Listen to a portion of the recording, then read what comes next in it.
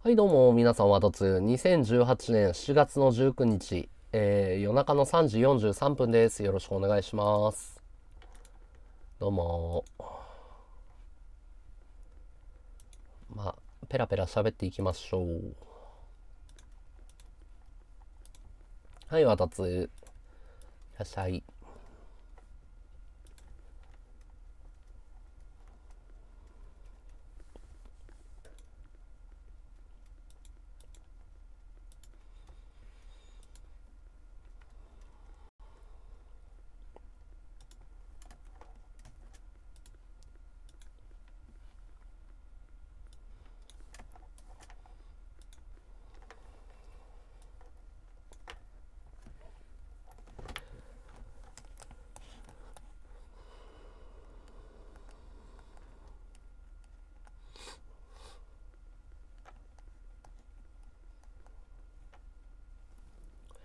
私なら耐えきれない。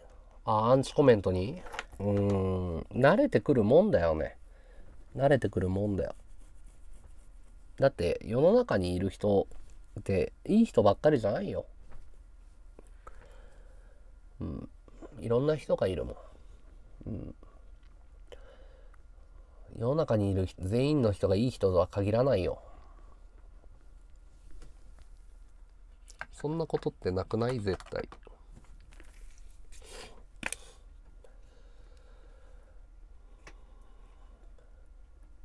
あしょうがないよそれは。何かされるんじゃないかと不安にならない。それがね5年間やってきて嫌がらせっていうのは一回もされたことがないんだよ。よいいことはされ要はね言葉では攻撃してくるけど実害が一回もないからあんまり5年間やってないってことはないんじゃない？みんなよくしてくれるよリアルにやったら。プレゼントとかたくさんもらうし。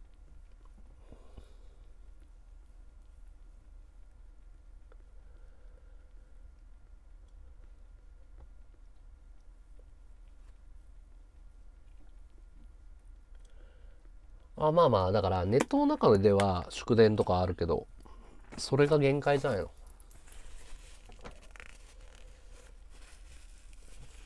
俺はないね。みんなによくしてもらってるよ。俺はないとりあえず。自分がなかったらねないないのと一緒だから。僕は嫌がらせされたこと一回もないっすよ。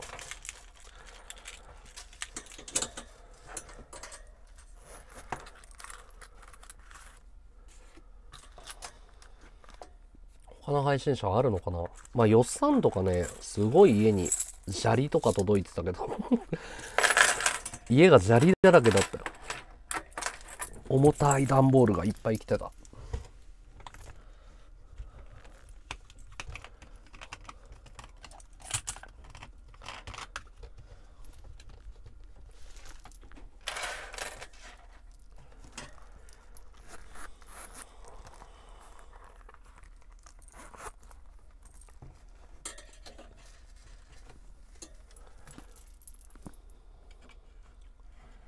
鮫島さんはあるね。うん。鮫島さんはある。では、俺そこまで有名じゃないもん。よっさんとか鮫島さんクラスに有名じゃないから。俺に嫌がらせしたところで何の意味もないもん。中途半端に有名だからね。あそこまでさ、人が増えたことないもん、俺。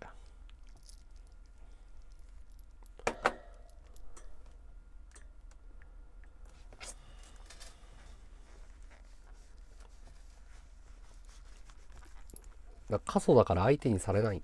アンチからも。ギター終わったよ。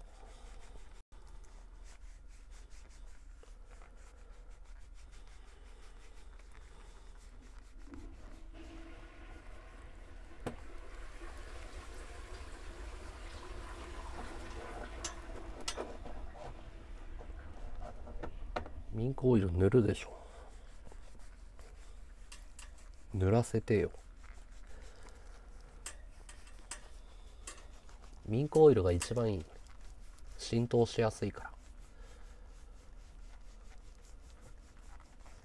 ら。あれは金前さんの閲覧であって俺の閲覧じゃないからね。俺の普段の閲覧は100から200だから。自分のお客さんっていうか自分のファンは。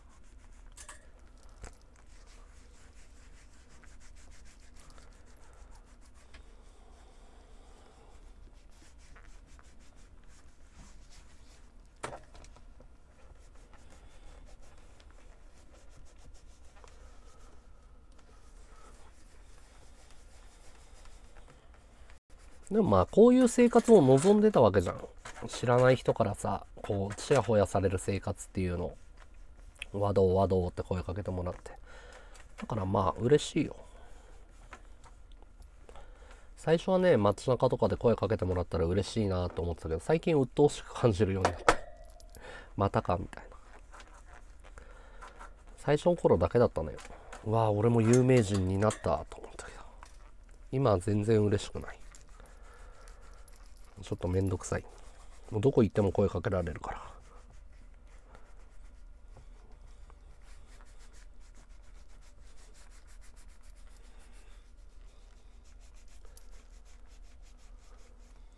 ああいやいやいやなんだろう。な何かが原因があってそれをやってるわけじゃん。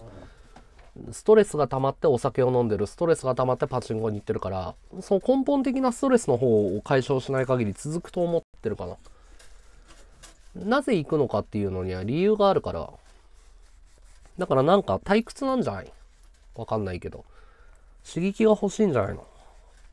刺激のあることをなんか探せば、なんか別に酒飲んでも、パチンコやっても俺はいいと思ってるから、それで楽しいんだったら。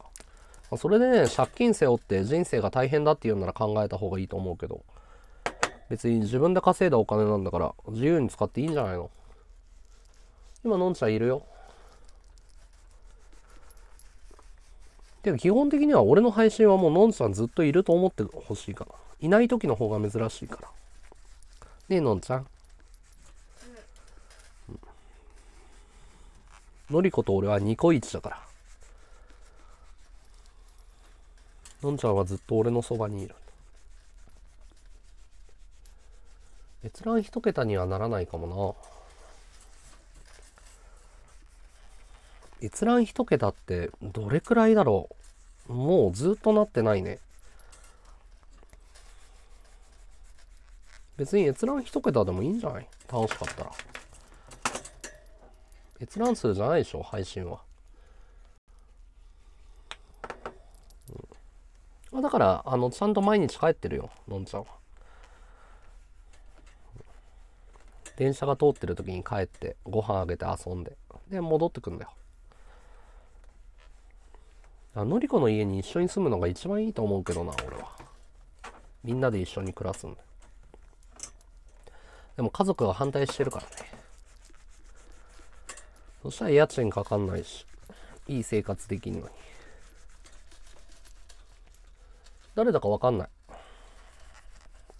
狐枠は誰だかわかんないよ。アイテム投げてくれた時だけわかる。匿名で投げられたらわかんないけど、あの、なんだろう。普通に匿名じゃなくて普通に投げてくれたらああ1号さんこの人かってわかるよ。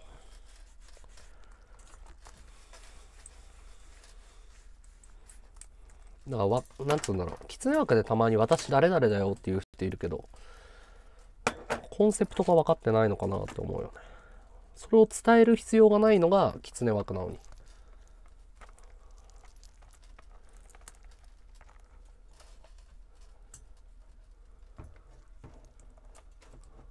やだってあれだもん。別のんちゃん一人暮らしだもん一軒家で。家族が LINE したけど返事ないのはなぜ？え LINE 来てないよ。LINE 来てない。LINE 来てないっす。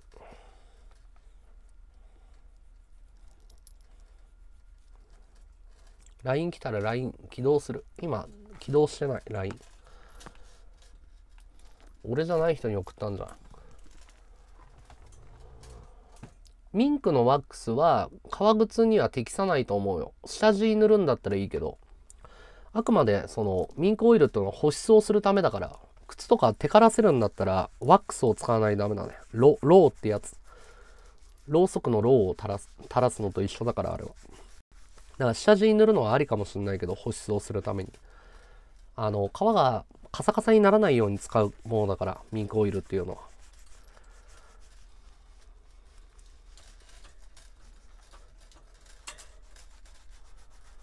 いつ映画撮るの？うん、機材が揃ったら撮るよ。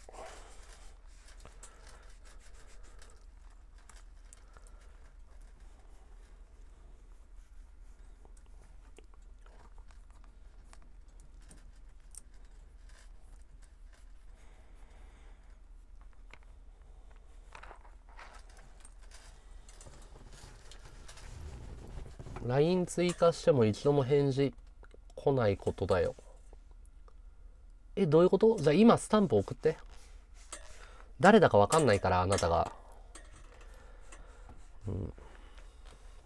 あなたが誰だかわかんないから、そんなこと言われてもわかんないよ。で、俺にスタンプ送って返事がないってことはブロックされてるってことじゃないの。そんな、誰だかわかんない人にそんなこと言われても困るよ。ルール守らなかったんじゃないの？俺に嫌がらせしちゃったんじゃないの？ブロックされたら俺には通知来ないよ。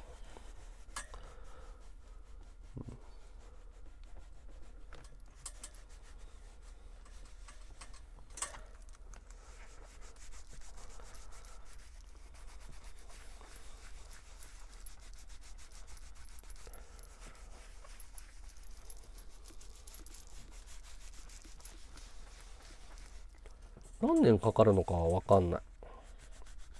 作ってみないとわかんない。作ったことないから。初見さんいらっしゃい。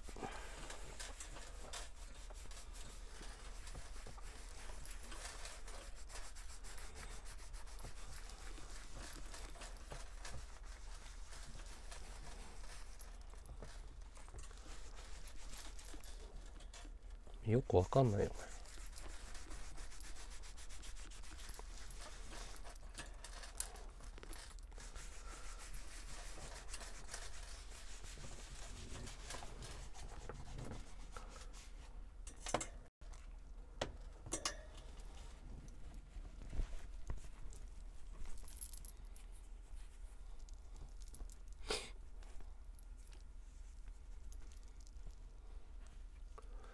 ああ、いやいや、俺は革製品作りたいとは思わない。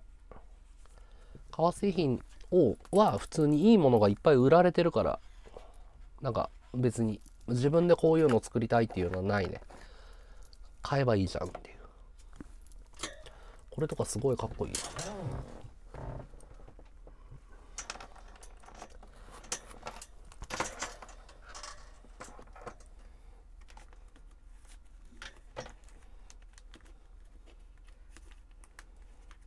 映画は自分があの作らないと作れない作品っていうのがあるから。要は世の中の作品に満足してないってことね。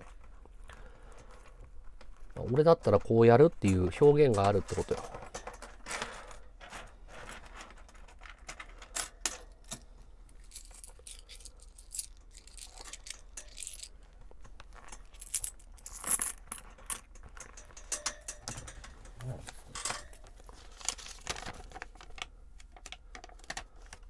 込むと味が出るね。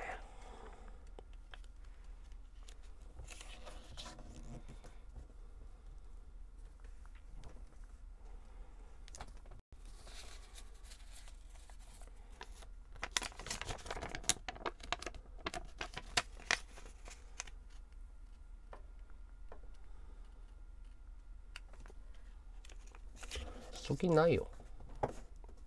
恋愛系取ろうと思ってるね、今回は。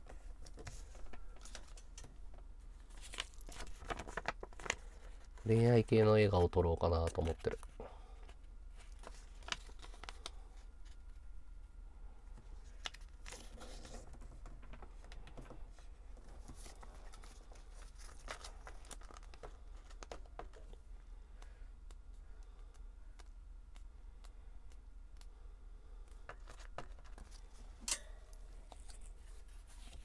はい、おやすみ。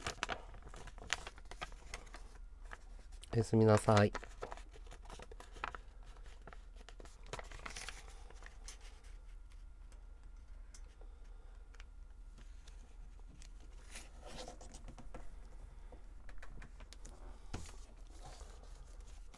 今日はまだ5円も行ってないね。アイテム0だから。あ、ごめん、これ間違えた。これ0円。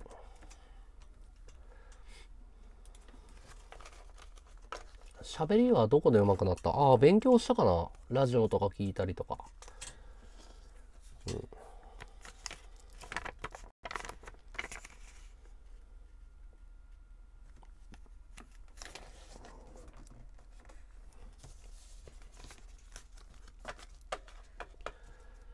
そうだね。物持ちがいいもの、アイテムが好きだね、俺は。物持ちがいいアイテムが好き。長く使える、いいものを使いたいね。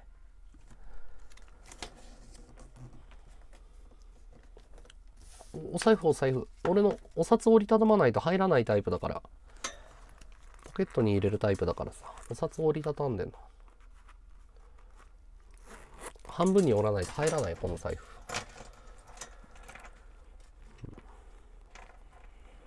だいぶ味が出てきたね。いい感じだ。アンチの体制っていうかさ、世の中にさ、他人っていっぱいいるわけじゃん。自分以外は全員他人じゃん。で、他人のコントロールって不可能じゃん。問題なのはさ、自分がどう生きるかであってさ、周りの人がどう思うのかとかコントロールできないから、ほったらかすしかないと思ってるの。だから他人からどう見えるのかっていうのを考えて生きてもしょうがないかなと思ってる。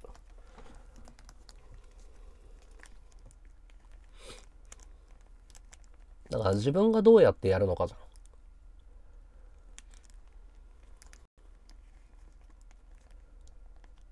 あ、そうなんだ。今年が一番周期運勢いいんだ。へえ。なんていう占い？六星戦術だと霊合星人だね。水星人マイナスだね。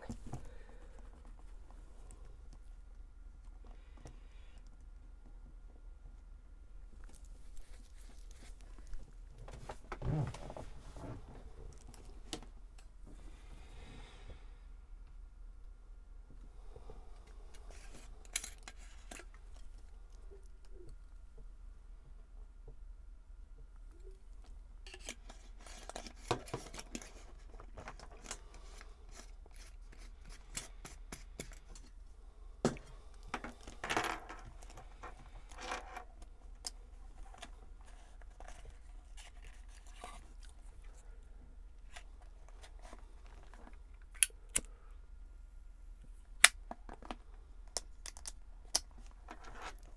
そうなんだ。アメリカに行く、あの、去年アメリカ行ってたら当たってたんだ。へえ。あ、そうなんだ。占い師さんにも言われたんだよね。すげえ当たる占い師さんに。アメリカ来、あの、誕生日までに行った方がいいよって。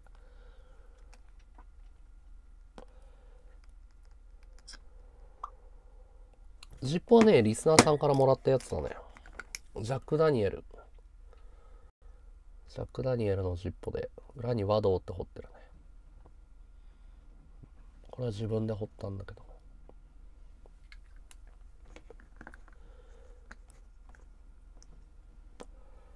単価塾やってるよ。全然アップロードしてるよ。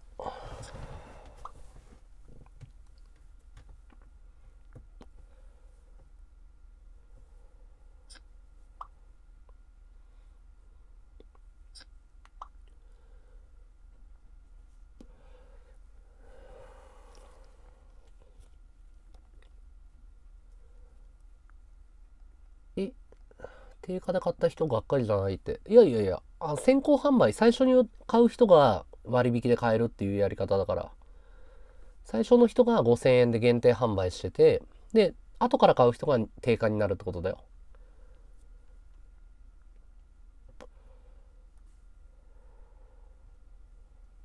だから今から買う人が定価だよ。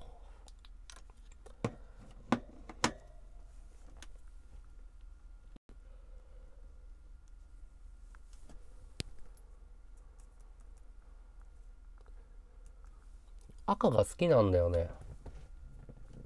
うん。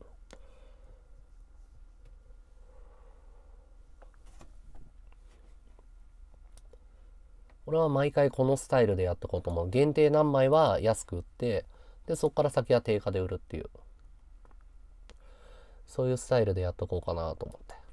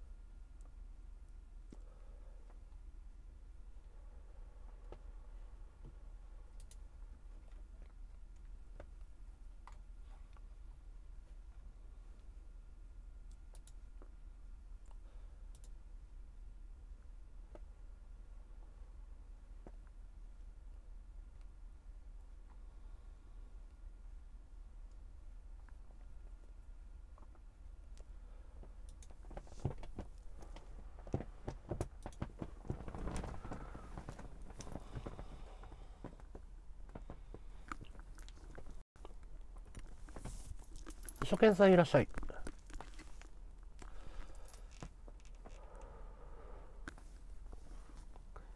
恋愛映画撮りたいね、俺は。生活保護じゃないよ、俺は。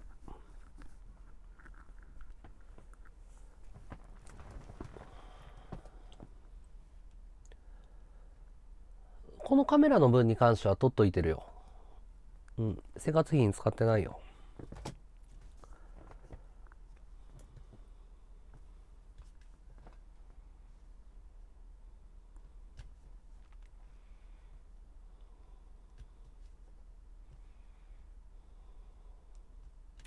なんで恋愛映画なの？分かりやすくない？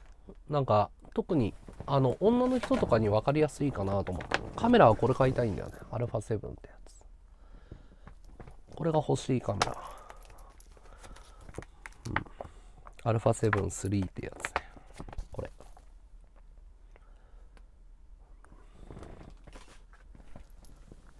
仲がいい配信者誰だろうな？鮫島さんかな？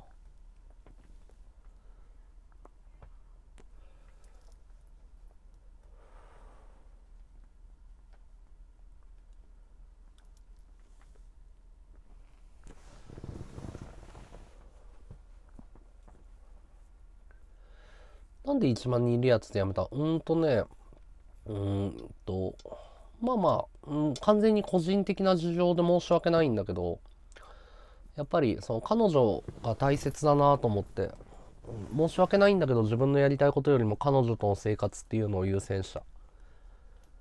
うん、200人ぐらいまで行ったのかな？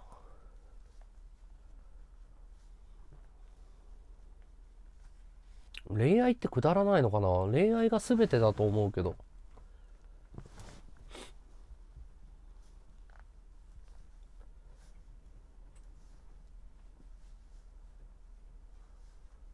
単感塾アップされてるよ？単感塾全然アップされてるけど。次の単感塾はだから、えっ、ー、と、え、番組見た？番組の内容見てたらわかるはずだけど。それただ番組見てないだけなんじゃないの？アップされてるじゃん。番組見てないだけじゃん。見てないでしょ？そうだね。彼女を取った。スケボー通報入っちゃったから、やってるよ、未だに。プライベートで乗ってるよ。うん。スケボー配信がやめただけで。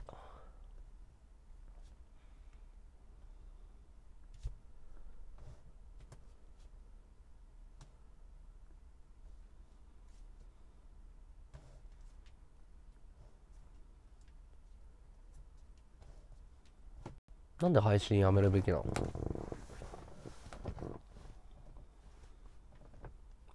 サバゲーはだから、あれだよ、鮫島さんにクビになったからだよ。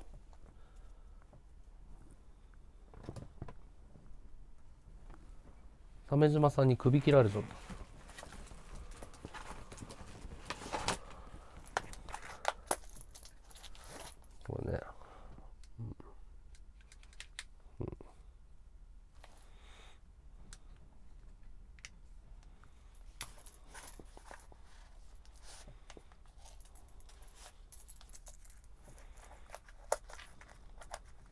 え、でも、鮫島さん自身もサバゲーやってなくない？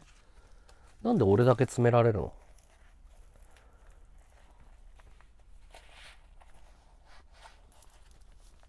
サバゲー楽しいよね。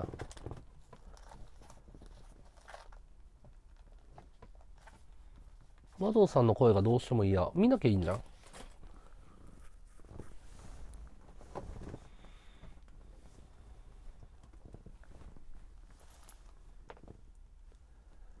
ある北号4までしか出てないけど。いや、だから、見てないんだよ。それ YouTube の使い方が分かってないんだよ。トップページでしょ、それ。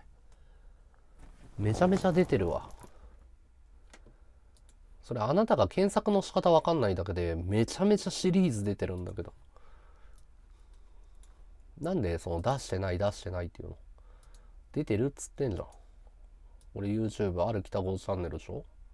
弾丸塾。これでしょ？で、ここの動画クリックしたら、めちゃくちゃアップロードされてるけど。ほら。めちゃくちゃアップロードされてるけどうんされてるじゃ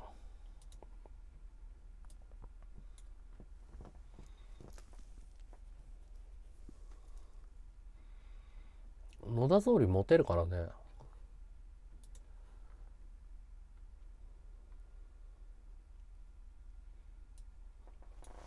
いやオーディションのやつだよ。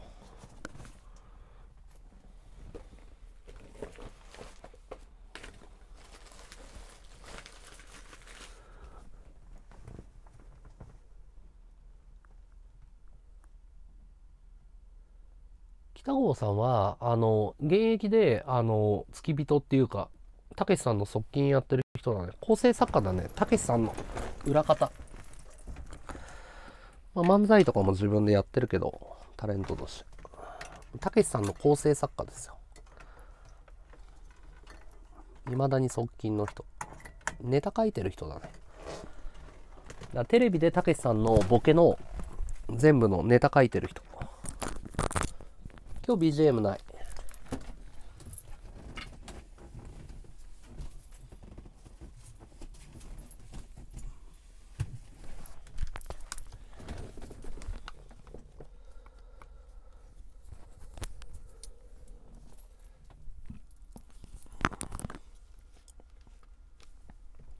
閲覧少ないね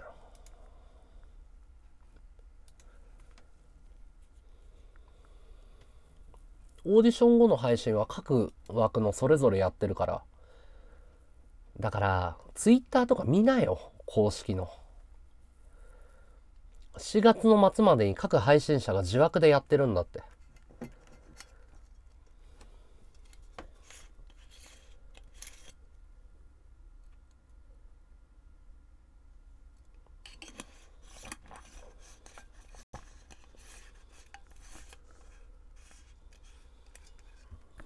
から嫌いだったら見なきゃいいじゃん。ブロックしてあげようか。もう見れないけど、ブロックしてほしい？ブロックしたらもう見れないから。ブロックしてあげようか、俺が。自分でできないんなら。どうする ?30 秒待つよ。ブロックしてほし、あの、何も言わなかったらブロックするね。はい、ブロックするわ。バイバイ。はい。うん本人がブロックしてほしいって言うんだからやってあげればいいじゃん。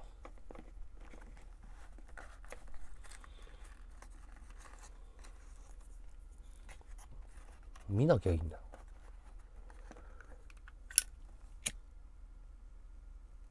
でも本人が見たくないっつってんだから本人の望み叶えてあげるんだいいことじゃん。あ延長するんでアイテム花火お願いします。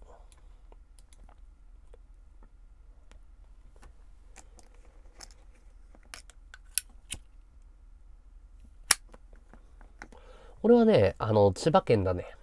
千葉県。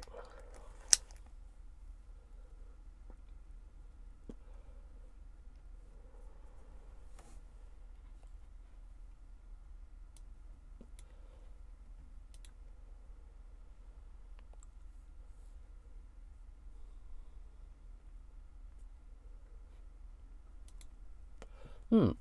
千葉出身だよ。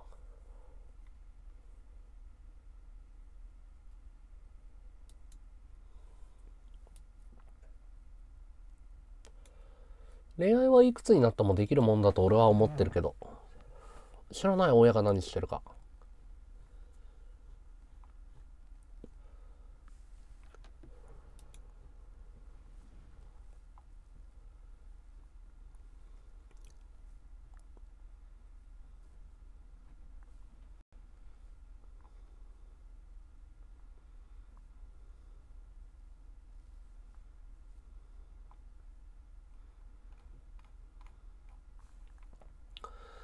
兄弟いない。初見さんいらっしゃい。映画撮影をしてるわけじゃなくて、映画をこれから撮りたくて、それの機材をね、クラウドファンディングじゃないけど、こう支援してもらってるスポンサーさんを探してますね。いらっしゃい。恋愛素晴らしいよ。家賃6万。まあ、この辺にしては激安物件って感じかな。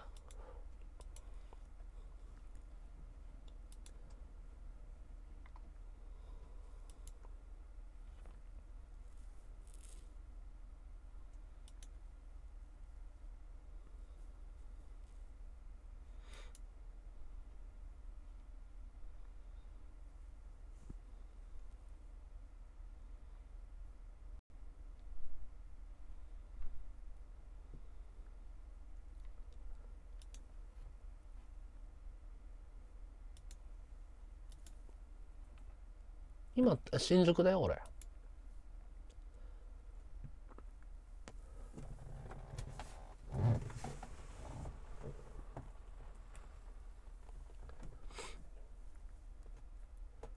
ロッキー的な映画にはならないから、ロッキー見たことないんですよね。多分、ロッキーとは見たことないから多分全然違う映画になると思うけど。うん、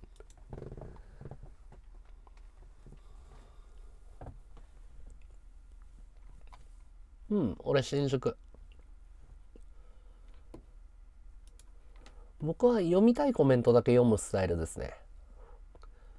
グランドハイアットがどこにあるかわかんないな。好きな映画監督、マイケル・ムーアっすね。丸の内線じゃないね。都営大江戸線だね。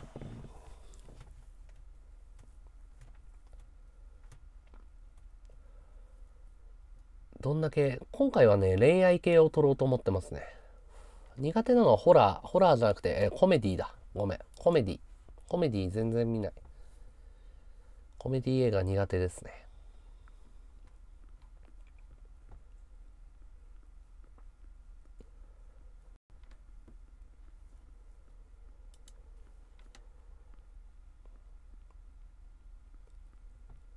うん。恋愛映画を撮ろうと思ってますね。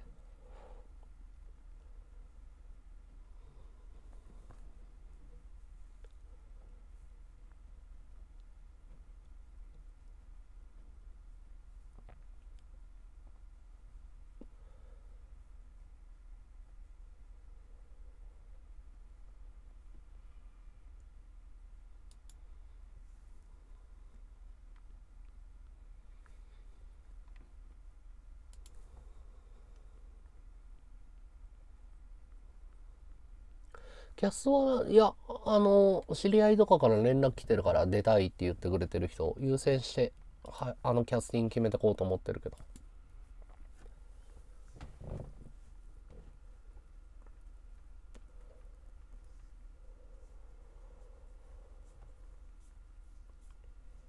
あ、そうなんだ。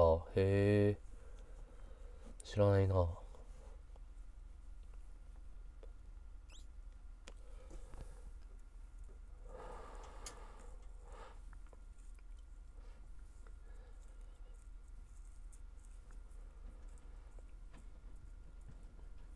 タトゥー入ってないね、俺は。1個も入ってない。18日はいくらもらったのってどういうこと？どういうこと ?18 日はいくらもらったってどういうこと？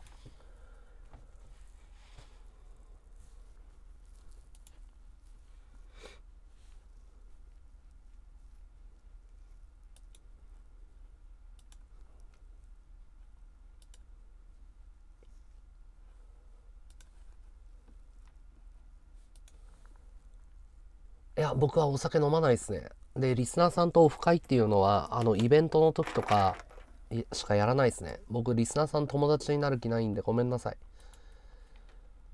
あの、仕事でやってるんで。リスナーさんと慣れ合う気は一切ないです。僕は友達を作りに来てるんじゃなくて稼ぎに来てるんで。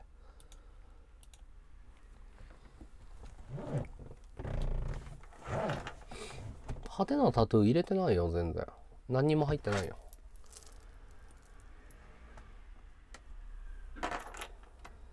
あ、ごめんなさい。エンディングに関しては胸クソ悪い系です。胸クソ系ですね。完全に。映画撮れるといいね。ありがとう。頑張るね。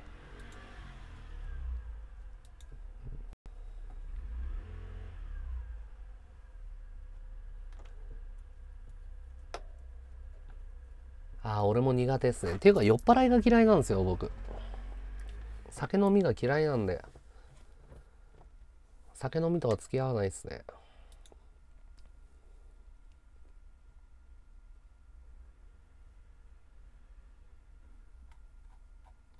ドキュメンタリーは2作目以降に作るかな。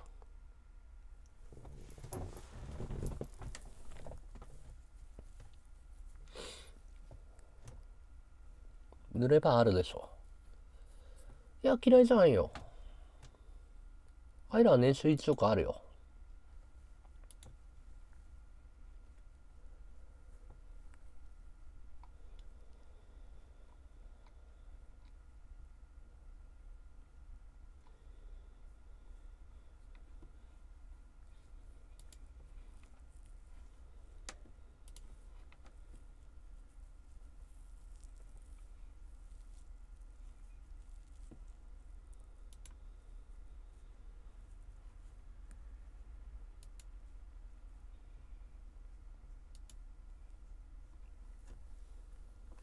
エコあるあるある。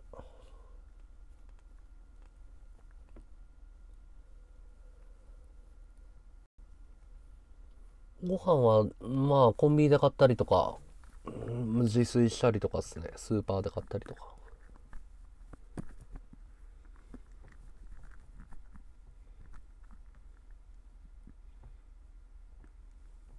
今井さんね、送った時大変だったね。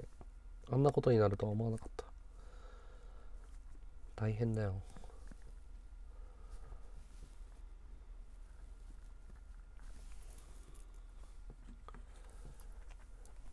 いや、俺200万もいってないと思うよ。いや、あの、しつこいっす。あの、飯食いに行かないです、僕。あなたと。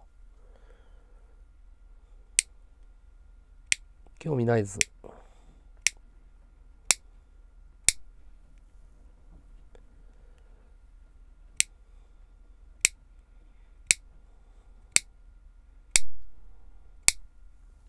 一人で行ってください。いや、一人で行ってください。申し訳ないけど。なんで僕があなたと飯を食わないといけないんですか？嫌です。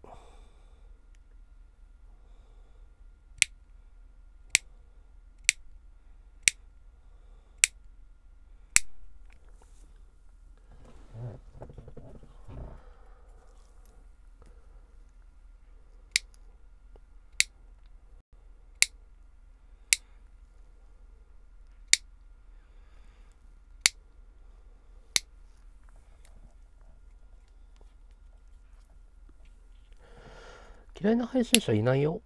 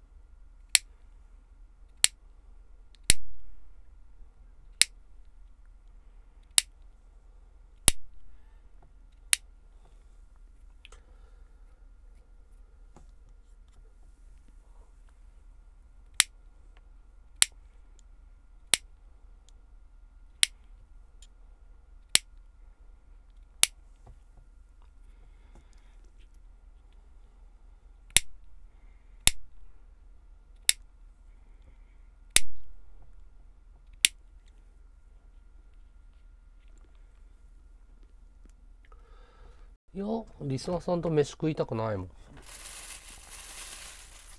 めんどくさいじゃん。やだよ。ああ、結構です。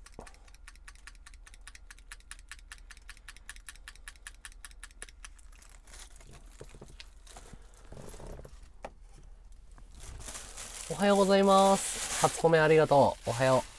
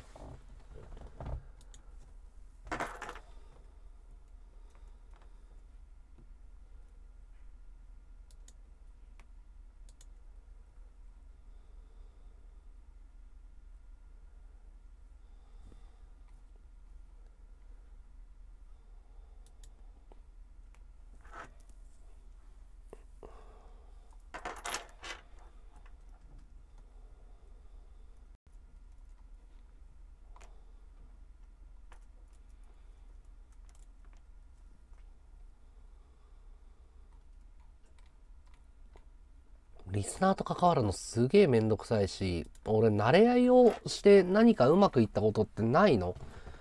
で、リスナーさんはさ、俺のことね、ずっと見てるから俺の性格とか知ってるかもしんないけど、俺からしたら他人なわけじゃん。初めて会う人なわけじゃん。で、俺が関心を持つわけではないじゃん。だから、すげえ疲れるんだよ。向こうは俺のこと何年も見てるから知ってるかもしんないけど、俺からすると他人だから、なんか疲れるの嫌じゃん。だから別にイベントとかで挨拶すりゃいいじゃん、会いたかったら。って思わない？グッズとか物販とかやってるところにひょこっと顔出せばいいじゃん。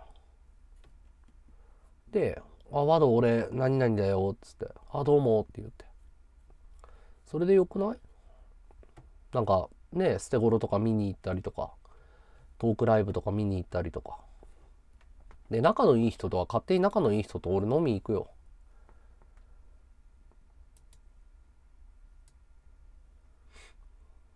いや、すごい疲れるよ。すごい疲れるんだよ。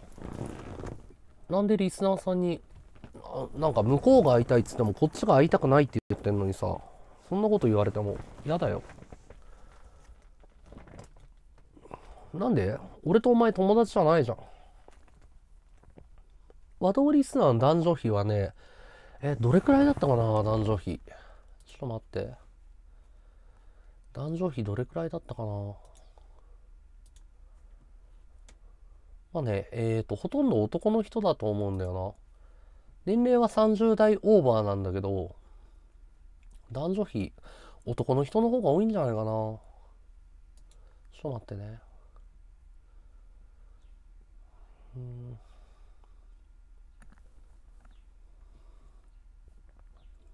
で、なんで我慢しないといけないの？何の得もないじゃん、俺に。時間の無駄でしょ。なんで俺がそんなことしないといけないの？こんな感じかな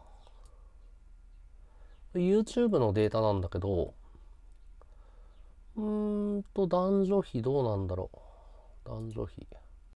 年齢層はやっぱ30代から多いけど、年齢層は25歳から34、35から44、45から。10代はほとんど見てないね。10代全然いない。30代だね。30代以降が多い。で、男女比はどうやって出すんだ？男女比は、えー、半々ぐらいなのかな？半々ぐらいじゃない ?10 代皆無だね。20代が少しいるぐらいで。30代、40代、50代だね。60代少ないね。女性の方が多かったりするのかなああ、男性だね。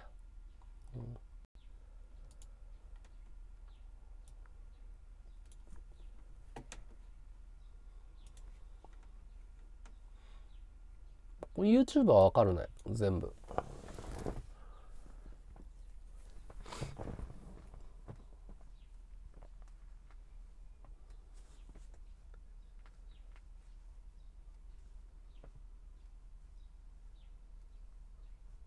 芸能人みたいにとかじゃなくて、普通にめんどくさいからやらないって感じかな。なんか、なんつうんだろう。あんまりリスナーさんと別に仲良くなりたくない。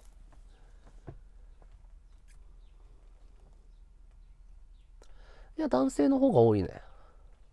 でもそんなに6、4ぐらいの割合じゃないかな。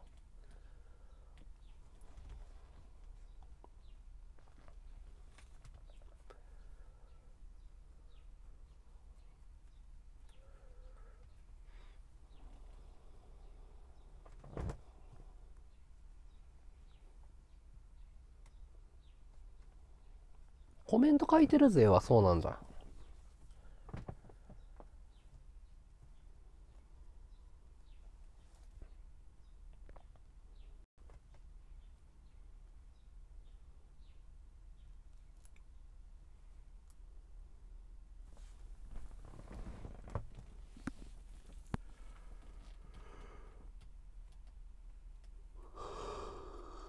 BGM 入れたいんだったら入れるけど。なんか頭痛くなるんだよね。ずっと同じ音楽聴いてると。頭ガンガンガンガンするから。BGM 入れる？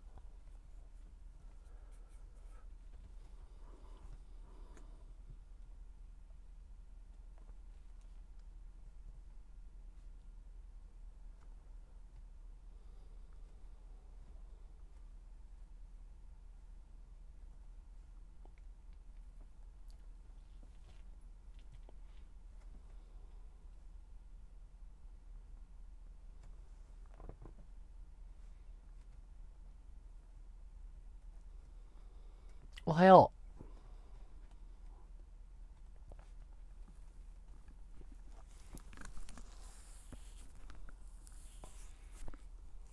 う。いや、あのね、いつも夜起きてるから、うん、今俺にとって昼間ぐらいだね。なんかね、頭痛くなるんだよね。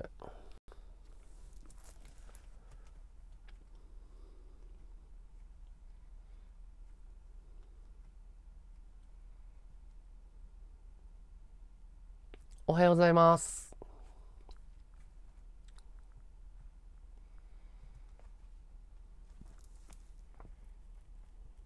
初見さんいらっしゃい。っていうか、お前寝たんじゃないの？初見じゃないじゃん。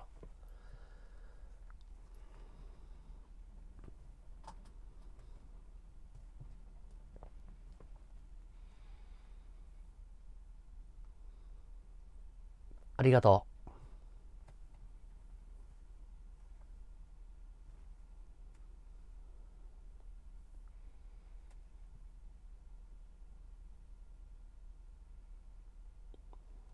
目標がなかったら行動できないでしょ。腑に落ちてないっていうことは反射で生きてるだけだから、うん、目標持ってなかったら行動ってできなくないかな。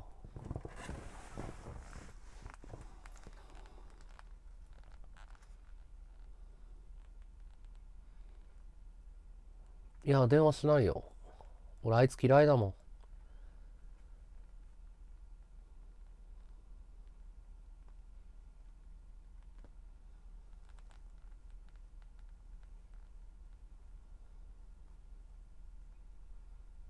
ありがとうございます。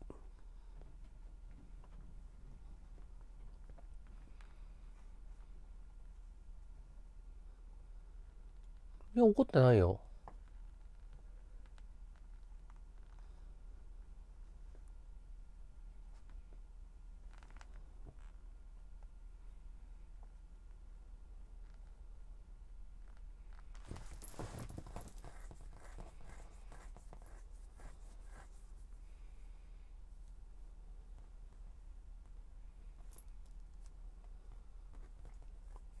クールかな？どうだろう？クールではないけど、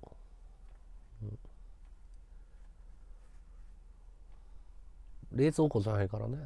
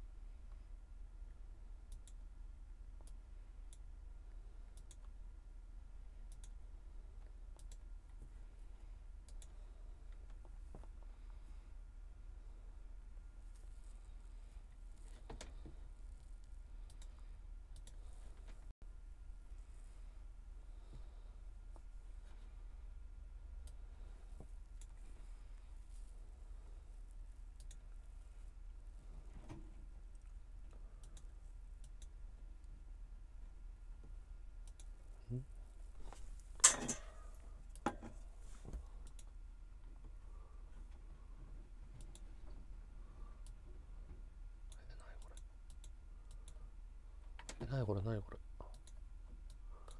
えなんだこれ。パクった。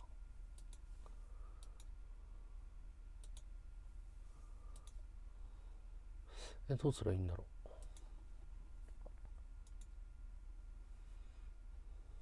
う。ん？どうすりゃいいんだ？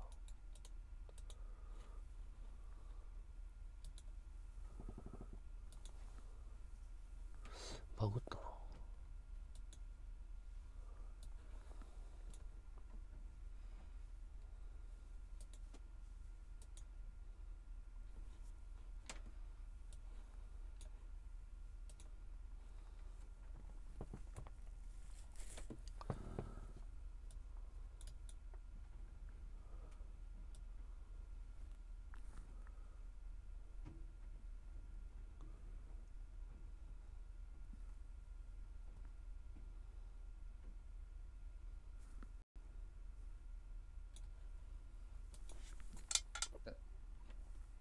もしもし？久しぶり。久しぶり。なんかさ、うん。俺和道が言うとは思ってなかったけどさ、うん。なんか俺のことやたら悪口言ってるって今。ん？聞いたんだけど。誰から？リスナー、誰の？俺の、なんて悪口言ってたの俺がなんか俺の話をぐちゃぐちゃ言って、文句言ってるって。和道は俺のことどう思ってんだよいや正直どうも思ってないお前、単館塾が終わって映画監督って何撮るんだよ、じゃあ。いやまあ映画撮ろうかなと思ってるけどキャストは誰々だよ。キャスティングしてないよ全然え？キャス何の？え何？だかんキャスティングしてない。なんでよれてんの？監督目指してる配信ってこと？いやいや監督だけど。うん監督で、じゃあ、でも、うん。ね、いつ、どういう映画を撮りたいの？恋愛もの？嘘でしょ。いや恋愛ものを撮りたいの。自分が主演で撮るのビートたけしみたいな感じで。ああまあまあまあそうだね。あ悪くないね。うんじゃあ、たけしの映画で一番好きな映画何？花火かなうーん、俺はアンチネかな。何？それ、そっちだった。そらちね。そなちねうん 花火は浅いな。そなちねの方が浅いでしょいや、そらちねの方が深いね。あそういや俺はないと思ってるけど、そなちねくっそ花火つまんないの方がメジャーだね。花火の方が面白いよ。でもメジャーだね。メジャーはメジャーだね。うん。ブラザーは？ブラザーは最悪。なぜが何が最悪？いやもう「I love you 兄貴」とか大爆笑でしょあんなの。うーん。俺と見方が違うな。あそう。あれはだから外人受け狙ったんでしょ？やっぱりワードってサイコパスなところあるよね。うんまあサイコパスだからね。若干ね、これは別に悪口じゃなくていい意味でもね、うん。余計な部分をシャットアウトできるっていうサイコパスな部分っていい意味だと思うし、うん。いやまあ、よくわかんないけど、うん、余計なこと気にしなくていいっていう。あまあまあ他人の気持ちわかんないからね。余計な不純物をいつまでも持ってるとさ、いいもの作れないじゃない。うん和道はいつもすっきりとそういう部分を削ぎ落として新しいものを作れるっていうフットワークの軽さをすごい感じるからすごいいいと思うけど、うん。俺はブラザーのうん。ビートたけしの好きなところってやっぱりなんつうの無駄な部分をブラザーアウトレイジーが今回ヒットしたのはうん。ブラザーの映画のコメディ版にしたような感じかなと思った、ああまあまあヤクザのことバカにしてるよねあれは。あのブラザーは違うけど、アウトレイジってあれなんつうの？バキュンバキュンっていうヤクザごっこだと思うの？ビートたけしの。あ面白い。この話。うん。あと3時間できるよ。う。んだからそれをそうヤクザをバカにしたビートたけしがなんかヤクザがすげえって言ってる、すげえ面白いコントだと思ってるの俺はあれは。でもヤクザバカにしてないと俺は思うわ。あそう。それは、うん。バカにしてるけどヤクザコントうんだと思う。そうだね。ヤクザごっこだね。たうんそうごっこにしてるけど分かりやすくうん。見てる人間うにん。伝えてるだけであってバカにしてるわけではないとは思うんだよね。あー。あでもさそうさ要は分かりやすくしてるってことは視聴者をバカにしてるって意味なんだよ俺の中で。例えば視聴者をバカにしてる。ただヤクザをバカにはしてないと思う。それは共通してるね。なるほどなるほど、うんうんそうそうそう。見る人のレベルはお前らこういうの好きなんだろうってやって作ってる気がする。あのさ、うん。アウトレイジ全部見た ?123。アウトレえ3ないけど。2えあそっか。ファイナルがあんのか。えっ、とねアウトレイジ1と2は見たかな、でもう無理だと思って見なくなったかな、もういいやっていうか。この男凶暴につきは？えー、どうだったかな？見たかな？覚えてないな、うん、じゃあ好きな映画は何？俺が好きな映画マイケル・ムーア監督だね、何の？作品作品を作品は？作品が好きなのはえっ、とキャピタリズムが一番好きかな、いいね。監督好きなのはいいね。うん悪くない。うん、監督好きなのはうん作品よりも監督でまず入ってくるところ、今の感じは悪くないね。俺は監督で選ぶかな。ん要は、あ、俺もそうだ。うん。要は映画とか音楽聴くって、その人がどんな人なのか、え、じゃあ一番さ、うんえちょっと待って、マイケル・ムーア来たか。ううんん日本人だったら伊丹十三監督。例えばうんうん。タランティーノと、タランティーノは俺多分嫌い。見たことない、あ、キルビルとかもちょろっとしか見たことないんだけど、俺は嫌いだね。パルプフィクションは？パルプフィクションも見てないけど、タランティーノは多分好きじゃないと思う。ちょっと待って、パルプフィクション見てないの？見てない。嘘でしょ？いや、俺そんなに見てないよ、映画。ん？じゃあ、ワードは何？に何に特化してんの？何に特化してるって何？好きない映や、画あるだろ。雑学が強いだろ。何？映画のことについて雑何学強いよ。映画じゃなくて、漫画とかの方が強いの。アニメ。漫画アニメの方が多分好きだね。あー。まあ映画も好きだけけど。うん。ど。漫画で、うん。今まで一番うん。難しいと思うけど、うん。一番好きなのは？一番好きっていう言い方が嫌い。まず。そう、わかるわかるわかる。印象的に、うんうーん、難しいよね。ううんーんと、どう言えばいいかな。うん自分に影響を与えた漫画は何？古谷実古谷実の作品の、え3つある作品ちょ、もうごめん。悪いけど作品で答えてくんね。えっ、と秘密えっ、と秘密えっ、とサルチネスえっ、となんだろうなグまあグリーンヒルとか秘密をさ、うん。実ごめん。秘密を実写映画化した、うどう思った？んいやもう絶対見ないと思って見てない。悪くない？よ。悪くない？あの監督誰かわかる？わかんないなんだ映画知らねえな。だって秘密の原作を絶対表現しきること無理だもん実写で。悪くないよ、あの監督は。あそうん。ううーんいや秘密は原作かあんま知らねえなっていうかまずそもそもなんだけど漫画の世界を実写化するっていう考え方は俺反対派だからわかるよ。うんそれは別物として見ればいいだけで。っていうか原作を超えられるはずがないなんか全てのとかいう目的じゃないじゃん。目的じゃないっていうよりもだったら原作読めばいいじゃんっていうのが俺の考え方なのだから原作を読まない人間がいるじゃん。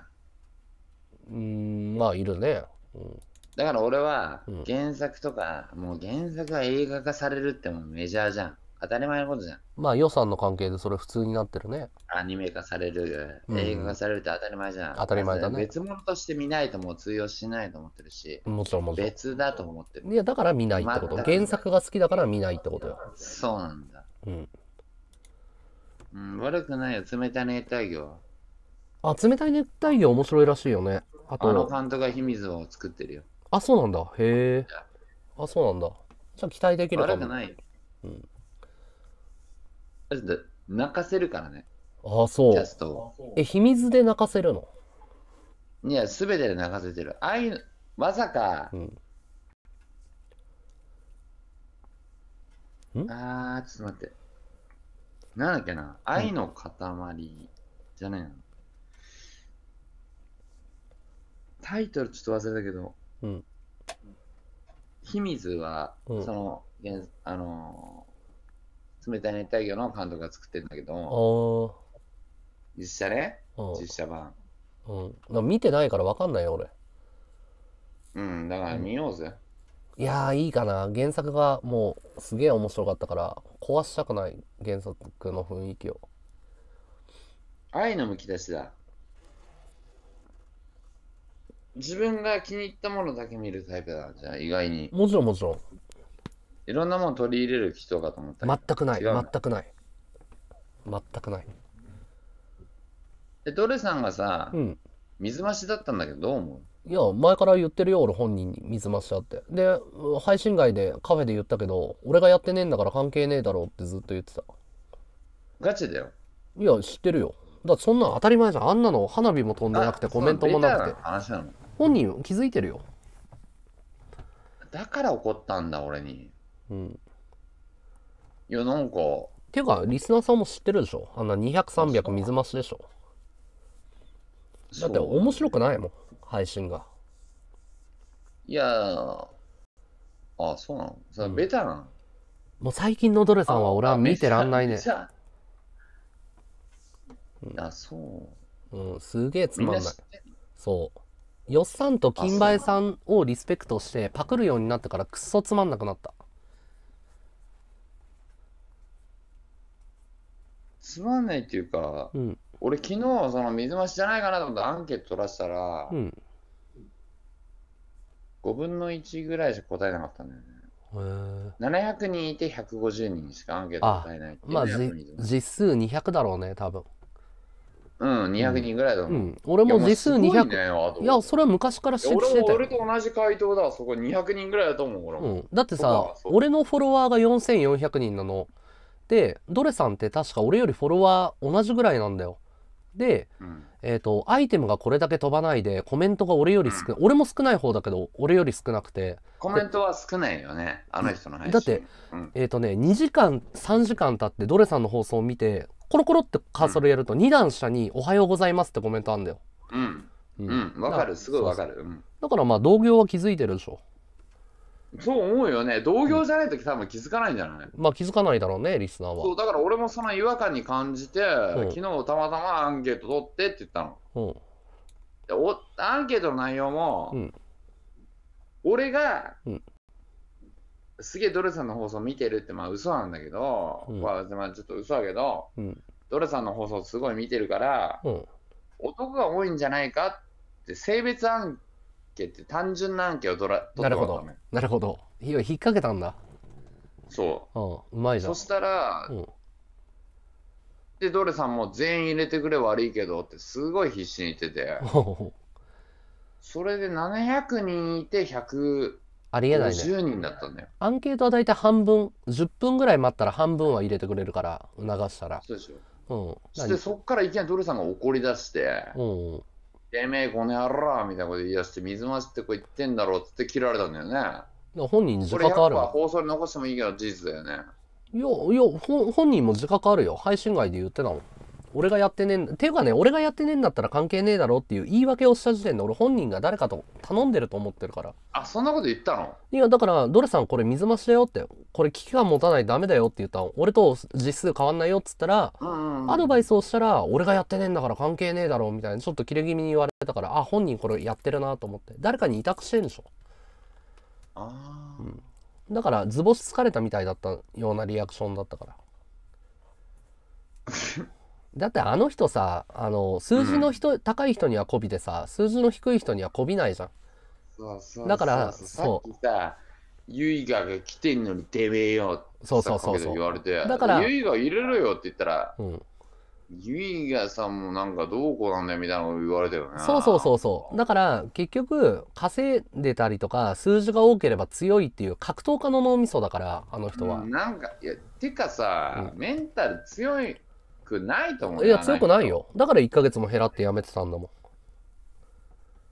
ユイガとかだってさコメントしてきてたからさ、うん。ユイガ入れた方が面白いじゃない。うん絶対グループねに入れろ今っつったら、うん。言えねえみたいなの言ってなんか。いやドレさんは昔からそういう人だよ。うん。うん。聞いてるかどれ？聞いてないでしょ放送中だから。そうそうしてんの？やってると思うよ今いや、ちょっともう、なんかどれ説明たいんだけど、今、すごいどれ冷たいな。いや、無理だと思うよ。腹立つ、あいつ。いや、だからもう数字だ、って俺より稼いでないんだよ。毎日花火2発とかだよ、あの人。6でもさ、和道にそれは通話した時も俺一回だけ聞いたことあるんだけど、うん。それが理由かどうか知らないけど、俺一回聞いたのが和道にかけた、ドレさんがね、うん。和道に通話かけてるの俺、たまたまロムって聞いたから、うん。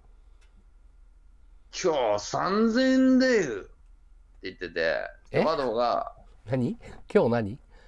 今日3000円なんだよって言ってて、ああ、花火がね。ほうほ和道が、うんああ、いやでもいいじゃんってうん言ってて、う。うん。どれが3000円なんてよ、クソじゃねえかよ。いや、ねそれ投げてくれた人に失礼でしょ。ありえないじゃねえかよ、あげるリスナー誰もいなくなってや、3000円の稼ぎがや、ょ。うん。ゴミみたいな稼ぎでや、って言ってて、それが和道がやったらそれに、ういやでもあげてくれる人いるんだからみたいな。ん。それは失礼でしょ。まあまあまあいいじゃないみたいな感じで言ってて、うん。3000円なんてゴミだろいや、ゴミはお前だって話でしょ。そうそうそう、そういう感じが覚えてるから、やっぱその感じなんじゃない？やいや、前からそうだよ。だって、俺が収入低くて、ドレさんが50万とか80万言ってた時に、リスナーに何て言ったかって言ったら、俺びっくりしたんだけど、お前よ、風船とか嫌がらせかよとか言って、花火以外のアイテム和道に投げろって言ったんだよ、あいつ。それで花火上がんなくなったの。要は、よくしてくれたよ。パフェ。の第1回の後、うん。あやっぱりね。うん。まあもう、やってその、頃に天狗になってたよね。うん。もうやっていけないと思うよ。もう放送では。生主じゃないもん、あれ。確かに。で、てもすごい来たよね。っていうかね、アイラが誤解してることが一個ある。これねう、ん多分ね、リスナーさん正論とか正解って言ってくれると思うけど、今話してる議論って、どれのリスナーは全員知ってるから。知っててやってんの？知ってて、もう監視対象になってるだけなの。だからもうドレさんがそういう性格なのとか、もう、要は性格悪いこととか知ってて、もう監視対象として見てんの。絶対これ分かってるはずだよ。で、一部の、本当に 5%, 5もいないよ。2%とか3%とかが必死になってドレさん擁護してるんだけど、もう、無理だと思う俺。いやで、んだってこれはさ、だって、ん和道ってどれ、どれさんだってずっとトレーナーでうんやってきた人だから多分一番知ってるよね。俺だって配信配信外でも何回も会ってるから多分そうそう、配信外のことを一番知ってると思う、多分。知ってる知ってるっていうか話せないもうエグすぎてドレさんのことに関してはもう関わりたくないんだよ俺はいや、すげえわかる。これなんだろう、わかるんだよな。うん俺関わってないのに、会ってないのにわかるんだよね。うんだってさ、朝比奈の件もそうだったしなっ。ていうかさだってさあのモンちゃんとかさつばにゃんとか女性配信者がブロックしてるわけよ関わったことある。それどういうことか考えたらもうわかるじゃん。最初だけ勢いいいけど、だんだん話変わってくんだよね。うん。ピキってんの？ドルさん、ピキってるって。いや知らないよ。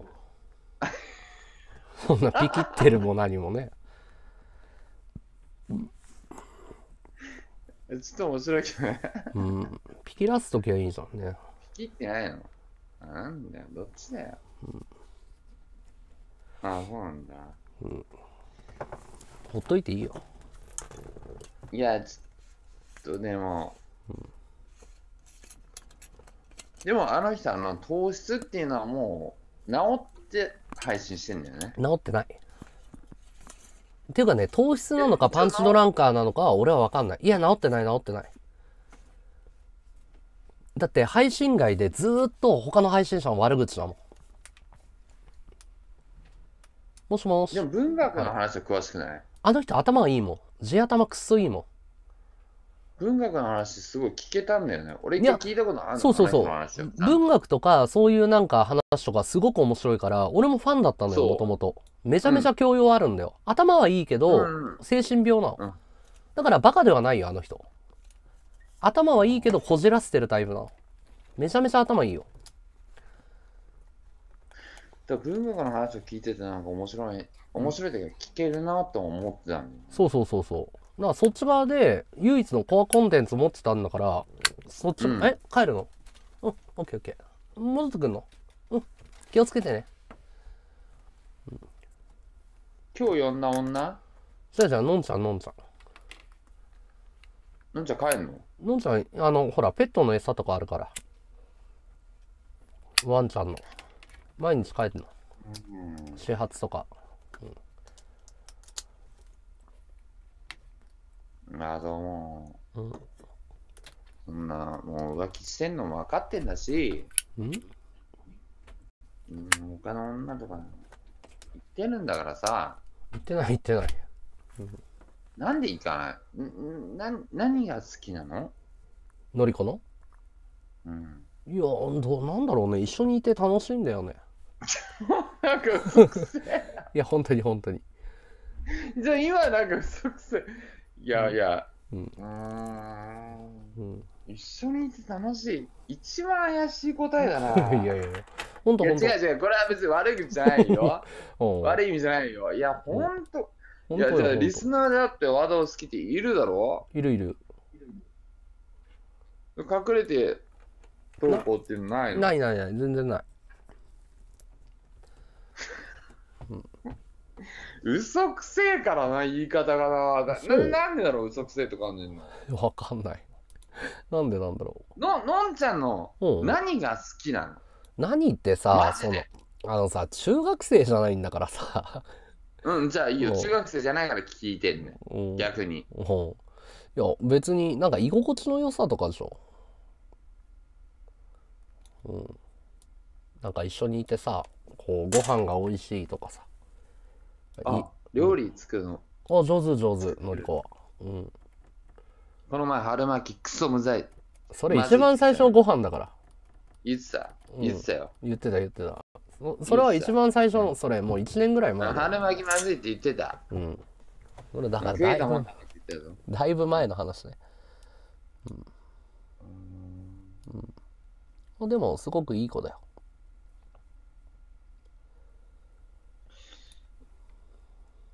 いや、ほん。そっか。うんいや、そう。本当？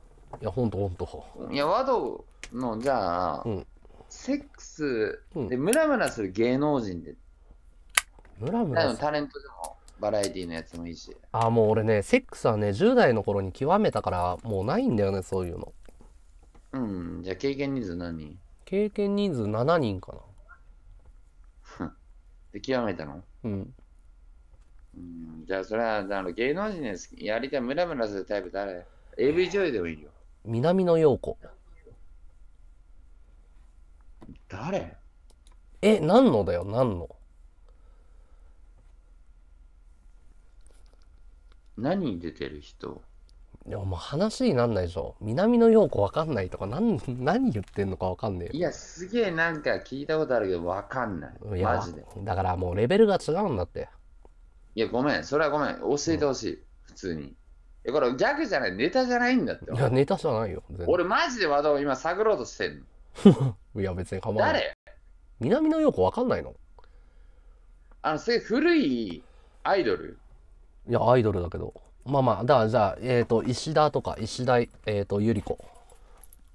ちょっとすげえわかりやすいので言ってもらってもいやすげえわかりやすいところ出してる最近のでわかりやすいのでメジャーに寄せてもらっていや、最近ね、全然メジャーだから。南野陽子も、あの、石田ゆり子も全然メジャーだから。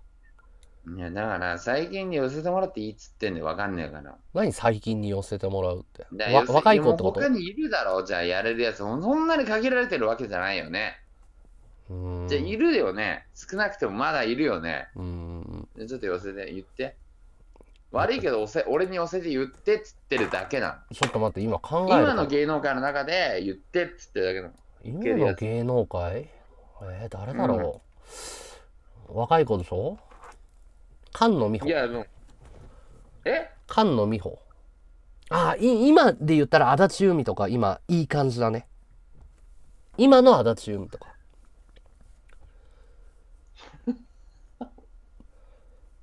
離婚して。いやいや、今子供生まれてからすごく良くなってるよ。お前やっぱ熟女好きなんだ。うーん、かな。だね、じゃあ。うん。マジか。うん。ないわ、足立美。ないかな？すごい綺麗だよ。最近の検索してごらん。めちゃくちゃ綺麗になってるいや、から。ないな。ないんだ。あ病んでるとしか見えない。ーうーん。七尾とかは？あー、まあまあまあ、でも俺ね、綺麗どころよりも可愛い系が好きなんだよね。どちらかっていうと。でも七尾ありだな。なし、どっち？いや、俺は性的には綺麗だなと思うけど、あの、だから性的にどっち？だから、ない。ないの？ないの。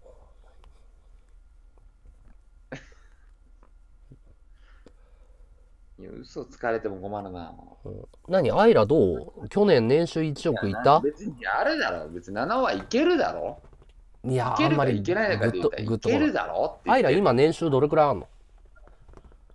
関係なすぎることを言っいやたの、今ちょっと興味あるびっから。くりした今。いや、ぶっちゃけどういうびっく、り な今、なんではぐらかすんいやだよ。わ今、じゃあ、いくら稼いでんのか気になるんだって飛。びすぎだろ。いや飛んで申し訳ないけどや今女の話だぞ。あいやいや、俺何の話言ってんの？俺にも興味あるお前、すべに入ってんの。違う違う違う。俺だって質問させてよ久々に。さ、うん。2時間ぐらい喋ってもいいじゃん。い？や、いいよ。だいいなんでそこ隠すのよ。なんでいきなり年収でぶっだって飛んだのよ。だってお前さ、ふわっちの中でトップなんだよ。で、アイラがいくら稼い、言っいや、て。本当のことだけ言うよ。うん、去年、去年でいいよ。いやいや、無理。やっぱ言えない。なんで？うーん。てか、確かな数字がわかんない。言えない。大体が。があるじゃん、大体。じゃあ、わかった。えっ、と、マックスいくら？月のマックス。じゃあ、じゃあ、本当のこと言ってやろうか。うん。これ、一度限り貴重だぞ。今うん見てるリスナーすげえ一度低いけど、うん一度限りだよ。うん。ギリギリ1億。うわーマジかマジかギリギリいってんのうわ、マジか、引くわ。鳥肌立った。お前今億万長者なの引くわ。クールダウンしていいよ。まあまあ、そうだね。そうなるね。あ、やっぱ言ってるんだ。引くわ。すげえな。いや、すげえな。配信会で億、ゴナマだろ、同じ出身の。ヒカキンじゃん。ヒカキン。あいつなんて1ヶ月で1億だよ。まあね、まあね。うん、でもすごいね。いや、ありがとう教えてくれた。まあまあ、そうだね。で窓だから言っただけ。ありがとう、ありがともちろん。う。うん。へえ、すげえな俺なんか200とか言ってないんだよ。窓は嘘つきだから。本当に本当に。だって俺、マンスリー、今いくつよ？今月。俺最近やばいよ関係ないの。え、ちょ、一回言っていい？ディスじゃないけど。いいよいいよ。いや、和道さんのリス今、和道の話見てないけど、元オレオレ詐欺の受け子で捕まって生活保護、元、でもそれを解除して今配信してる。うん。俺、そこすげえ和道の好きなところは、唯一、うん。生ポを暴露したところなんだよね。あ、だから、もう配信会初だよね。すげえ唯一和道の好きなところなんだよ。いや、だからさ、ふわっちとかさ、そんな人いないんだよね。そうそうそう、今当たり前になったけど和道、が生活を完全マニュアルみたいな配信企画やったよね。やってる。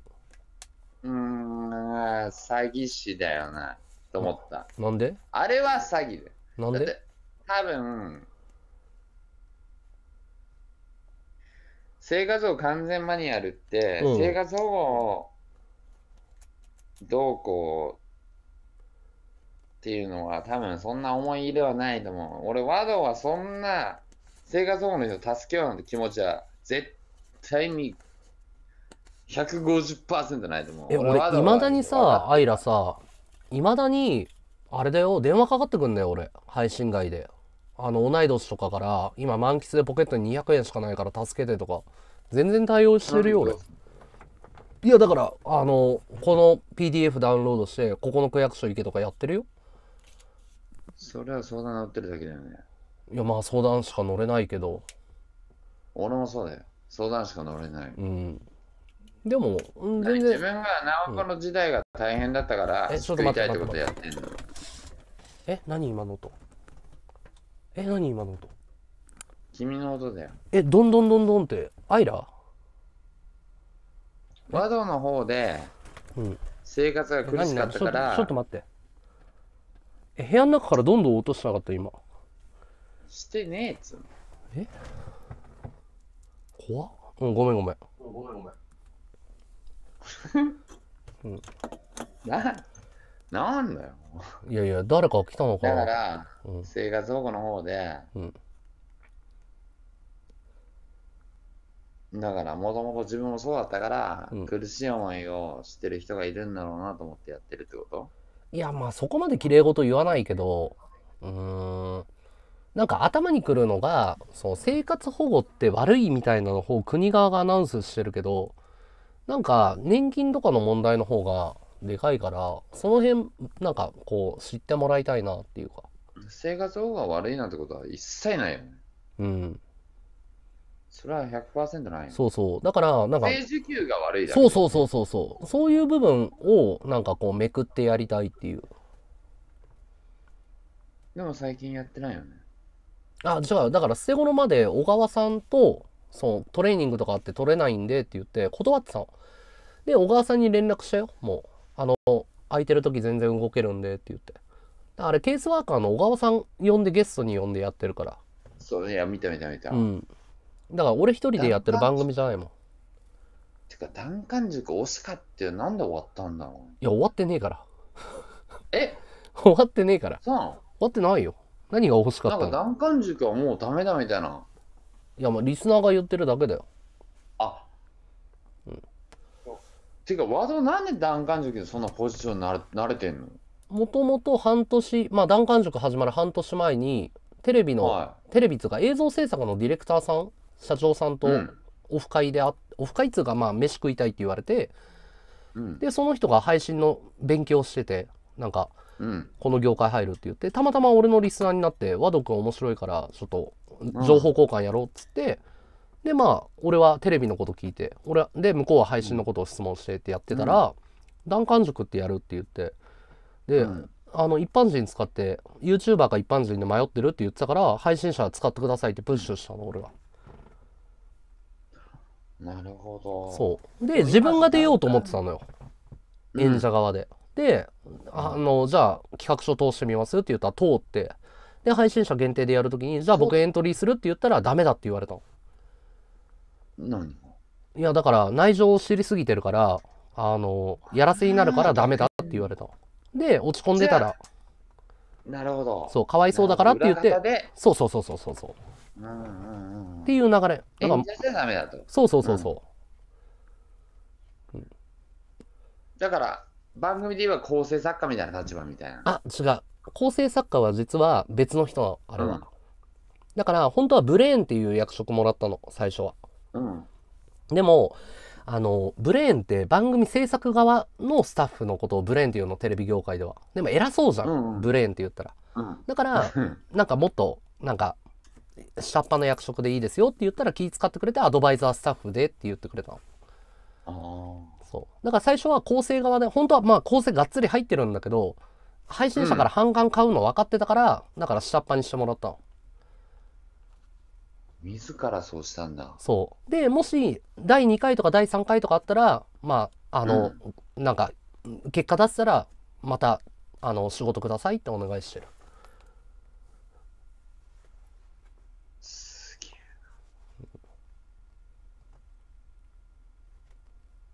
な。難関塾でじゃあさ、うんこいつはいけると思ったやつ、ベスト3うんって言えば誰だ誰だ一番だったら、当時は便所さんだった、俺は。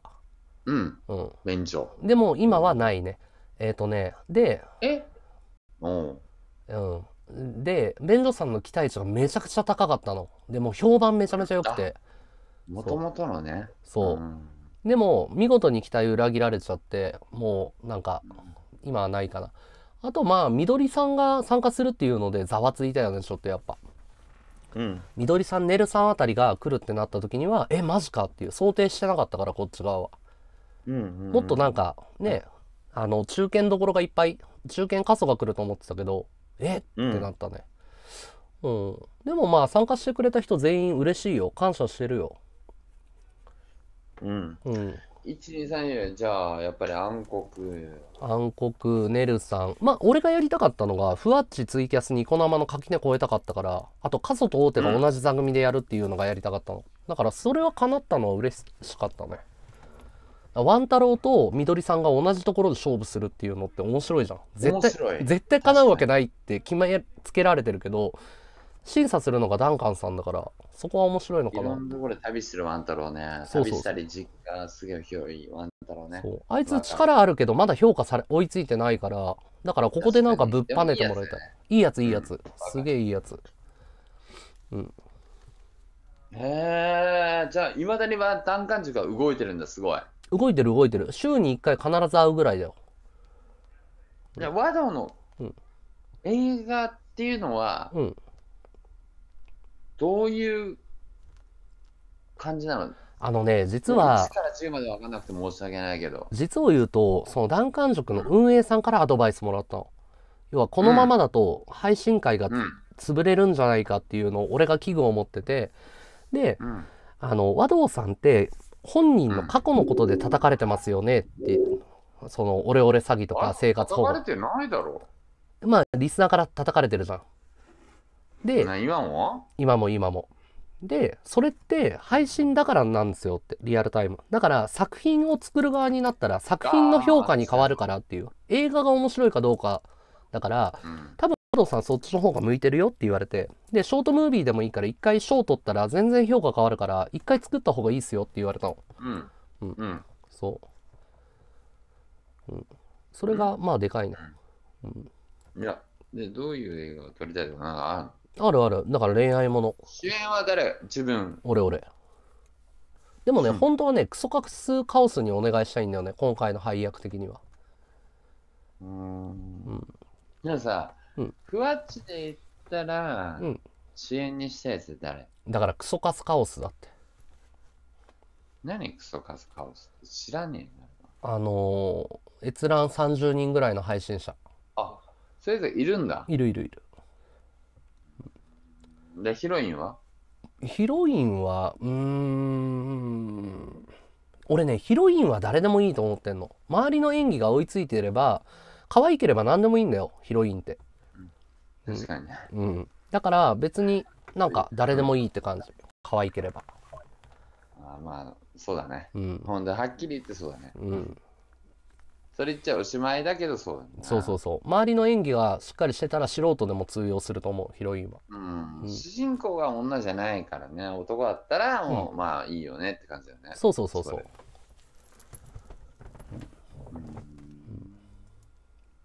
じゃあ、どんな映画？大丈夫？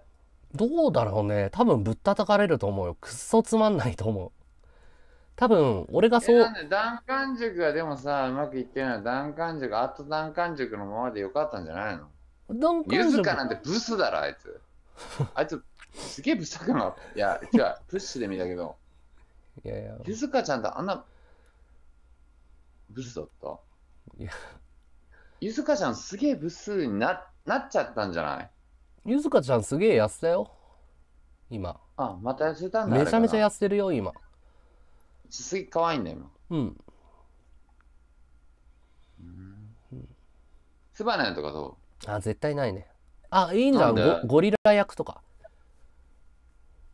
ういや、でもわかんないじゃん。い可愛いやいや俺はツバニャン魅力的に感じないから無理だね。朝比奈エミリとか。朝比奈朝比奈だったらうんもし仮に出てくれるっていうんだったらヒロインのライバル役にするね。タマは？たまちゃんは無理かな？使いどころがわかんない。ね、確かにそうだね。うん。いやー、なるほどな。鮫島さんは？鮫島さんか。いや鮫島さんだったら主人公の横に置いて熱いこと言わせるキャラにするけど。ちょろっと。要はあのスランプに落ちた時とかに助言する役とかすげえハマると思うよ。好きや好き。式位わかんないな。見たことないお前、監映画監督なんて無理だよ。え？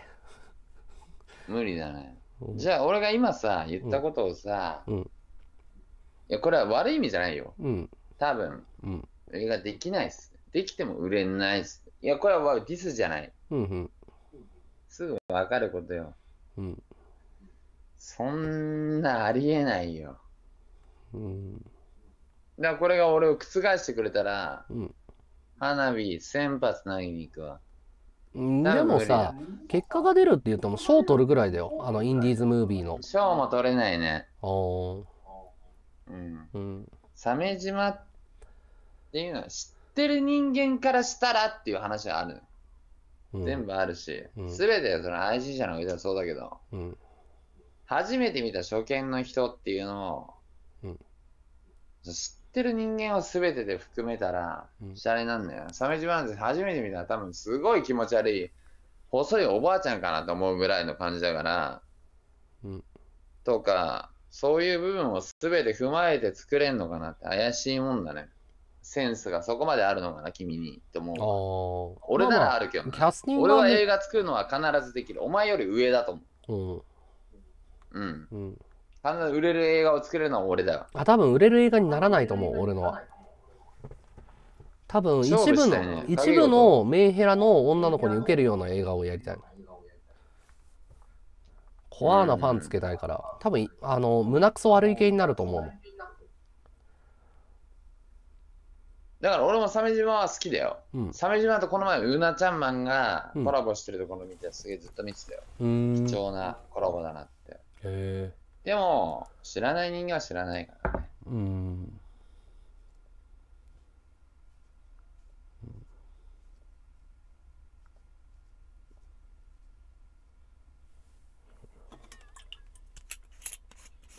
まだ何飲んでんの今？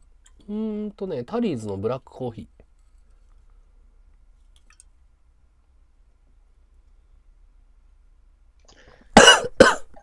いや、でも、やっぱり、やめないのしな、え？マッチは。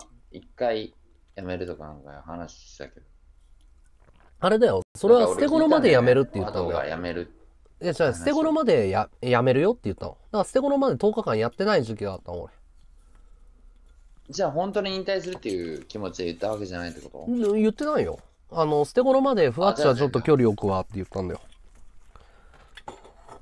全然 OK。うん。それだったら全然 OK だ。うん。あれだ、またね。うん、ありがとう、ありがとう。はいよ。はい。じゃあね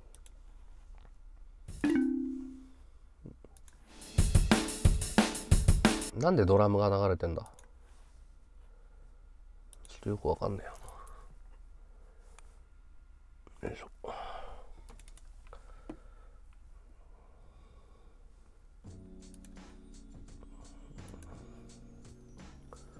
コーヒーもう一本取ってくるわ。ああー、アイテムゼロだ みんな助けて。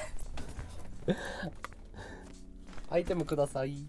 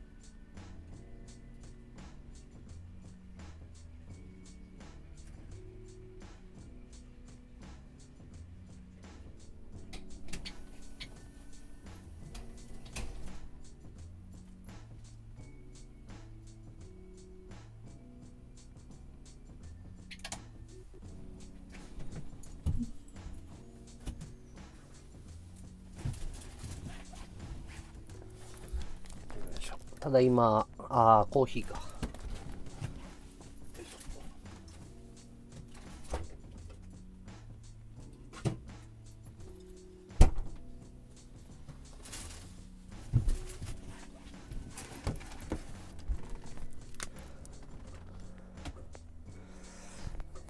いいっす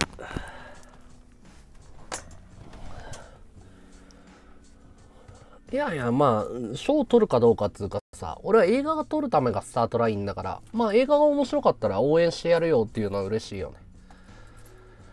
あ、やってたのね、捨て頃は増量してご飯いっぱい食べてたんだけど、結構やってたでしょ。うん。あの、今ね、ご飯食べる量絞ってるの。だから、もう少し体重5、6キロ落とすよ。うん。5、6キロ落とす。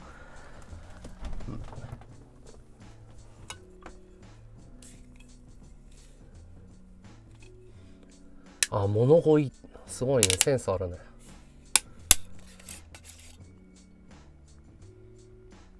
うん。もう少し落とす。あの、直樹兄さん体重重たかったから増量してたんだよね。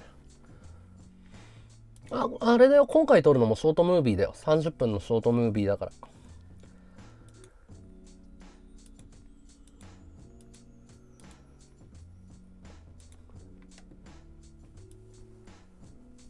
まあまあ、あの、作ったら必ずね、見れる機会があると思うから、見てください。3分ぐらいにまとめるっていうのはすごい難しいから、3分で起承転結する技術は俺にはないと思う、まだ。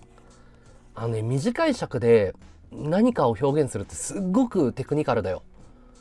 俺は多分無理だと思う。3分で何かこう、心響かせるって CM とか作ってる人とかのレベルだからすごい技術必要だと思うよ。なんか時間が短ければ楽だっていう発想って多分映像制作に関わってない人だと思う。あの30分の尺と3分の尺って編集考えたら3分の方が多分編集に時間かかると思うよ。月末にはねカメラ変えたら嬉しいっすね。出演者はね、配信者もリスナーさんも、あと俺の、あの、知り合いとかも。俺ほら、一応ほら、3分の動画とか作ってるじゃん。うん。いろいろね、カメラとかでテストして、こういう映像とかも今、その動きがヌルヌル動くかとかさ、そのやりたい表現できるかっていうのを、この前ね、黒巻きでテストさせてもらったんだけど、まあ今のところ、まあこれに意味があるシーンかどうかっていうのは全然ないんだけど、一応そのカメラの勉強とかしてますね。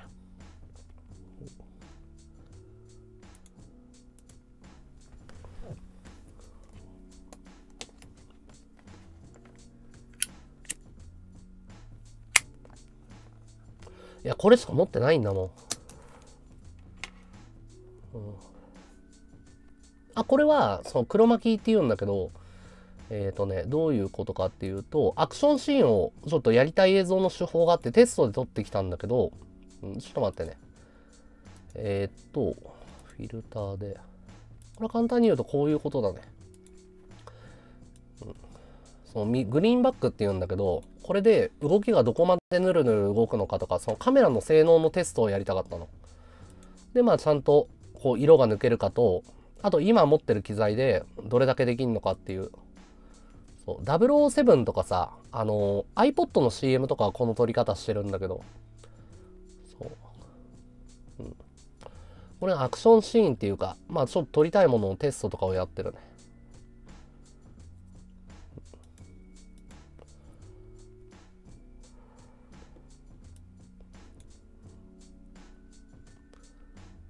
背景赤バージョンっていうか、これはただ背景を色を変えるだけだから。これを赤にするだけだから。うん。そうそうそうそう。あの、実写の映像、あの、落としたいの、俺は。アニメーションとか、その、ぐらいのレベルに。これをカクカク動かしたいんだよね。映画はね、35歳までに完成できたら成功かなとか思ってるね。もちろん多分、この300万集めるのに多分1年ぐらいかかると思ってるから、ゆっくりゆっくりやっていく。まあね、あの、多分、お金が集まるのに1年かかって、もう1年で映画作れたらいいなって。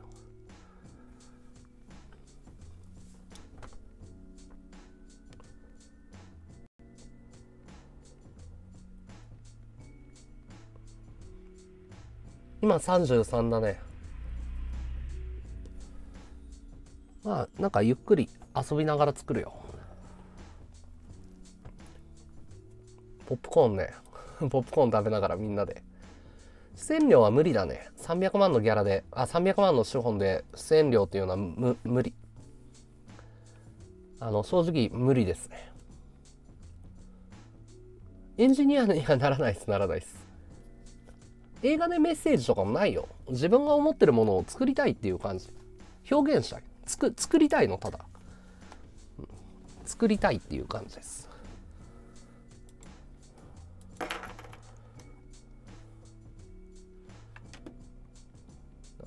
そこに深い意味はあんまりないよ。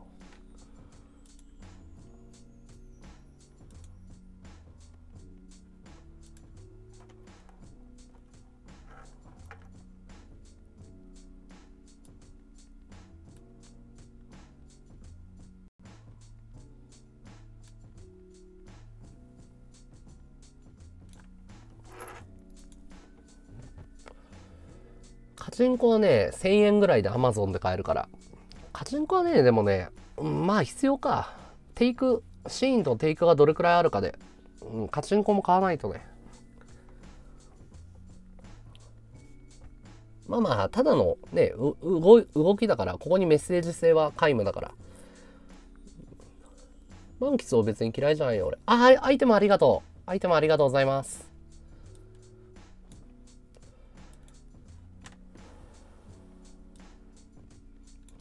4300円冗談だよ。まあでもあの1200円ぐらいでなんとか入場料で賄えるぐらいには頑張ろうと思ってるけど。あれは冗談だよ。アイテム飛ばなくなった理由。いやもともと飛んでない。普段からこんな感じだよ俺。あのマンスリー圏外だから。ストーリーあるあるある。もちろんある今回は。今年中に頼むよっつっても多分今年中に300万集める実力が今の俺にはないね、うん、もちろんカメラ撮ったりカメラ買ったらすぐ撮り始めるけど結局編集するのにパソコンとファイナルカットが絶対に必要だからこのスペックのパソコンだと絶対編集が無理なのまず。だからあの練習とかはし始めるけど取りだめたりはするけどまず編集すること自体が無理。データが重すぎる。あもしよかったら応援して。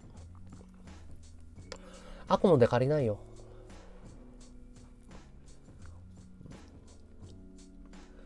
Windows Windows で編集か。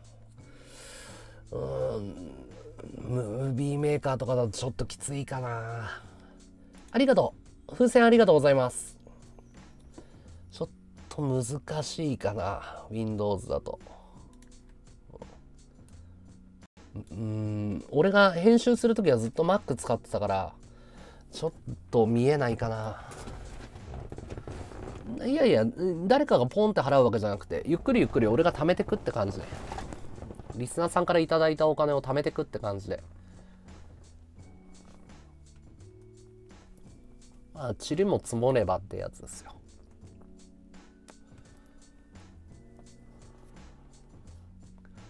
映画撮る決めてから何が変わった？あーなんかワクワクするようになったかな。あのっていうのも先月先々月にあの収入がすごいガクッと落ちたんですよ。正直。でこのまま食えるか食えないかばっかり考えてたの。先月。で配信がちょっと辛くなっててあのなんかあこれ新しいこと始めないと潰れるなって思って。でせっかくリスナーさんから食わせてもらってるからあもうやりたいことやろうって決めてで配信がまた楽しくなってきたかな。なんかそれが変わったことかな。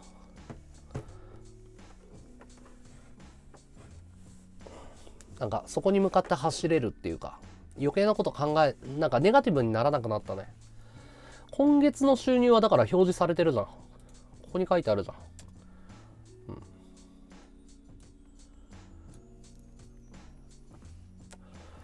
まあなんとか頑張るよ。うん。食えなくなったらだから夢を高く持ってなんとかモチベーション上げてるって感じかな。あいやあれはねセンス半端じゃないよ。層の1とかも低予算なんだけどあれはすごい。あでもねやっぱね思うんだけどホラー系に走りやすいよね。低予算の番組は。ホラーとかスプラッターになりがちだと思ってる。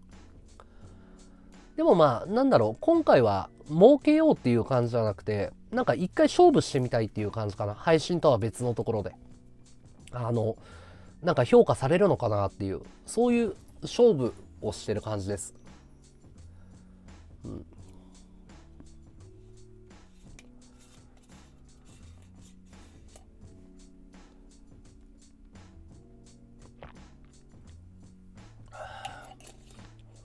ありがとうございます。頑張ります。いや、カメラ買わずに生活費やってたらさすがに詐欺だから、これは。だから、まあ、速攻で買う。もう、25万貯まったら速攻で買う。で、生活費足りなくなったら、もう、これ一回やめて、ストップして、生活費稼がせてください。切り替える感じで、バランス取ってやっていこうと思ってる。さすがにこのお金をカメラ以外に使ったら怒られると思ってる。あ、ワードツー、アイテムありがとう。初花火、ありがとうございます。この枠初花火ありがとう。おはよう、匿名さん。おはよう。ありがとうございます。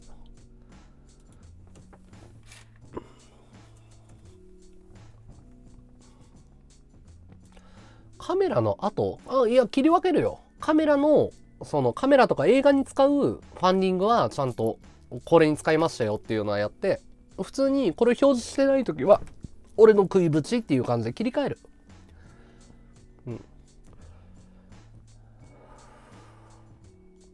いやいや、あの、5分撮ったら5分撮ったんで見せる。今ここまで進んでるよっていうのを見せながら作るって感じ。1分できたら1分見せるし、5分できたら5分、10分だったら10分って。今ここまでできてるよっていう感じで見せるよ。あ、いやいやいや、あのカメラはもともとその映画を撮る、撮らないの前から欲しかったの。あの配信に機材にも使えるから。だから機材にももちろん使うよ。うん。でも映画撮りたいっていうのは普通だよ。544円嘘。いや、544円じゃないよ。風船10個と花火一発だから、504円だよ。504円です。ピッコロは、あの、お金にならないよ。504円ですよ。あいやカメラ売らないでしょ。だって 2, 2作目、3作目って使えるわけだから。いや、本編を公開しながらやるよ。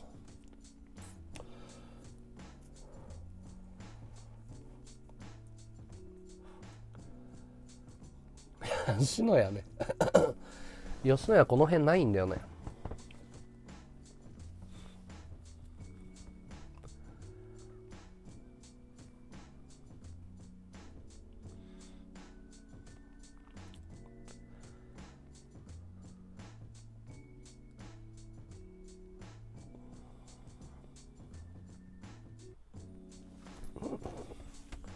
今から短いの撮った撮ってやれよ。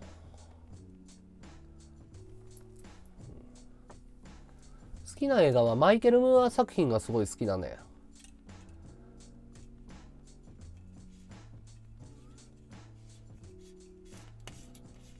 まあ尺はね別に20分でも30分でも正直いいと思ってんの。あと内容が伝えられることができたら。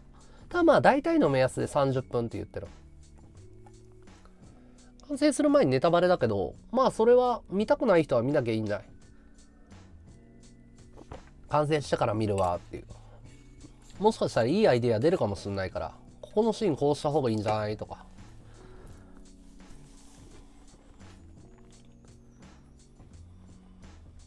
絵コンテはね書けない俺は、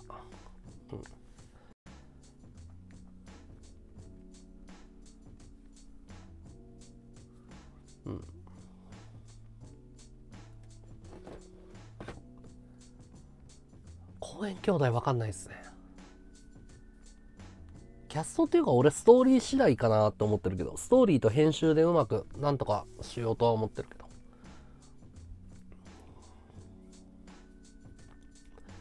まだね作り始めてスタートラインにすら立ってないから今映画の本編のこと言われてもちょっと困っちゃうよな。理想と現実いやだって理想の中で生きてるわけだから。うん。夢追い商売だと思ってるから。夢がなくなったら終わりでしょ。配信者は。脚本はできてますね。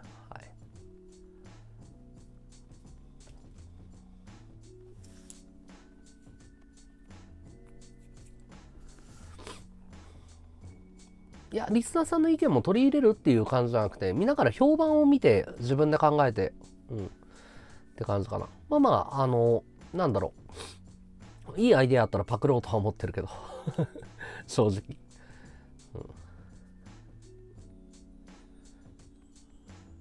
素人の俳優さんっていうか俳優さんは使うつもりないね、うん、まあ全然俳優さんで出たいっていう人いたら全然いいんだけど。素人で全然いいと思ってる。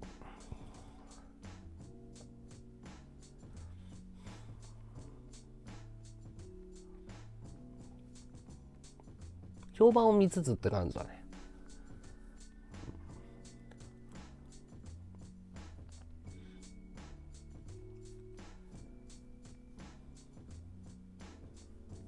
見てないね、解放の放送は。なんかあった？なんか、ゆいがさんが電話かかってきて、解放すごい人集めてたぞって聞いたけど。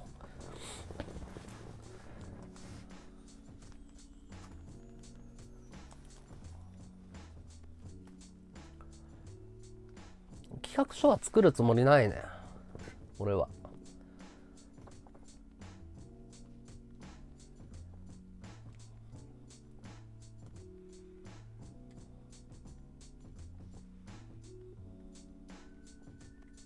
作り上げることをなんでファンがかわいそうなの？なんで作ることが大事なんじゃないかな？俺ね文字書くのすげえ下手なんだよあの文才が全くないのだからあの文字起こしはすると思うんだけど多分ね誰かに頼むと思う俺が喋ってこういう風にこうこうこうでっていうその映画のストーリーとかを伝えてスタッフさんにバーって書いてもらおうと思ってるうんあ、そうなんだ。海保が俺のことを擁護してたんだ。演技指導もちろん俺がするよ。こういう風にやってくれっていう。うん、だからどちらかっていうとね、あの、あの、脚本を重視するんじゃなくて、もう全部言う。こういう意図でこういう風なシーンがあるから、こうでこうでこうでっていうのを、もうとにかく喋りで伝えてやろうと思ってる。スタッフさんはね、あの、プロのキャメラマンの人と、あと監督やってる人が一緒に作りたいって言ってくれてて、今度ご飯食べることになってる。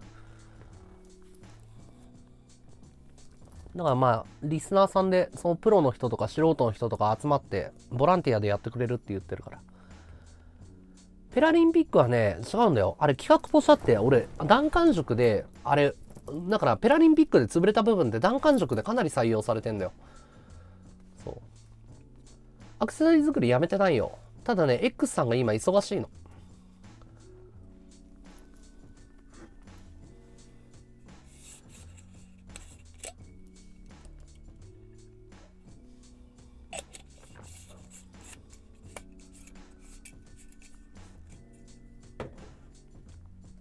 作るのは俺だよ。ただ、全部一人では無理だよ。やっぱ、だって自分が、あの、演技するわけだから、カメラマンさん必要だよ、どうしても。セルフで撮るの難しいよ、やっぱ。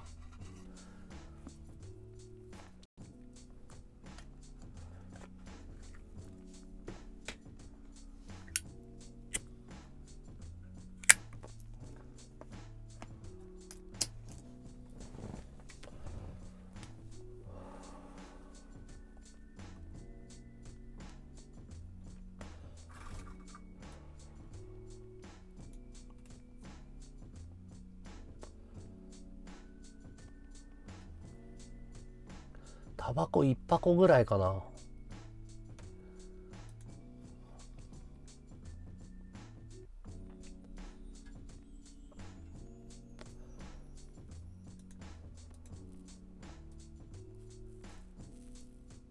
うん。まあまあ、賛否両論全然あって構わないと思ってる。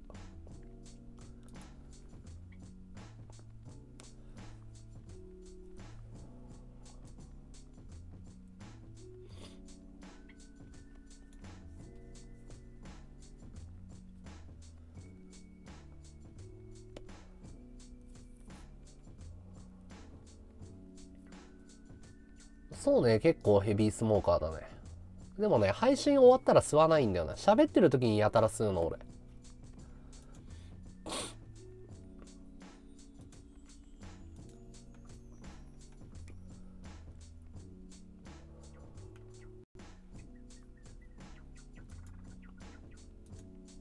映画。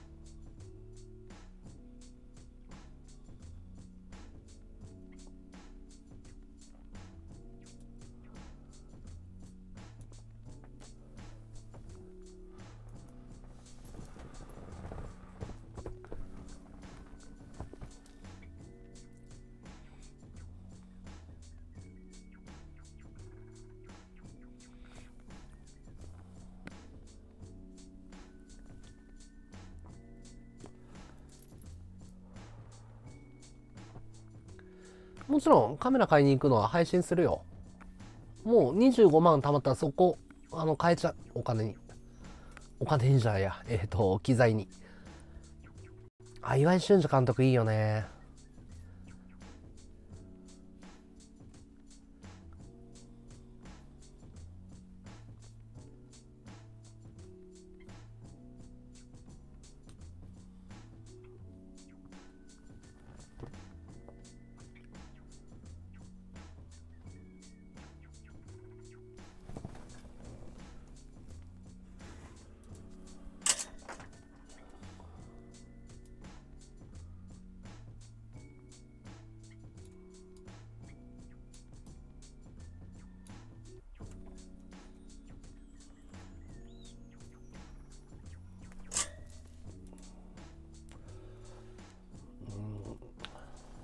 あ機材使い倒したいっていうか使い方覚えたいからやっぱりいじり倒したいんだよね。レンタルだとまあ難しいかなと思ってて。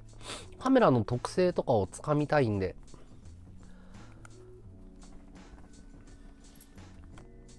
ラジオはあのー、YouTube でなんか音を垂れ流して聞いてるぐらいかな。作業やってる時編集やってる時とか。うん。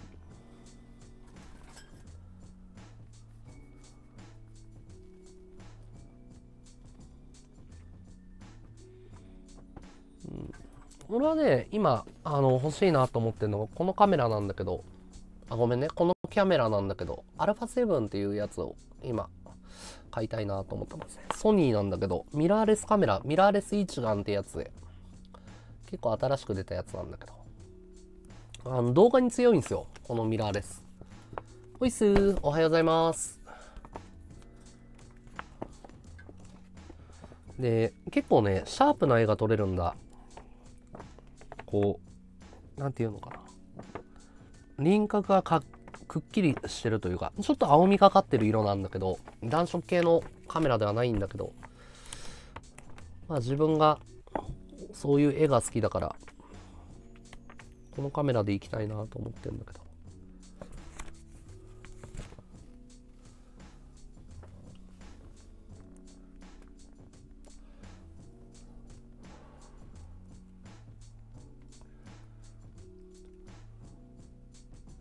キャノンの方が柔らかいよね、ちょっと。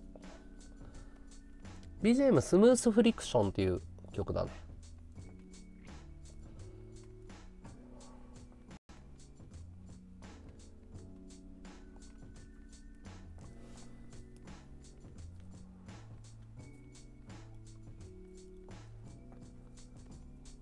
まあ、キャノン定番でしょ。あえてミラーレスから入ろうかなと思ってんだよね。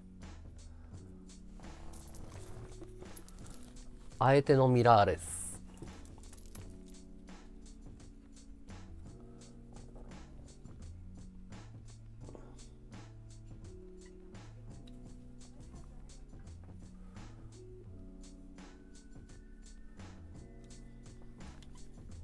いや俺大手じゃないよ。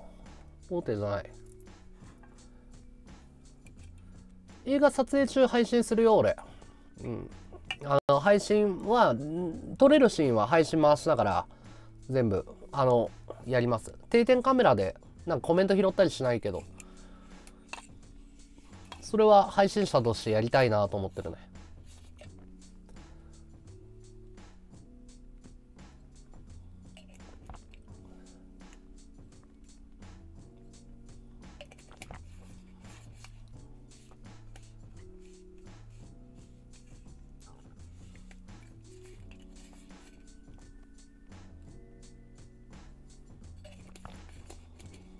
まあ、まあ、欠点のないカメラって感じだよね。もう定番っていうか。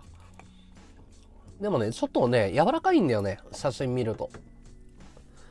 こう、丸みがあるっていうか、もっとね、俺くっきり出したい派だから、コントラストの強い写真が好きだから。うん、バランスはまあ間違いなくいいでしょ。あとレンズがやっぱ豊富っていうか。うん、まあまあ圧倒的にキャノンだね、シェアは。でも俺これからね、ミラーレス伸びるんじゃないかと思ってんだよね。ソニーがやっぱり、あの、半導体作れるっていうのは強いんじゃないかなと思って。いや、結構ね、評判いいんだよ、最近。あの、アルファ7で調べてみて。多分ね、これね、ミラーレスの革命機になると思うよ。アルファ7、3は。3ね。2じゃない。3のね、スペックが全然高いの。で、あの、なんで、その一眼でこれが欲しいかっていうと、動画にすごい強いんですよ。あの、センサーがもうとんでもなく多いんだよね。調べてみて。動画に強いカメラなんだよ。ミュージックビデオとかもこれ撮られてるし。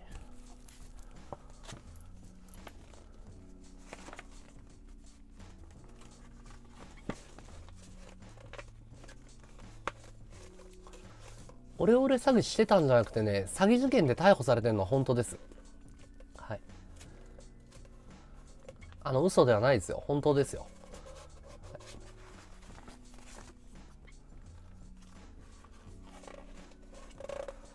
多分、あの、調べたらいっぱい出てきますよ。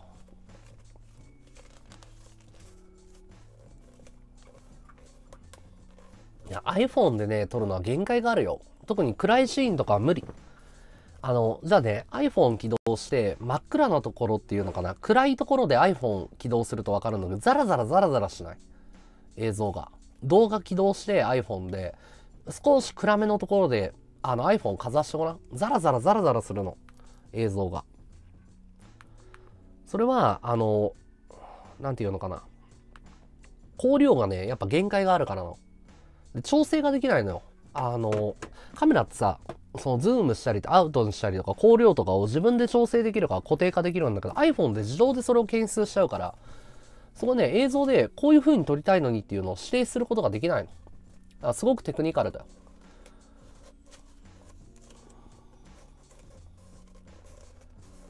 俺は一応カメラはもうあのこれにこれ以外にするつもりはない。これこれってもう決めたから。α7 でいきます。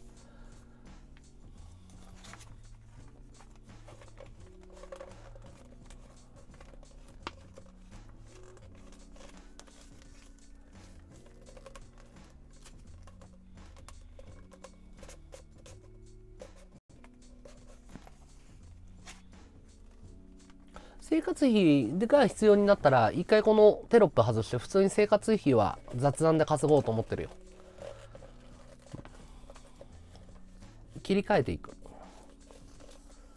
だから、あの、映画を応援したいときは、このテロップがあるときに花火投げてくれたら、あの、やります。応援、あの、映画には応援したい。配信者として普通に生活を支援したいっていう風に、リスナーさん切り替えられるようにする。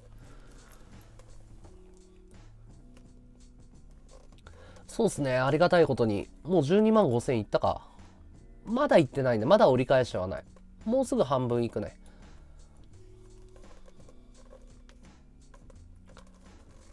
貯金ほとんどないっすよ。全然。財布の中に3万ある。まあまあ、ゆっくりゆっくりやってきます。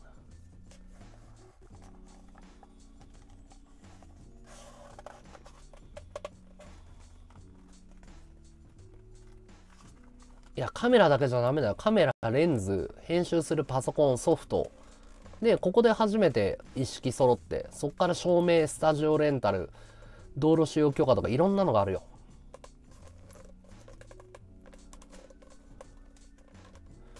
まあまあ、そういう方はさ、あの、一作目見てさ、で、あ、二作目は応援するわでいいんじゃないかな。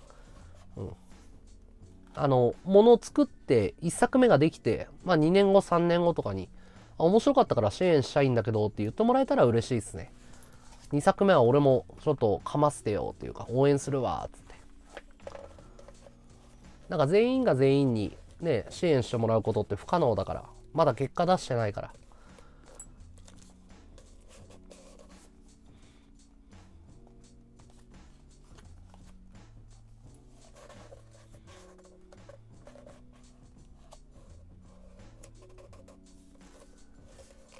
まあ、でもしょうがないじゃん。2年後長いって言ってもまだね、あの、自分の作品がないから。今日画像悪いよね。画質悪いよね。俺もね、さっき気になったんだよね。なんでこんな画質悪いんだろうと思って。ちょっと原因がわかんないんだよね。なんでなんだろうな。今日画質悪いよね。カメラの設定変わったのかな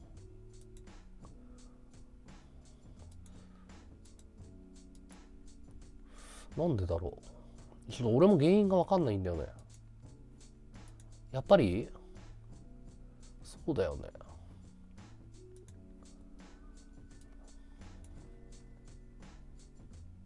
やっぱり悪いよね。やっぱりそうだよね。なんだろう。なんでかわかんないんだよね。画質すごい悪いよね今日。なんでなんだろう。ライトの位置を変えたからかな。ライトの位置をちょっとね調整したんだよ。目に光が当たんないように。これかな？これかな？うーん違うな。何なんだろうな。画質悪いよね今日。なんでなんだろう。俺も原因わかんねえわ。俺もおかしいなとか思ってて。ビットレートはね高い。ビットレート1000出してるから。ビットレートじゃなくてね多分ねカメラの出力の問題だと思うんだよね。なんでこんな荒いんだろう今日画質原因がわかんないんだよね。一回切ってみるか。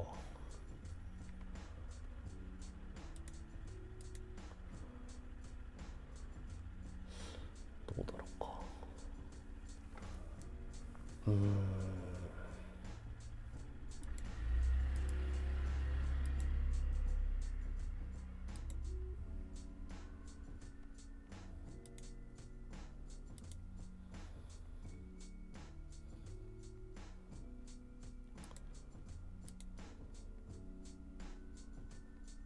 なんかザラザラすんだよな。なんでだ？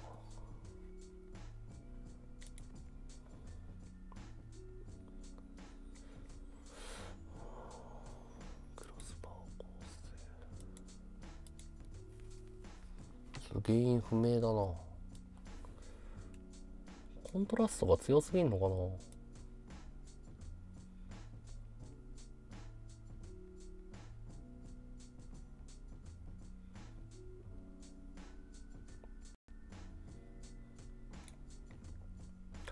原因がわかんないんだよね。逆光補正。原因も低い明るさ。うんなんでなんだろう。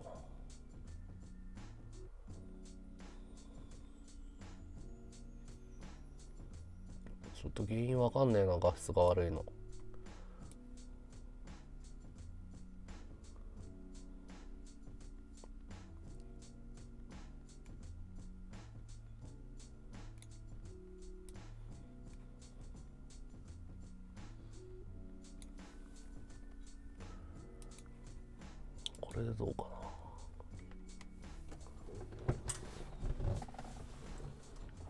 も通りかな。これはねちょっと今日画質悪いなと思ったんだよね。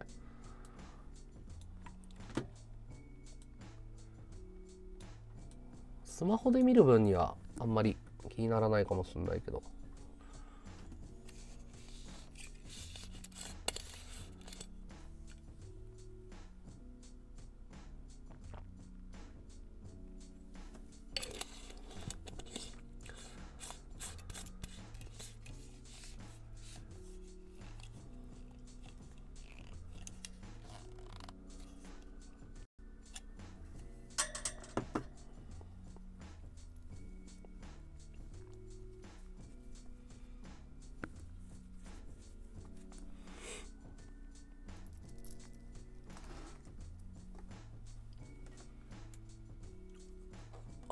っすね。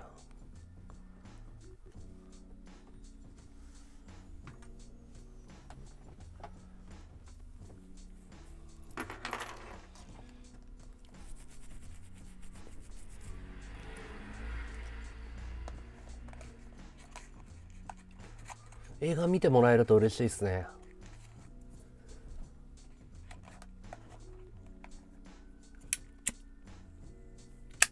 ぜひできたら見てください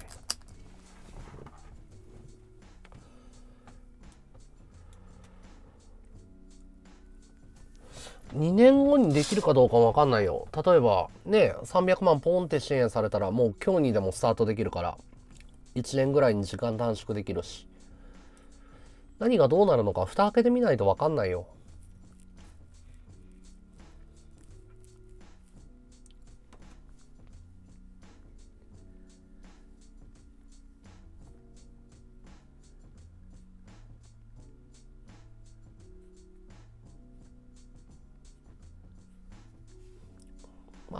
に縛られる人って結構いるからね。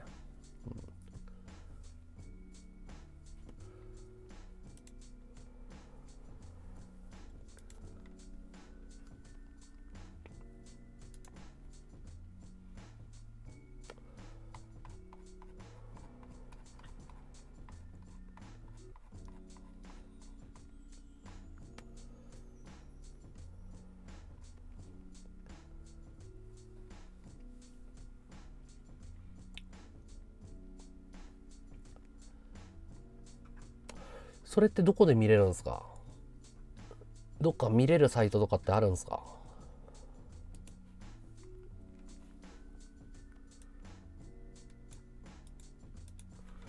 検索してみよ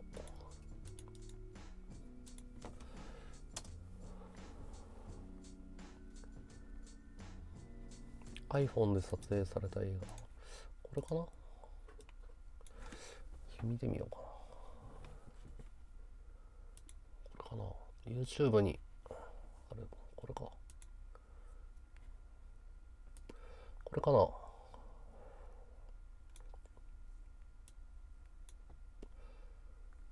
うん。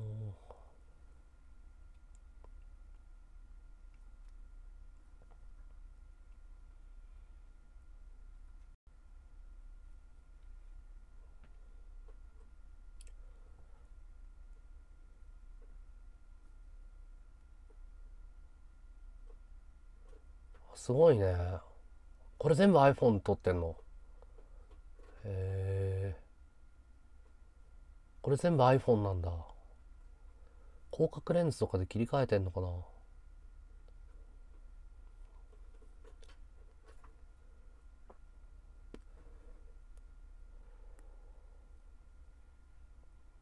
すごいな。すごいな。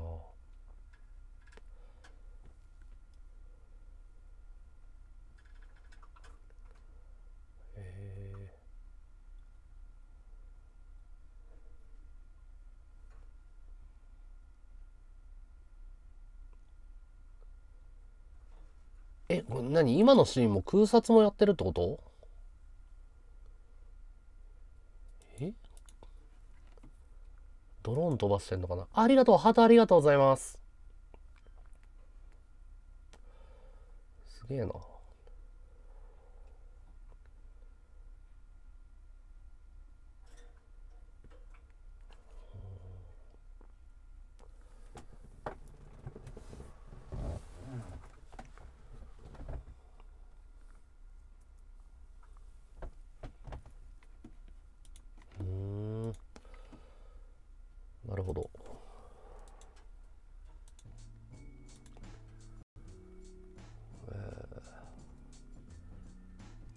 ンセインって言うんだ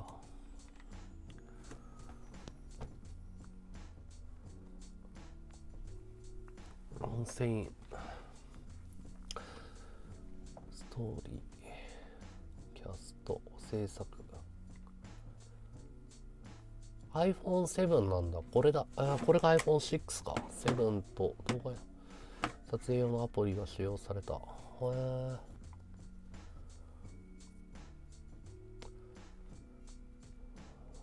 すごいな。へえ。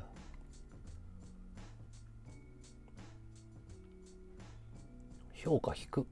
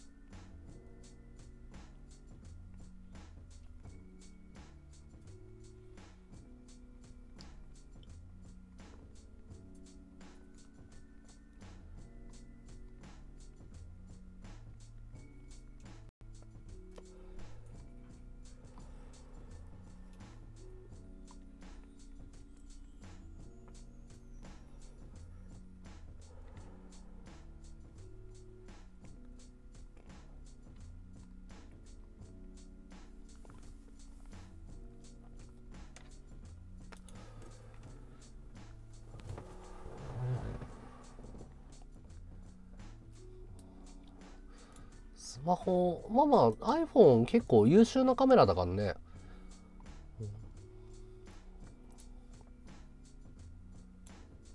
うん、iPhone 全然カメラ性能いいよ。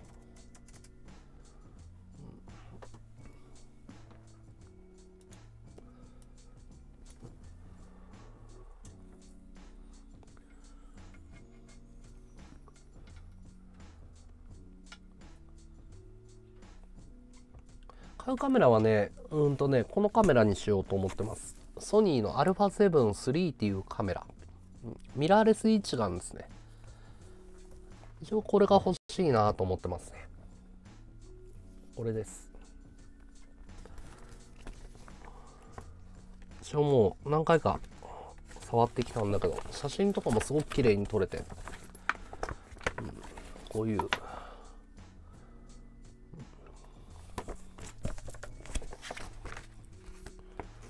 こうシャープにガッと取れる感じですね。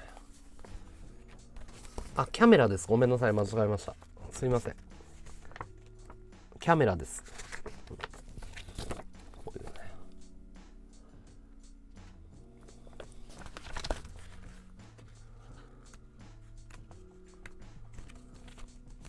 すいません。ごめんなさい。キャメラです。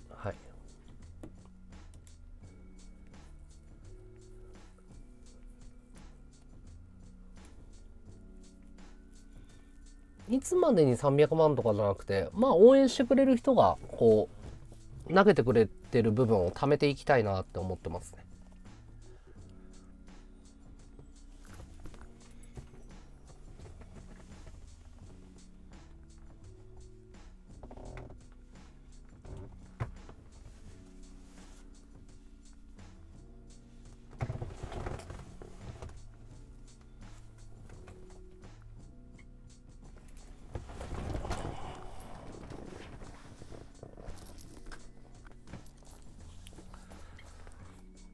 そうですね。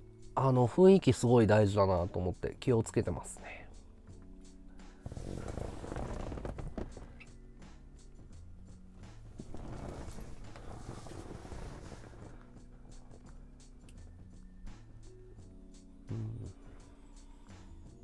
ありがとう。ピッコロありがとう。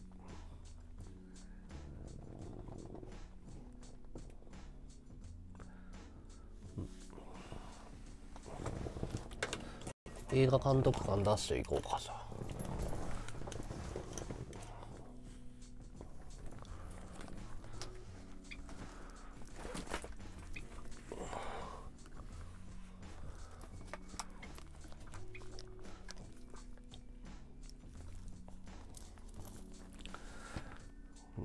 監督官出てきた。僕はね僕が撮るね写真はねすごくこだわりがあるんだよ。お。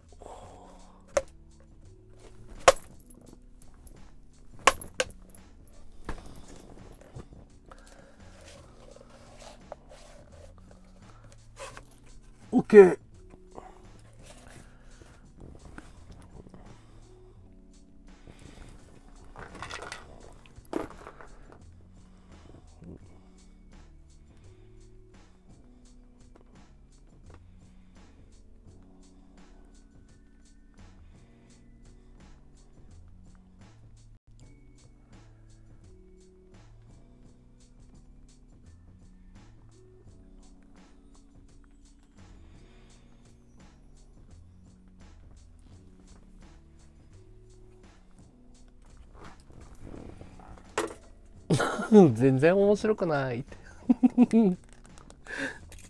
ごめんなさい。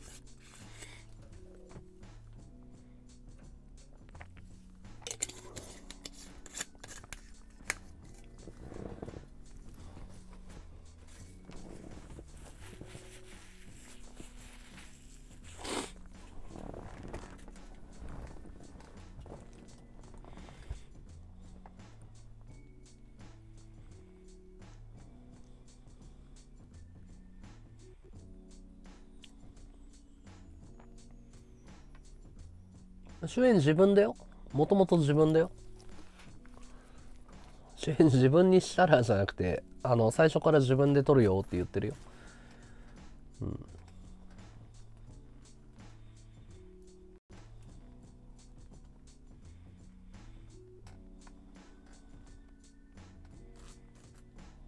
生主では海宝が出たいって言ってるかな。あと新八丁が出てくれるって言ってる。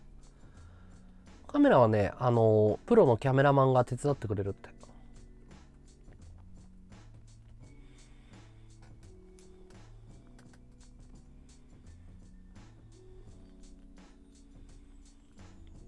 そうだね。主役は今のところ自分で。もしあのカオスがやってくれるっつったらカオスに差し替えるけど。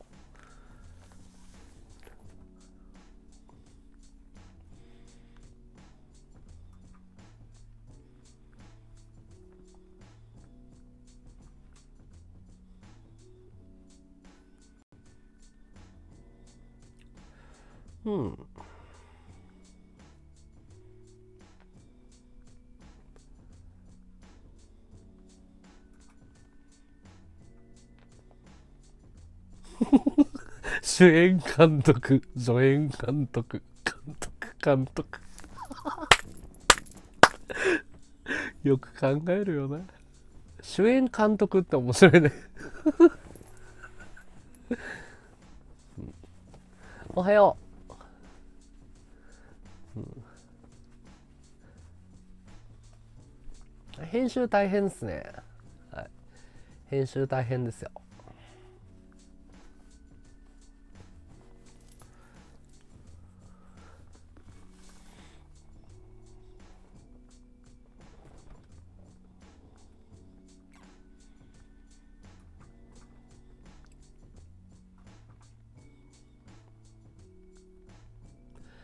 オス味があるよね。かっこいいよね。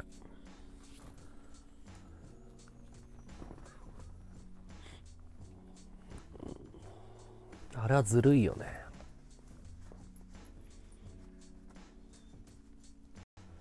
アイラは俺より面白い映画撮れるって。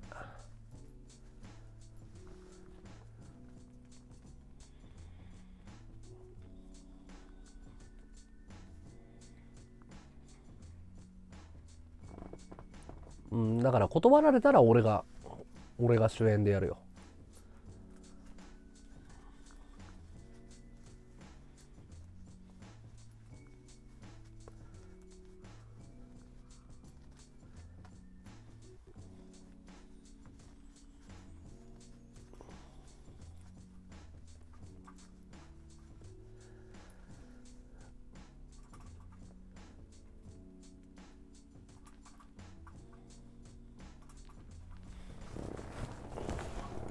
イラ出てくんないと思うよ。北海道だよアイラ。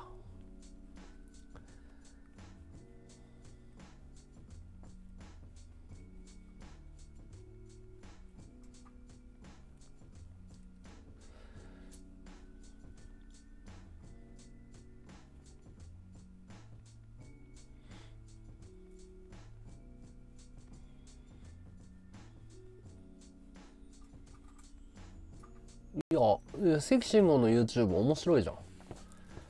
俺関慎吾チャンネル登録してるよ。見たことないの？関慎吾の YouTube めちゃくちゃ面白いよ。見たことある？見たことないからそういうこと言ってんでしょ。めちゃくちゃ面白いよ関慎吾の YouTube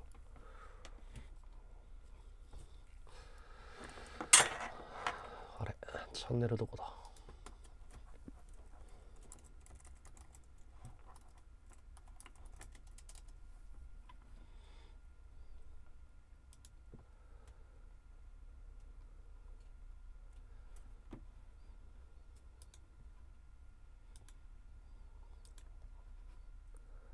これか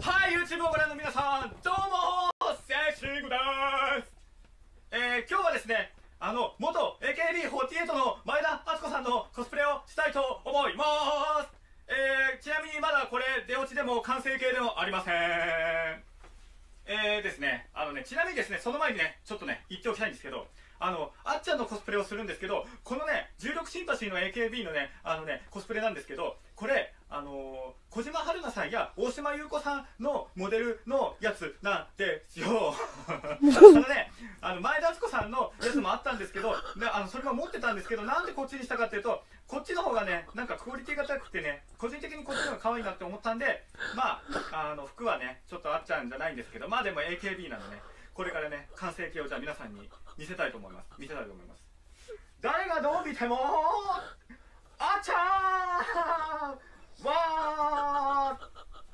まあこんな感じでですね。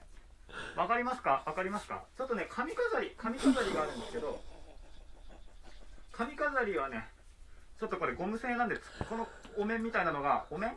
マスク？マスクがゴム製なんでちょっとつけれないんですけど。まあこんな感じになります。こんな感じになります。こんな感じ。すごいあら可愛らしい。まあちょっとね僕 の部屋ねそんな狭いそこまで広くないんでまあ、ちょっとこう鏡越しになっちゃって分かりにくいと思うんですけどで今日ね外で撮ろうと思ったんだけど外雨降ってるんでちょっと無理なんですよね。あのちょっと厳しい、うん、でそれでですねあのこんな感じです。ちょっと分かんないかな。まあこのような感じでですね。えー、まあ全体はこんな感じ。あら可愛い。すごいねこの絶対領期間とかすごい可愛くないですかこれ。可愛くないですか？可愛くないですか？まあ、今度ね、あの、また晴れの日にでもですね、また外でね、あの、この格好でちょっと YouTube に動画上げたいなと思うんですけど、まあ、できたら、ですね、あのーまあ、秋葉原に行って、これ2014年コスプレをして、あ4年前。AKB ショップと、4年前。AKB ショップとですね、あのー AKB 劇場に行って、なんかそこの目の前で写メを撮るっていう動画を上げたいですね。できれば、できたらね、ちょっと難しいかな、でも、秋葉原だと。まあでも、できたらやりたいと思ってます。ちょっと前が見えないな。こっちかな、こっちかな？はい、じゃあ皆さん、お疲れ様です。またね、あの、この格好でね、あの、外でね、もっと全体像を撮れるよう頑張りますんで、その動画をまた上げたいと思うんで、じゃあ、お疲れ様でした。バイ !YouTube! あー、ざまーすざまー私のこと嫌いになっても AKB は嫌いにならないでください。面白いでしょだから見てない人が批判をしてるんだよ。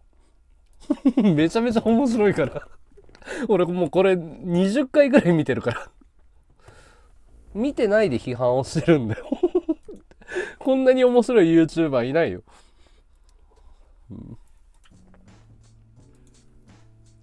いやめちゃめちゃ面白いでしょ。めちゃめちゃ面白いじゃん。なんでわかんないの？うん。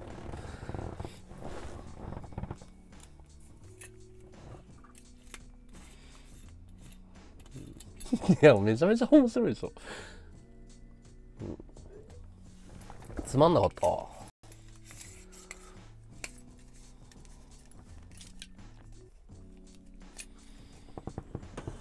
わ。俺はすげえツボなんだけど。天才だわ、と思って。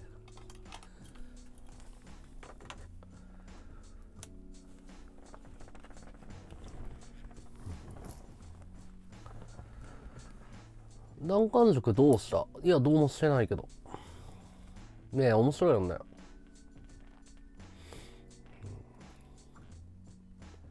コメディは撮らない、俺は。コメディは撮らない。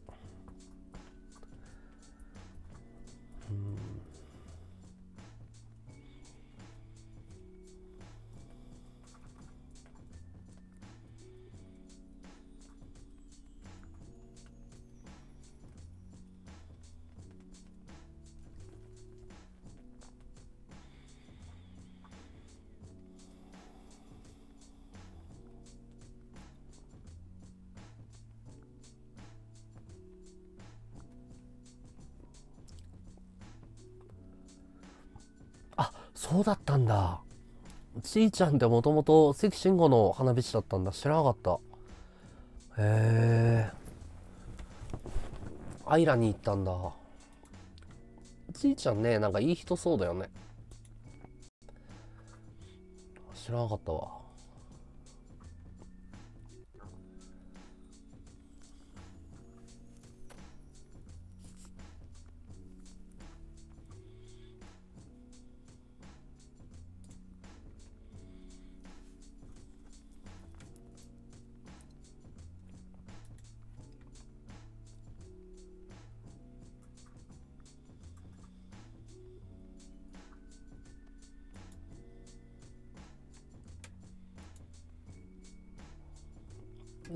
慎吾さんは出ないんじゃない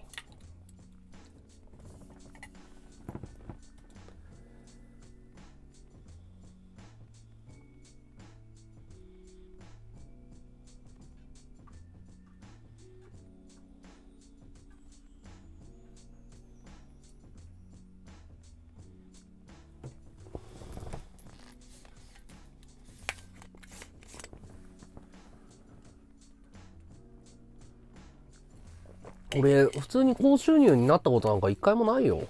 全然ずっと貧乏だよ。収入全然高く 高くないよ。ただの底辺アルバイターだもん。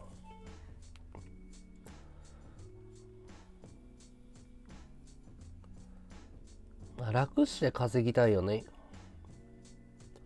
楽して稼ぎたい。それはある。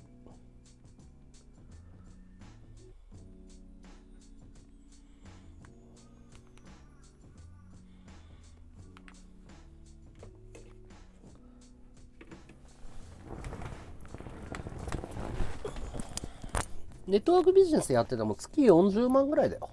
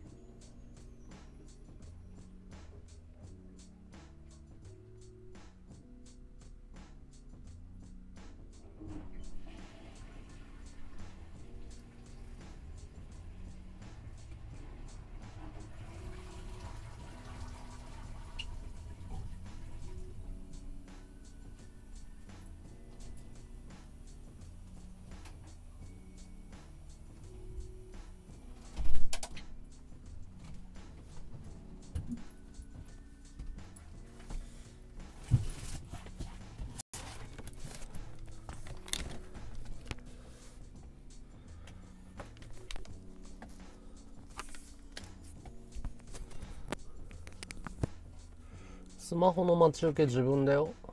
ダメなの。スマホの待ち受け俺だけど。なんで？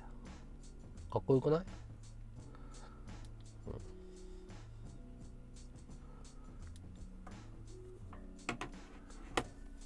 うん。なんで笑うの？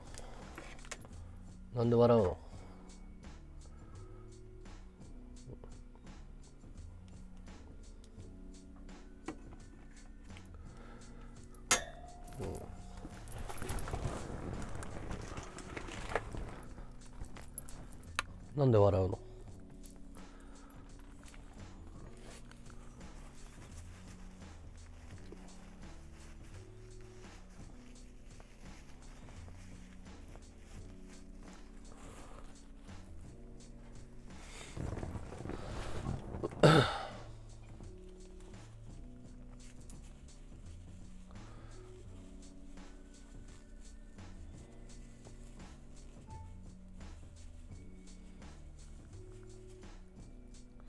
なんで笑うの？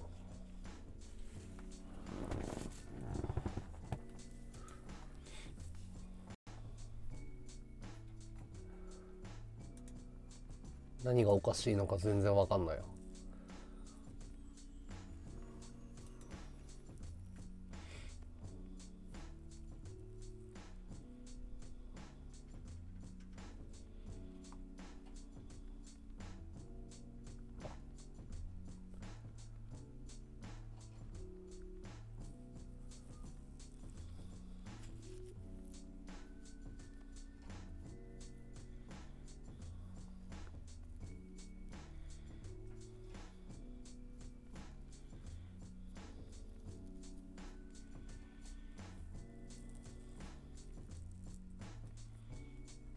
いや全員買ってないよ。名前だってもう100人ぐらい載ってるからねこれ。100人ぐらい名前載ってるよ。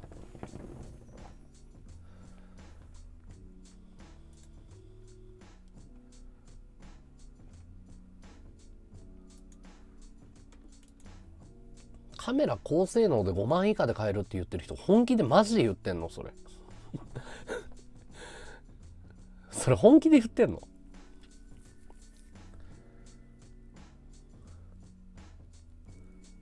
この T シャツの値段？これ24,800円24パー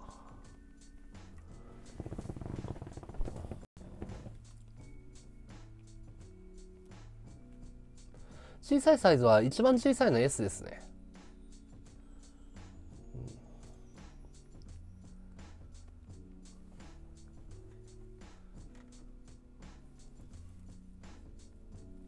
高いよ。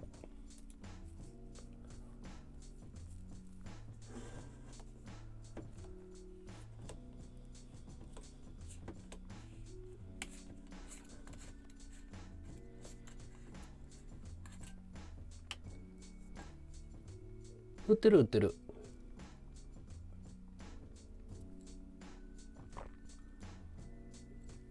ごめん、割引はやってないですね。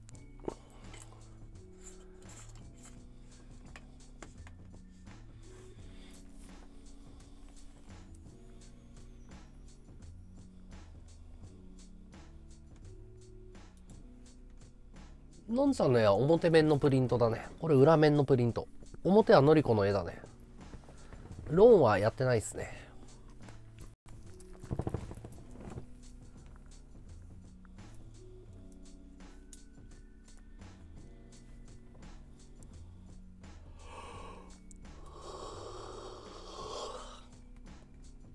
いや、2カメ、3カメ使いますよ。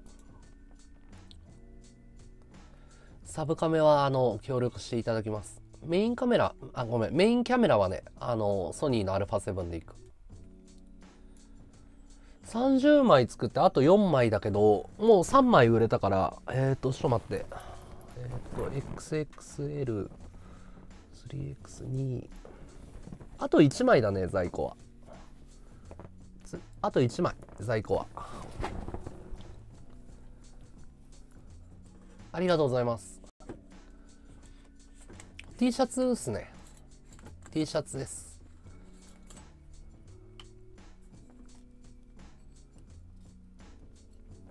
洗濯ね、3回やってこれだね。洗濯はもう3回してこれ、この状態。もう俺がこれ着てるやつ、3回洗濯してこの状態ですね。こんな感じです。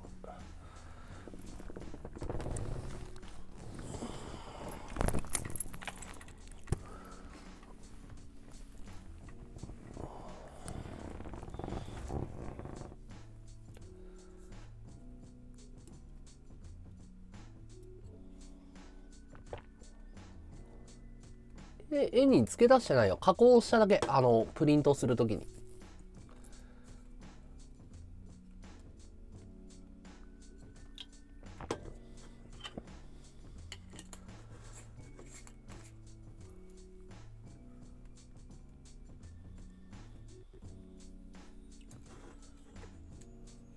いや、わかんない。何何回選択したらか。わかんないわかんな。い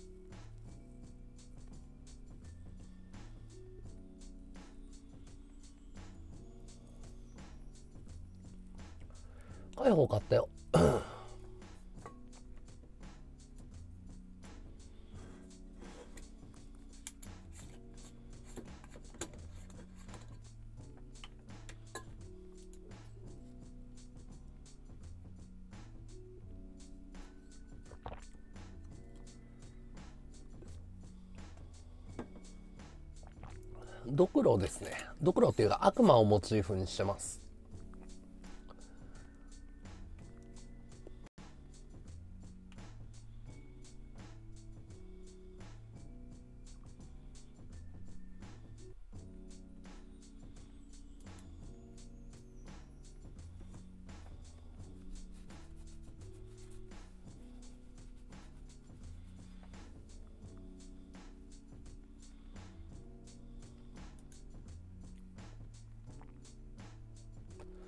これ写真の編集あのまああの YouTube 用の編集とか全部これでやっててうん。動画の編集と写真の編集だね。フォトショップとイラストレーターはこいつでやってる。うん。何のために置いてるって作業用だね。何のためって言われてもんね。こういう感じで。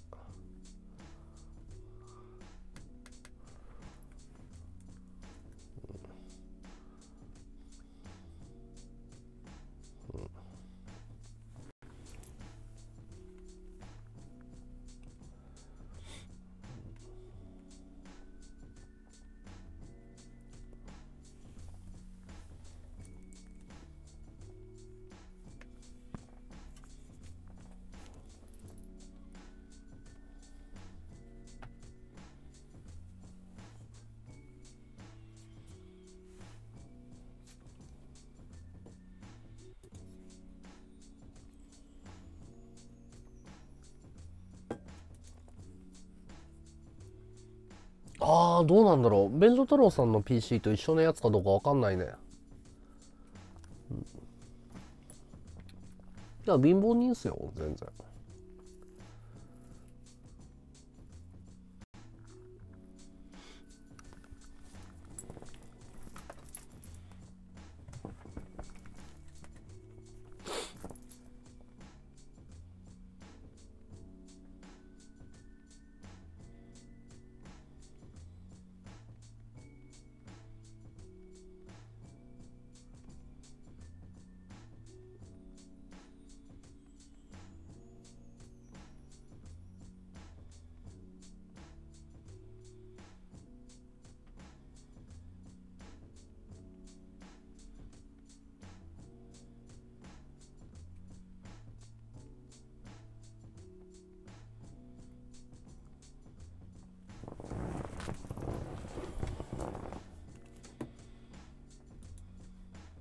はいお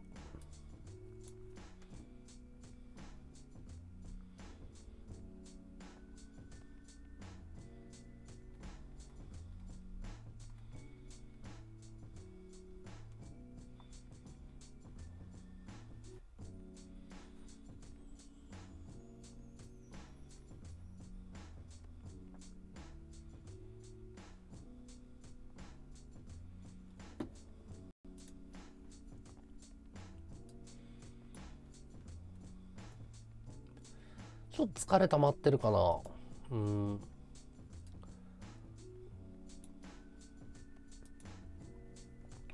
なんか昨日ね頭痛かったんだよねすごい。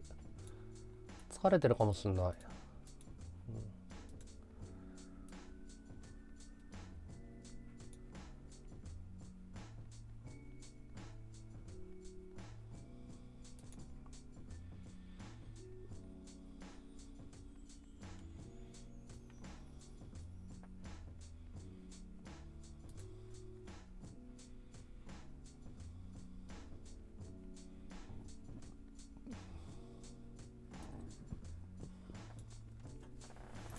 月月賞80万1回しか行ったことないよ。1ヶ月だけ。まあでもアイテム上がらないのは俺が人気ないからだからね。リスナーさんのせいじゃないから。めげてもしょうがないからね。アイテム上がんないのは俺の責任でしょ完全に。ドレさんの方が飛んでないね。便所太郎さんってだってもともと便乗太郎って呼ばれてたんだよ。人の話題に便乗するっていうので有名な配信者だったんだ最近言われなくなったよね便乗太郎って。あ大丈夫っすよ。ありがとうありがとう。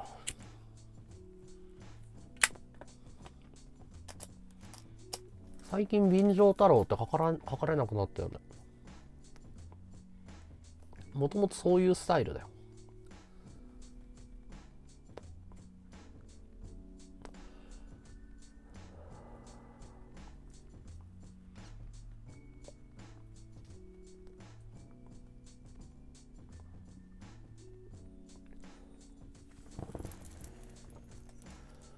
でも便所さん自分の企画ちゃんとやるからね。便所配信だけじゃないからね。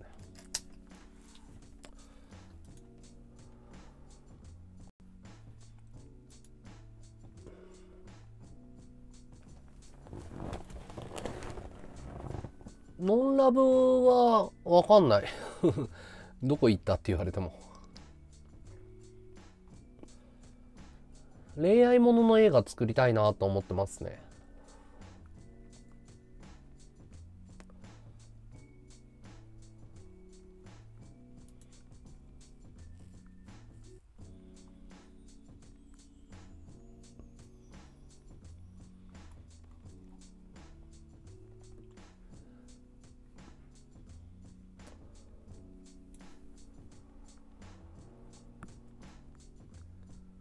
や、囲いはいないよ。俺の放送で囲いって一人もいないよ。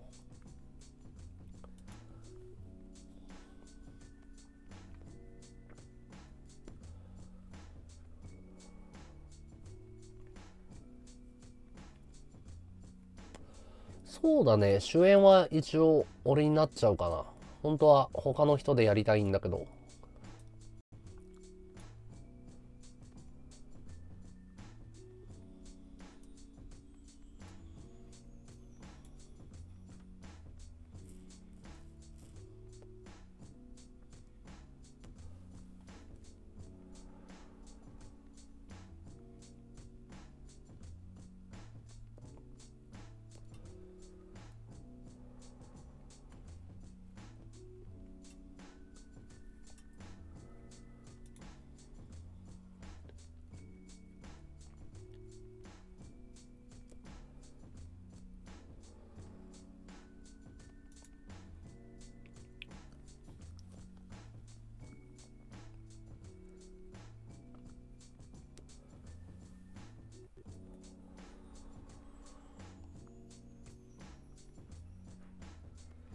臭いセリフっていうかね、あんまりね、セリフを使わないように工夫したいと思ってて、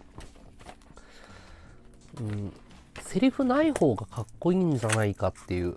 うんうん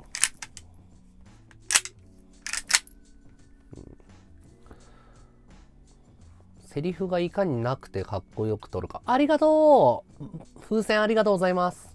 そう。うん。そっちの方がいい映画撮れそうだよね。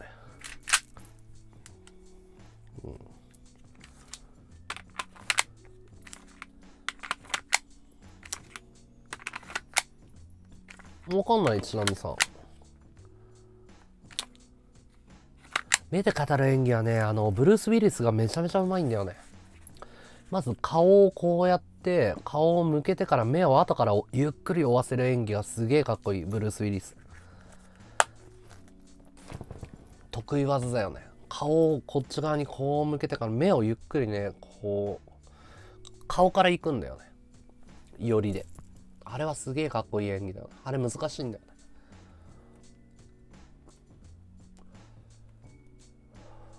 いや、無くさ悪い感じになると思うよ。時代背景は、うん、あんまり関係ないかもしれない。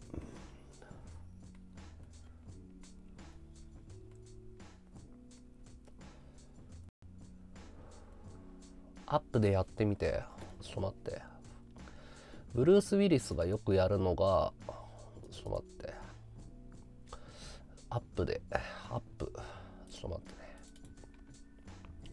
てね。映像構成じゃん。えどうやってやるんだっけ？ちょっと待ってね。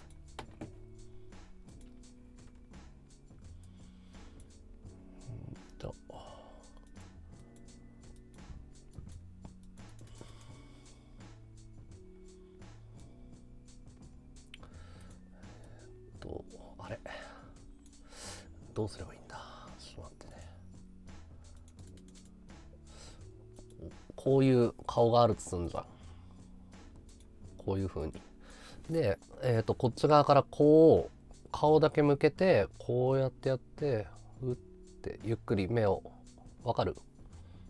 うんってこう向けて、こう、やるやつ。ゆっくりやるんだけど、っていうシーンよくやるよね。わかるかな、うん。おはよう、うん。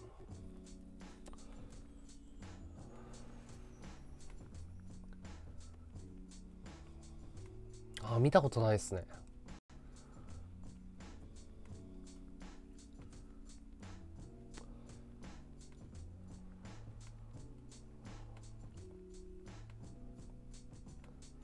本当にアイテム飛ばないね。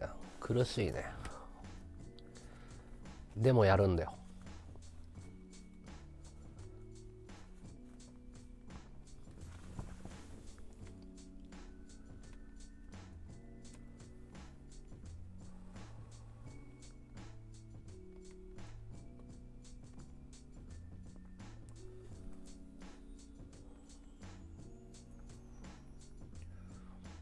まあしょうがないじゃん、うん、最近映画見てないな。うん。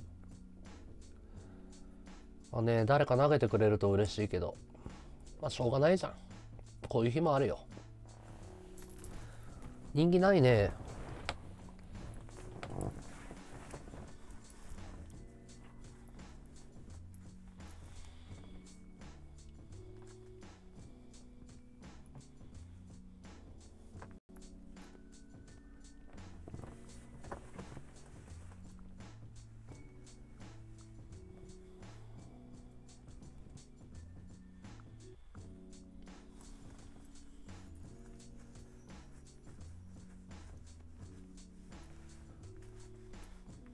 別に他の推しの花火師さんでも全然いいよ。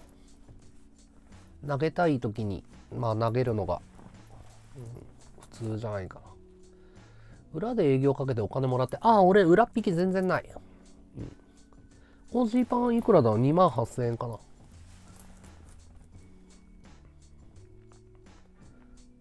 あ俺はジーパン好きですね。まあまあ続けるしかないっすね。のんちゃん今家帰ったよ。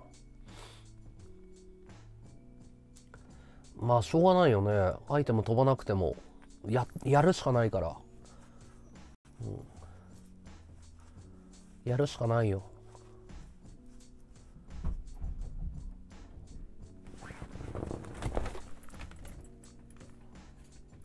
え何の音？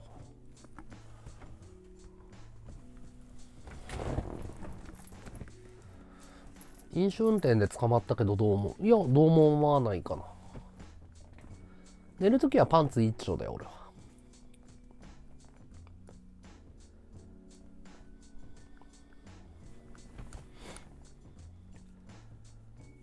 32万か羨ましいね。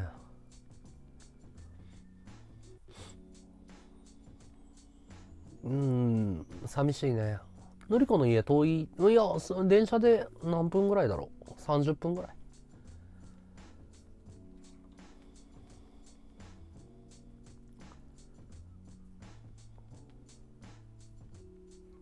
ああそうなんだ。俺言ったことないな。花火花火投げてくれる人に連絡しないね自分から。なんかそういうことはやったことないな。花火投げてって言えない性格的に。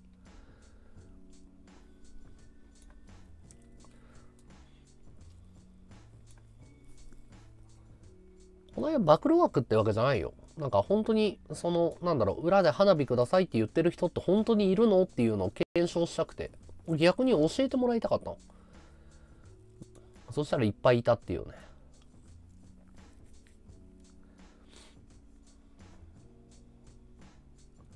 パンツ履かないよね寝るときね俺アイテムくださいって言わない方だと思うよ。他の配信者より全然言わない方だと思うんだけどな。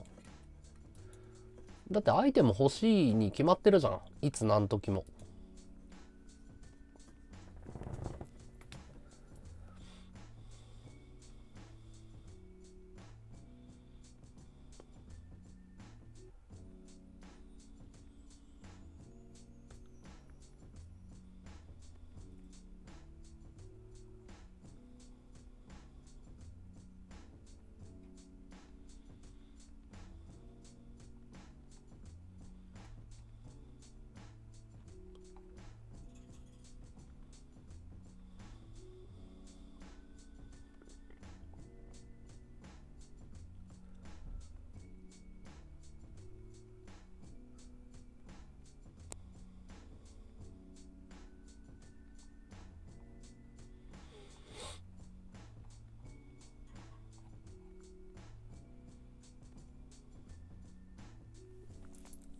最近うなちゃんマンがコラボに上がって若い女に説教してるんですがどう思いますか？オワコン。オワコンですオワコン。もうなんか見てて辛いよね。そういう報告聞くと辛い本当に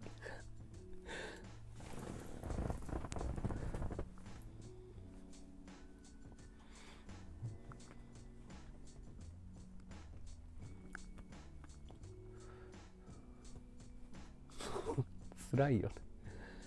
あーなんかね聞いた聞いた。シャンマンと鮫島さんがバーベキューするっていうね。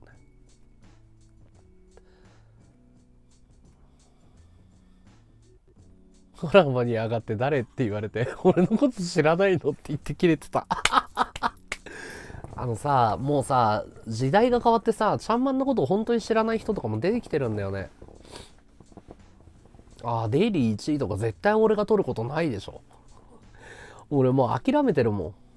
デイリーランキング最高何位なんだろう。無理じゃないの？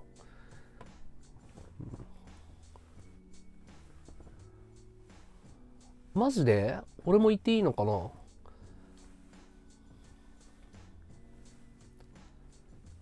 え俺朝比奈とウナの絡みのウナの気持ち悪さすげえ面白かったんだけど。荒野は死んでるよ。髪の毛半分染めてる。半分。半分。後ろ。右右半分全部赤。昔はなんでなんか風天の虎みたいでかっこいいなって思ってたんだけどすげえこの人かっこいいと思ってたんだけど蓋開けてみたらただの小じきだったっていうことに気がついて。ただのみすぼらしい 部屋の中で吠えてる汚ねえ小じきだっていうことに気がついてすげえ冷めたんだよね。ああありがとうございます。花火3発ありがとう匿名さん。あざます。ありがとう。おはようございます。すげえ花火3発だぜ。クール花火。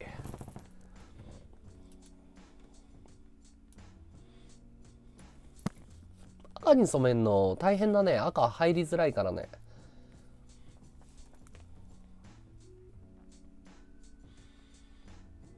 赤すぎる。スラムダンクみたいだよね。桜木花道。荒野が昨日渋谷のコンビニにいた。ありえないね。いや頭皮はね22歳の頃まですげえ悩んでたの正直。もうハゲるの嫌で嫌で。でもね23歳の時すげえ本気で考えたけどあの運命には逆らえないっていうのは思って親父に久々会ったら親父結構ハゲてたの。俺より。で親父でただ救いだったのは親父体鍛えてるからすげえかっこよかったの坊主で。あでかっこいいハゲになろうと思って。親父がその筋肉隆々で腕太くて髪短くしてかっこいいハゲだったからあもうハゲるのはハゲるからかっこいいハゲになろうと思って。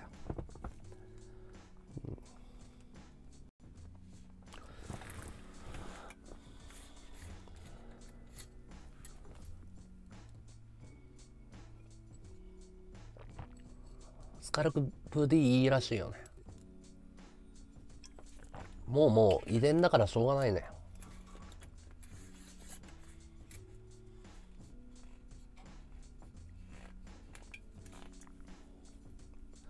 ハゲから逃れらんないよ。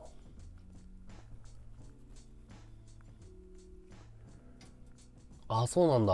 生えてきてんだ。すごいね。スカルプ D ってでも4000円ぐらいするでしょあれ。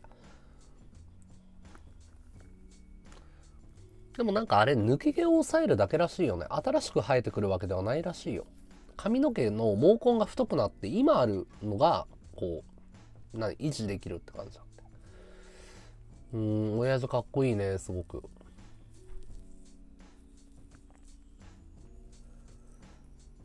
ズラはかぶんないかな。ズラあるけど。でもねやっぱハゲる人ってハゲるように顔ができてるっていうかハゲがなんか髪ふさふさになると変だよやっぱり。あるけど。かぶってみる。なんかふさふさだと変だよ俺。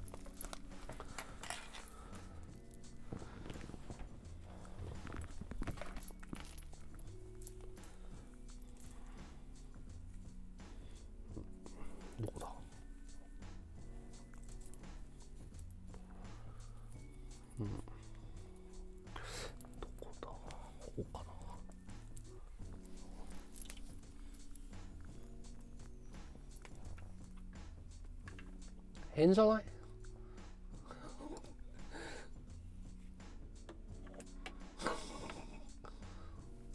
超前髪うぜ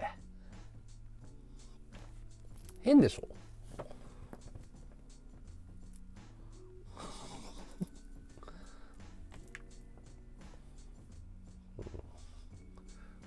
でしょだから似合わないんだって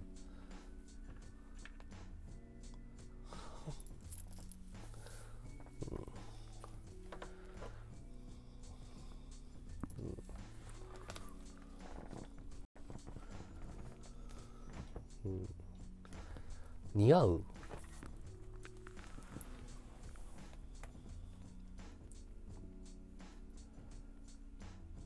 うん若返った。美容院行ってない？自分で染めてるこれは。自分で脱色して自分で色を入れてんの。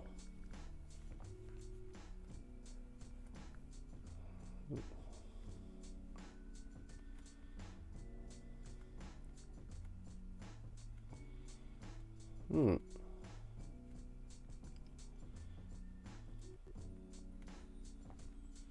ああよっさんね。よっさんかっこいい。ひげ似合うよね。赤は子供の頃から好きで黒と赤はめちゃめちゃ好きだね、うん、多分ねあのランシドっていうあのアーティストがいるんだけどこのねアルバムのジャケットがすげえかっこよくて、うん、かっこよくない？これ「アンドアウトカムジブルブス」っていうアルバムなんだけど多分ねこれの影響なんだと思うんだよね。赤黒白が好きな。モヒカンの男が階段でうずくまってるジャケットなんだけどランシド。アンドアウトカムジブルブスっていう。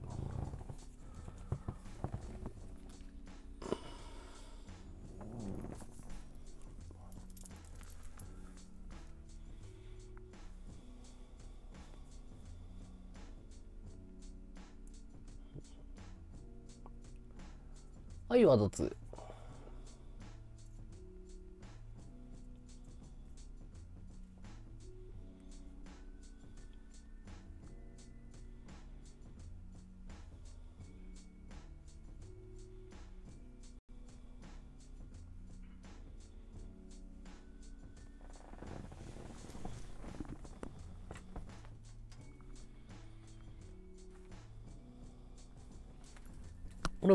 ともとモヒカンだよ俺。俺もともとモヒカン。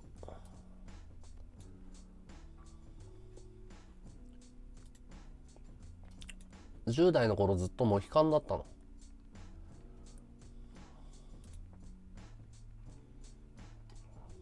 あの人はリスナーさんじゃないよ。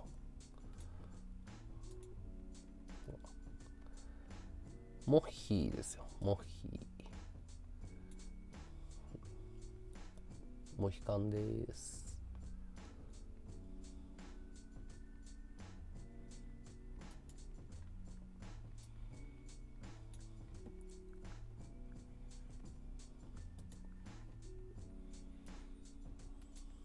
俺俺17歳。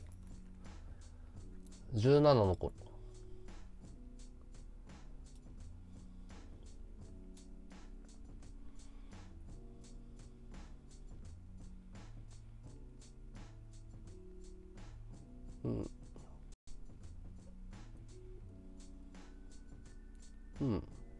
俺だよ。だあの頃のあだ名北斗の拳の残党って呼ばれてたあとねえっ、ー、と二面の中ボスって呼ばれてた。二面の中ボス。意味がわかんないんだよね。二面の中ボスだなって言われて。何のゲームかは言われないんだけど、うん、二面の中ボスっぽいな。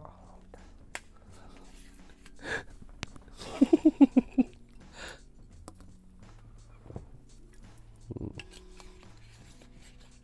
ん、もう一回。だから北斗の剣の残党か二面の中ボス時代だよ。髪はねこれケープでえっ、とねまずワックスに砂糖をガーってまずガッチガチにすんの。でブワーって立ててその後ケープでブワーってこうブワーってこうテーブルに置いて友達がバーってやってくれるの。でケープがね半分使うかな。一回作るのにあの髪型を。とんでもなく髪に悪かったね。もうシャンプー3回ぐらいやんないと落ちないみたいな。パッキパキだったね。パッキパキ。だ北斗の剣の雑魚っていうの。北斗の剣の残党っていうの。ここは通さねえぜってやつね。ヒヤッハーっつって。そうそう、うん。大変だったね。だって前髪顎ぐらいまで届いてたもんなこの頃。いやこれ大変だよ。結構2年ぐらい伸ばしたかな。うん。これね結構キープするの大変なんだよ。まあこれさ横は生えてるけど本当は反ってたの。この時はまあたまたま坊主みたいになってたけどここ反り込んでたんだよね。うん。え頭の形めちゃめちゃいいって言われるんだけど俺。頭の形悪いかな。うんバンドやってたよ。やってたやってた。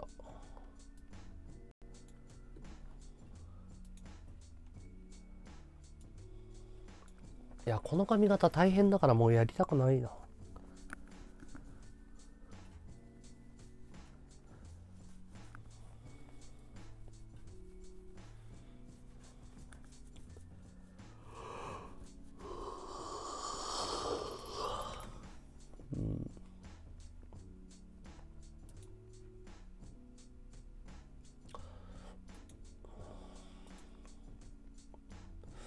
あとまあ昔の赤い髪の毛の頃10代の頃の赤い髪の毛どんな感じかあるかな。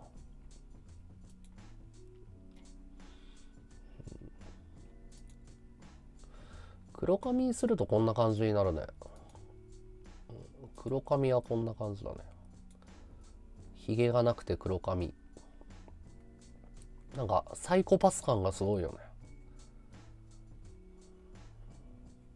なんか怖いって言われるんだよね。なんか何人か殺してますよねみたいな。ひげがひげがね意外とマイルドになるんだよ俺。なんか病気感がすげえ出るんだよね。金梅さんもひげ剃ろうよっつってひげ剃られたけど和田君ひげないと怖いなっつって。うん。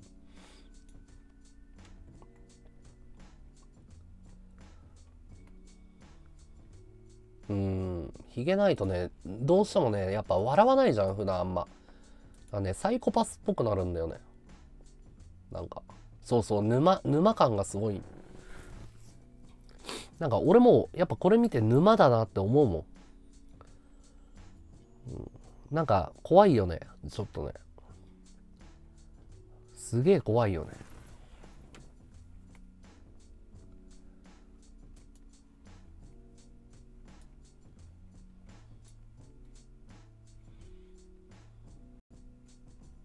犯罪者顔だよね。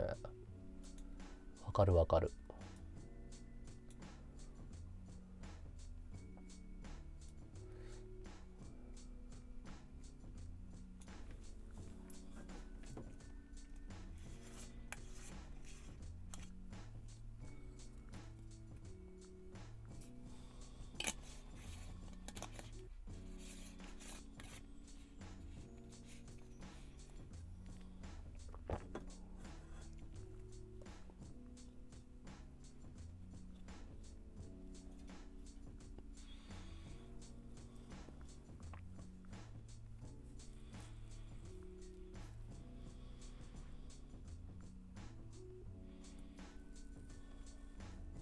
本人ってメガネ似合うか？俺日本人でメガネめっちゃ似合わないって感じがするんだけど彫りが深いとさ外人みたいでサングラスとかめちゃめちゃかっこいいけど日本人がサングラスかけるとなんかダサくない、コンタクトはしてたことあるんだけど目に異物を入れるのが怖い。だからメガネの方がまだいいね。楽楽そうだけど目に何かを入れるっていうのがすげえ怖いんだよ。これメガネだよ。これメガネメガネ。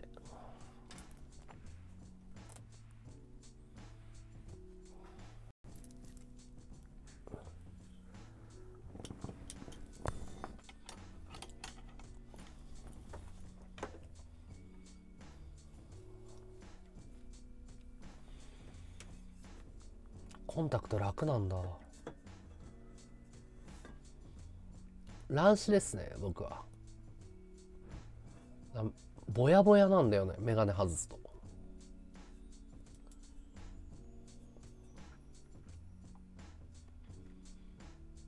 うん。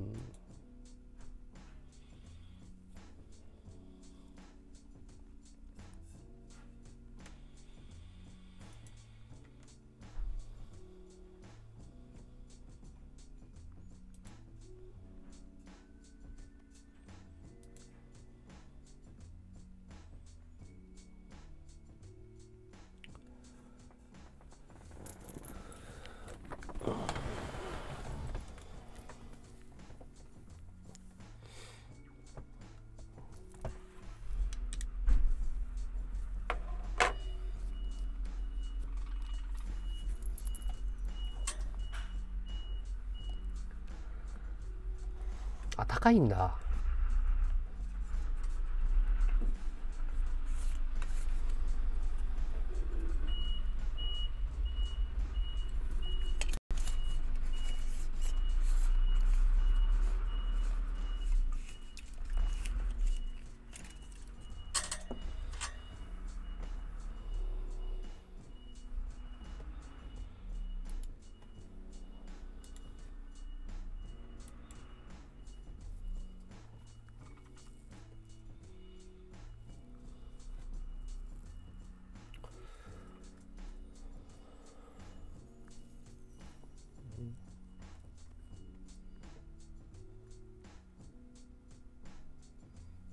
乱視は高いんだ。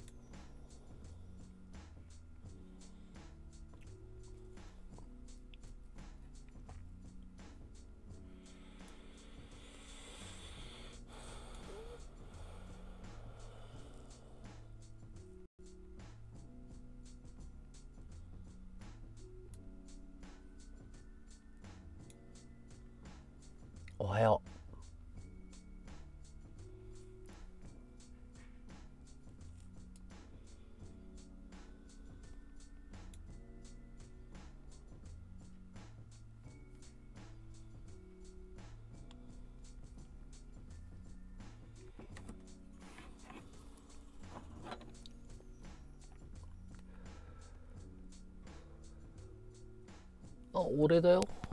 俺があのフォトショップで。イラストレーターか。イラストレーターで。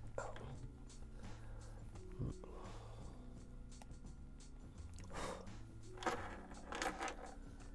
コンタクトは買わない。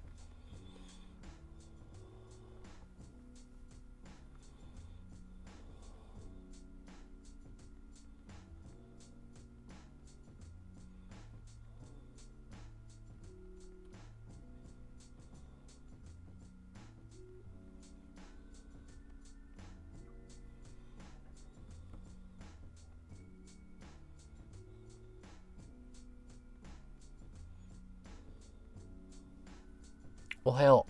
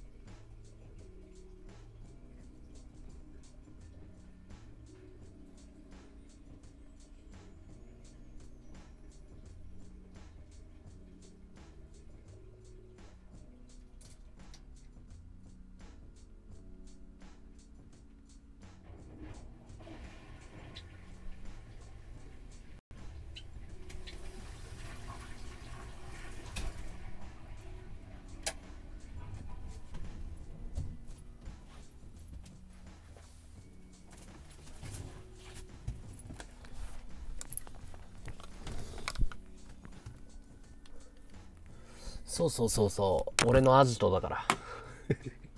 俺のアジト。いいでしょ。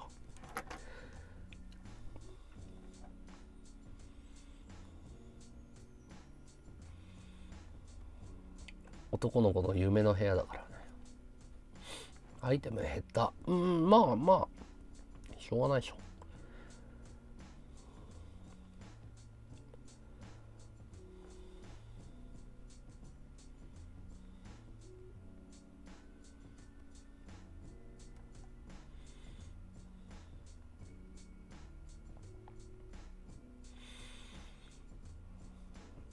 日も悪い日もあるさ。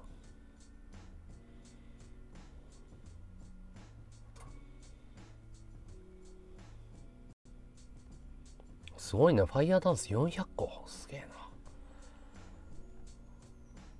あっぱれだね。まあ需要があるんでしょ単純に。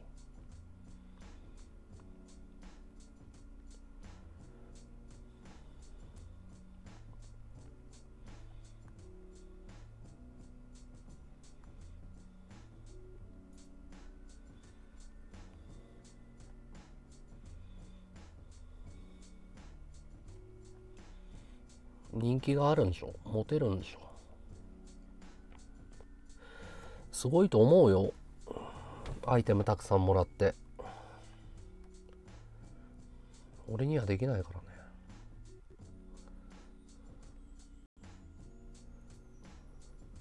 うわーすごい。ありがとうございます。ファイヤーダンスといいね。ありがとう。ありがとうございます。ありがとう。すげえ。ファイアダンスありがと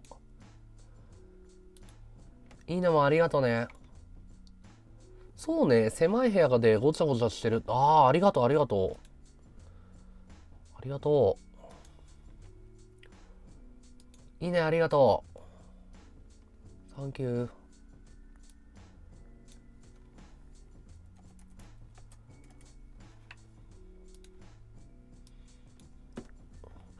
ランキングと閲覧全然関係ないでしょ。稼ぐ人と別に稼がない人全然いるからね。そんなもんで。昔からそうだよ。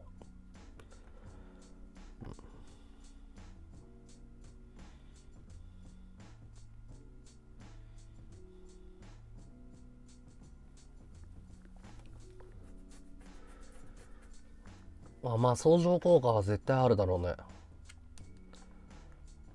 でも別にいいんじゃない？なんかなんかそのお金を投げさせるというかお金を投げてもらえるような配信をやってるわけでしょ。だって俺 AKB に何百万も貢ぐ人の気が知れないもん。でもさ AKB 好きな人はそれで満足して投げてるわけだから。そんなもんじゃないの。おはよう。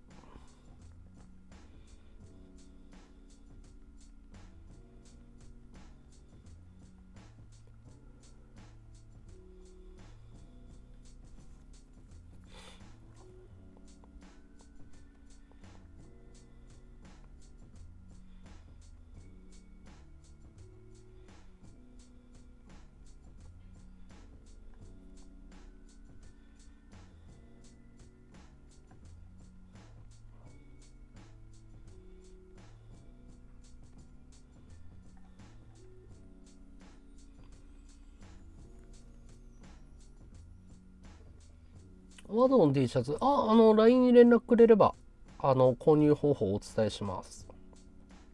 高いよ。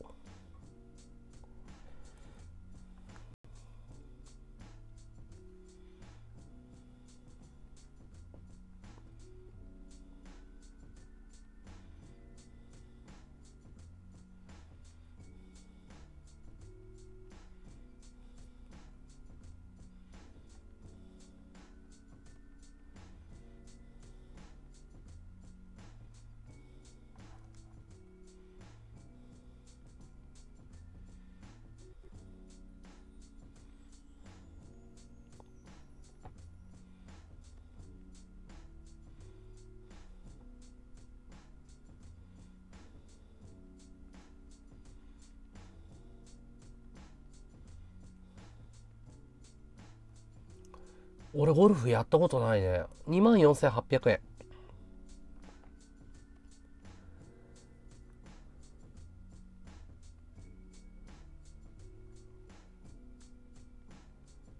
うん。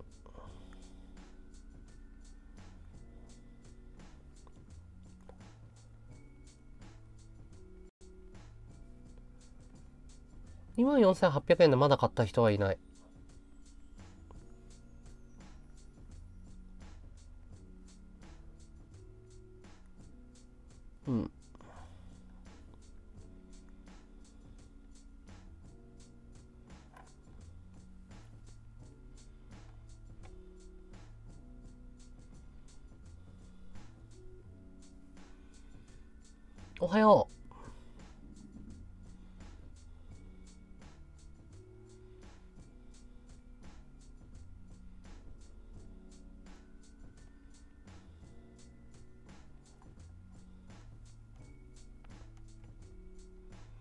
へえ、フォロワー300人削除。すげえな。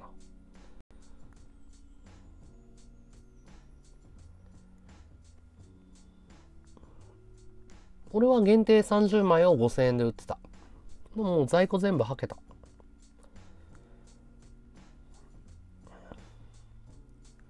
イベント？あの、ふわっちのイベント？うん、あんまり興味ないかな。まあ、やりたくなったらなんかやるよ。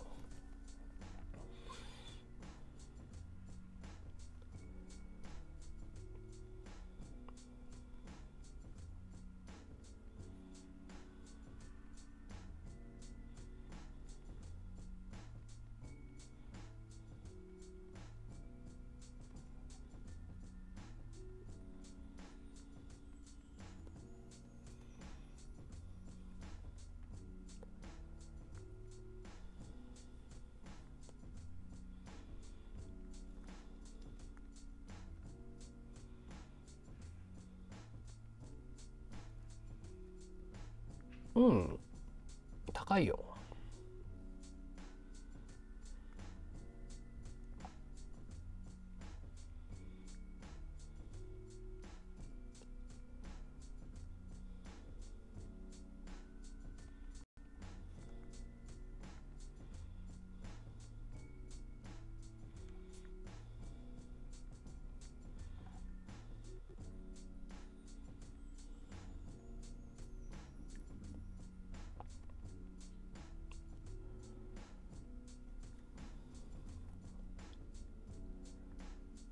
サプリも買ってくれた買ってくれた。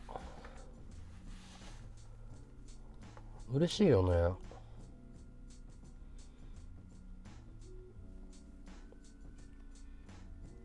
安売りっつうかまあ別に売りたい値段で売ればいいじゃん。商売なんて。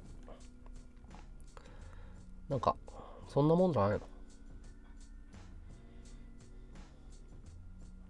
買いたい値段で買えばいいし売りたい値段で売りゃいいと思ってるけど。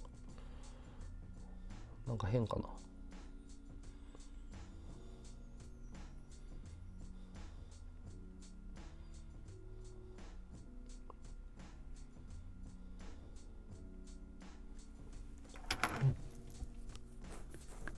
ありがとう、ワド2、KP ありがとう。アイテムありがとう。おはよ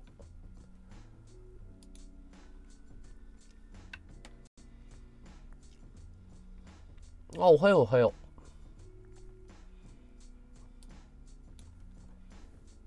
君か。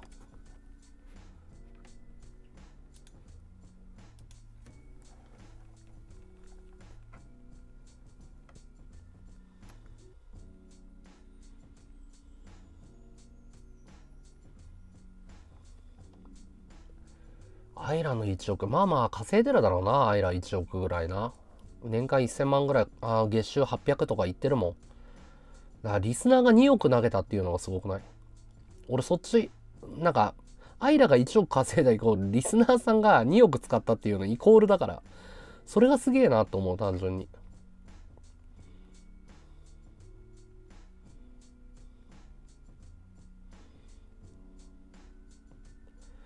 2億でしょ？アイラの閲覧から考えると相当だよな。驚異の数字だよ。いやトータルだからアイラに年間2億使ったリスナーがいるんでしょ。全体で。すごいよね。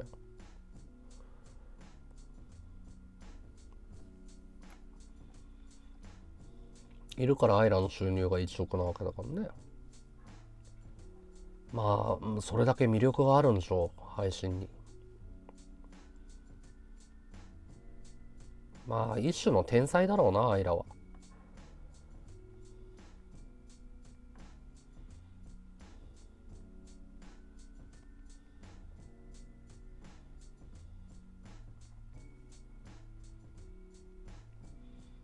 配信で一番稼いでるわけだから。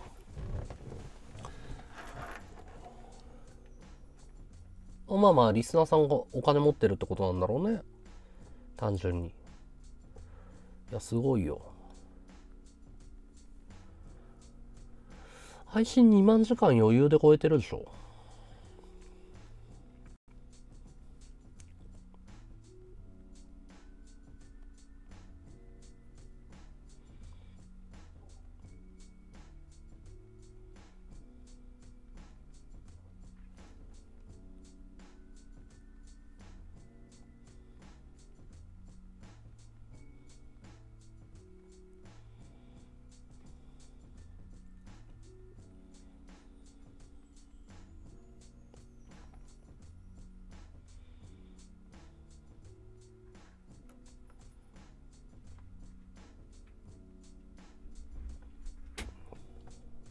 2万時間はやってるね。色恋でもすごくない？おかえり。おかえり。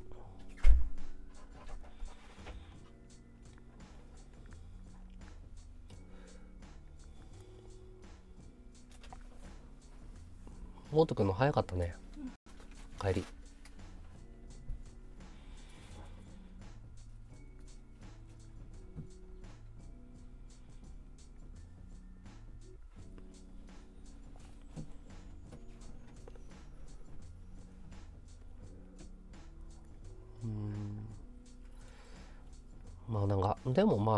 で。なんだろう。稼ぐってすごいよね。要は貢ぐってことだもんね。俺にはできねえな。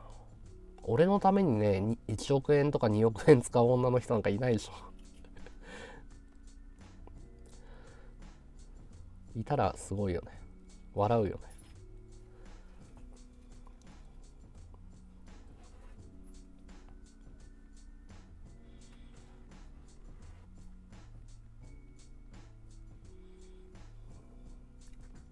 ただいまおにぎり作ってきたよ。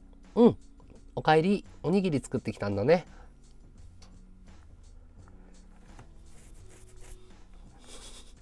日記じゃねえよ。お前の日記か？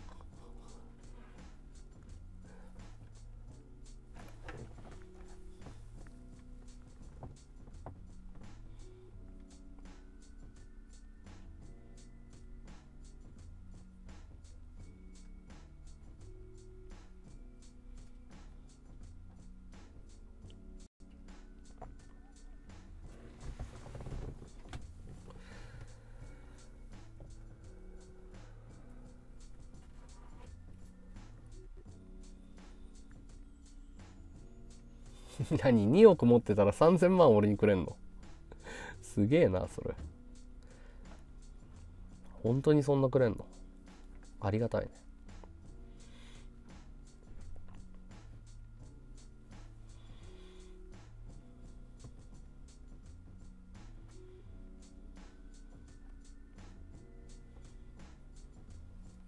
それはそれですごいけどね。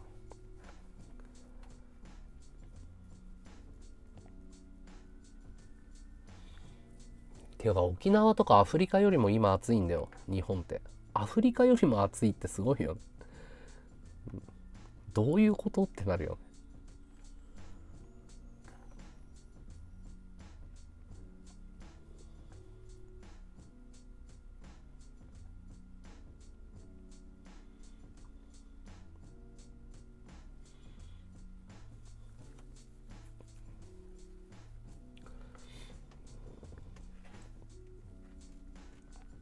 フリカよりも体感体感で言ったらね3度か4度暑いの。アフリカも37度あるんだけど湿度がね70%超えてるからあの日本の方がね体感温度は高いの。で沖縄よりも暑いんだよ今東京って。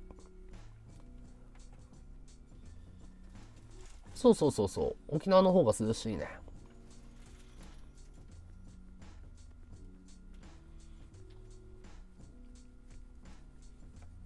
くよね。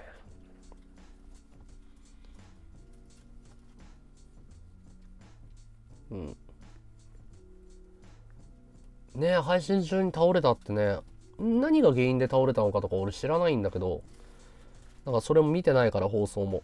でもなんかツイキャスやってたしコメント書いてくれくれてたからまあ多分大丈夫なんだと思うけど。なんかなまたの脳のやつかなまた。大変だよな。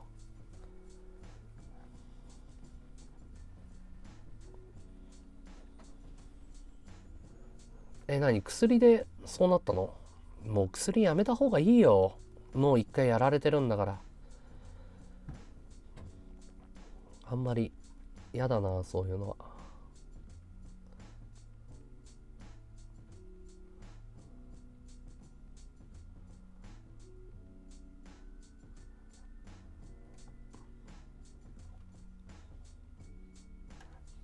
転換か。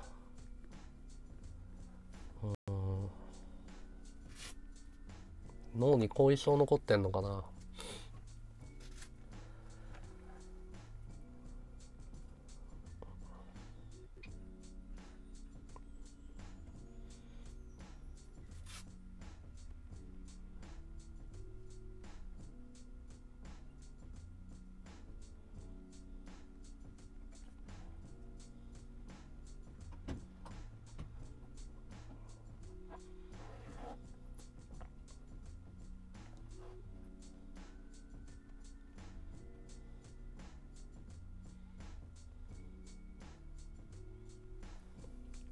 手術の後遺症か。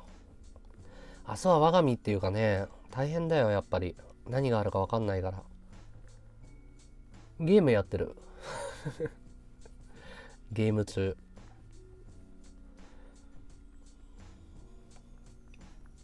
転換はね原因未だに分かってないんだよね。怖いよ。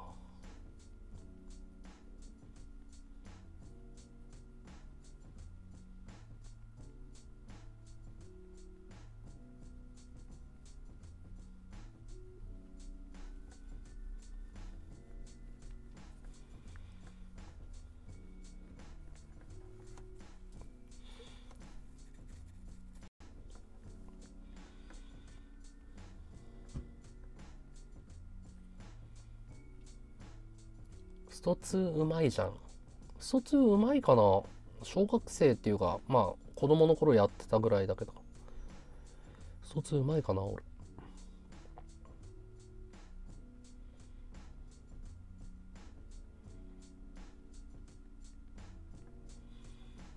うんとねえっ、とメタルなんだっけこれ。メタルスラッグアタックっていうスマホアプリだね。メタルスラッグだね。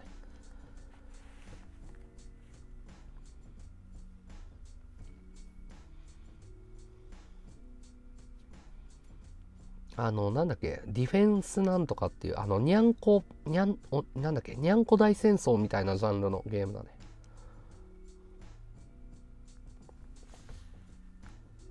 配信に真面目になってくれ。俺も全然真面目、真面目っつうか配信に真面目もクソもあんの？何配信に真面目って。遊びじゃん。気楽にやろうよ。いや、アプリ開発とか全然興味ない。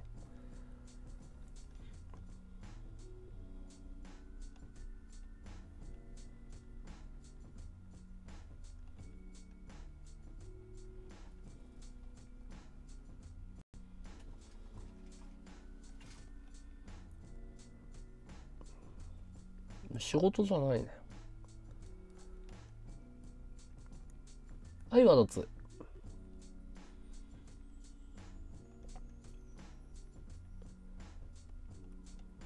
いや、うん、た全然興味わかんない若っていう人。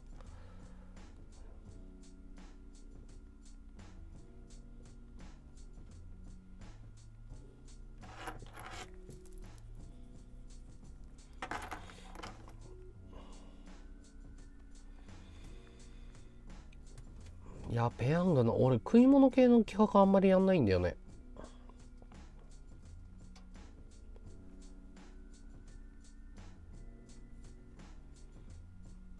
見てて面白いの？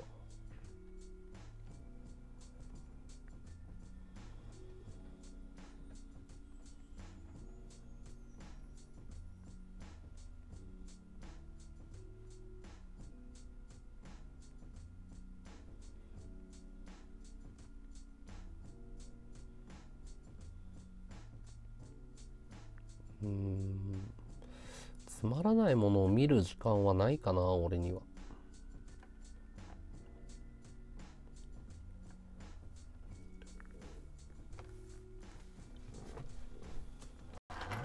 閲覧どれくらいあるんだろう？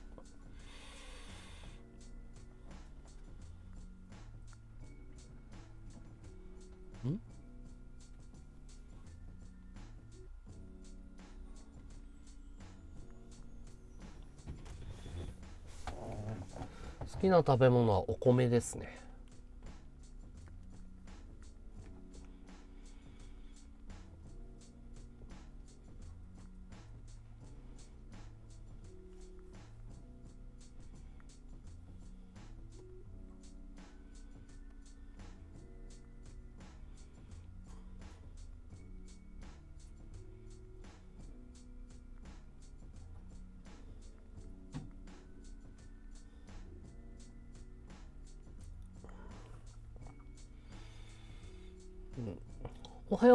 調子まあまあぼちぼちかな。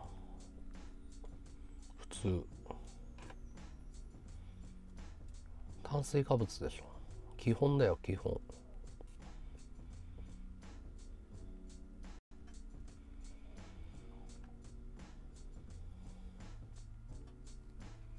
あ餅好きだね。好き好き。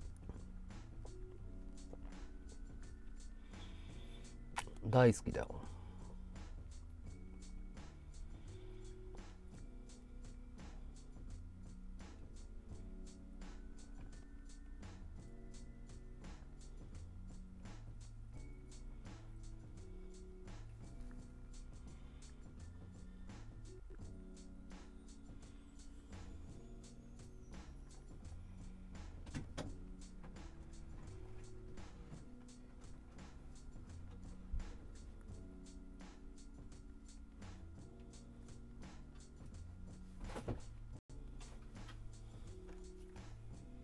きなおかず。あー。何でも好きですね。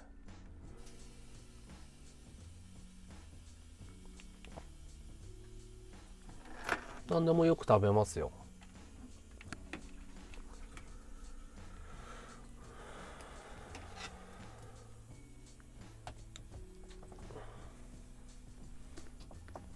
いやなんか海宝ね話題になったらしいよね卵かけご飯あんま好きじゃないかな。あんま食べないね。まあまあ美味しいよね。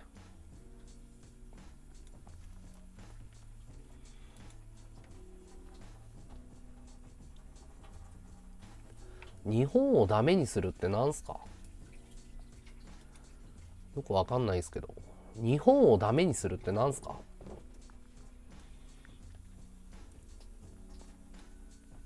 何それ。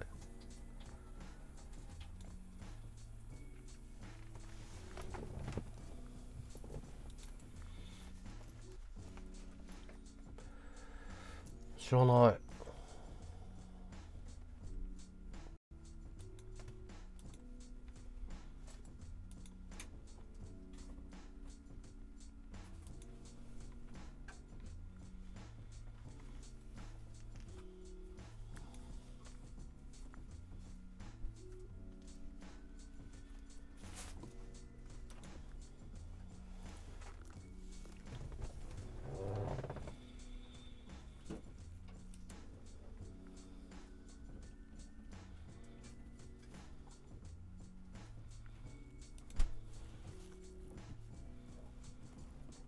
宮部さん逮捕されてんの今。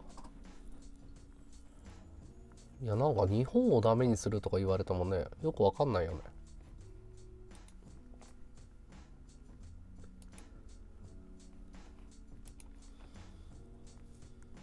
安倍さん？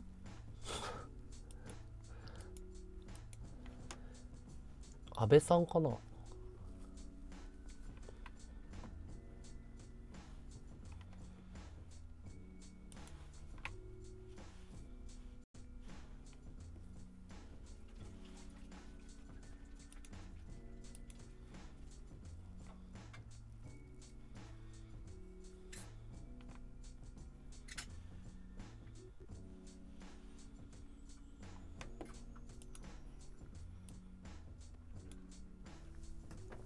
ていうか俺がミニ四駆作ろうがシルバー作ろうがなんでどどうでもよくないですか？なんでそんな一個一個終わらせろ終わらせろっていうのか分かんなくて。家の中にパズルとかさ組み立ててる途中のプラモデルとかない？家の中に。別に飽きたら飽きたでいいんじゃないの？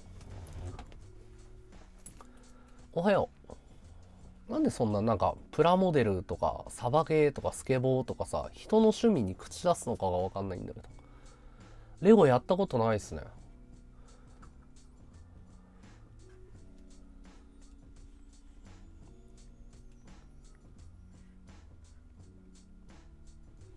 やり遂げろ。なんでそんなことを言われないといけないの？別にていうかミニ四駆別にあるけど。なんかこういうこと言うやつってなんか興味ないやつだと思ってて旅配信も見てないやつが口出してるイメージなの。で本当に見てた人って別に何も言わないんだよね。でレゴとかもなんか掲示板とかで言われてるからレゴレゴとか言ってるレゴつがなんつうのプラモプラモとか言ってるだけで当時別にプラモ配信とか閲覧なかったからね。だから部外者が言ってるだけだと思うんだよね上げ足取りたいだけなんだよ俺顎出てるかな？出てる？受け口気味だと思ってるけど。あ、受け口じゃないや。顎ない方だと思うけど。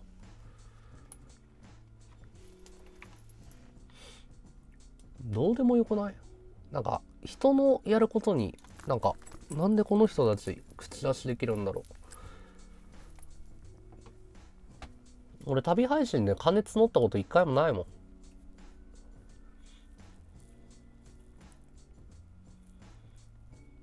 いやだから自分のやりたい時にやるもんだよ。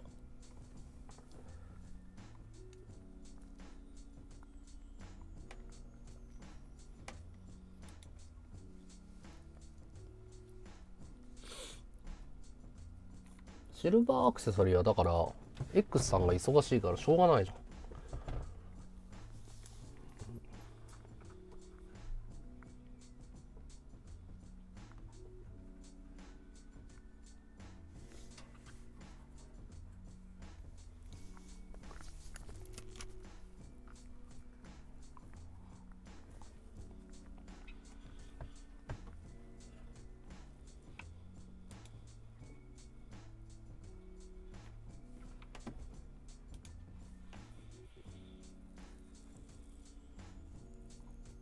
そうだね。15万貯まったらつうか、15万稼げるようになったら、まあ旅でも行きたいねとは言ってたね。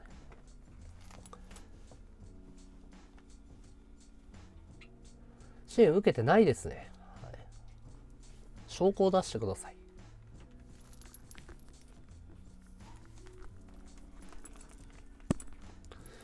証拠出せないんだよね、この人たちって。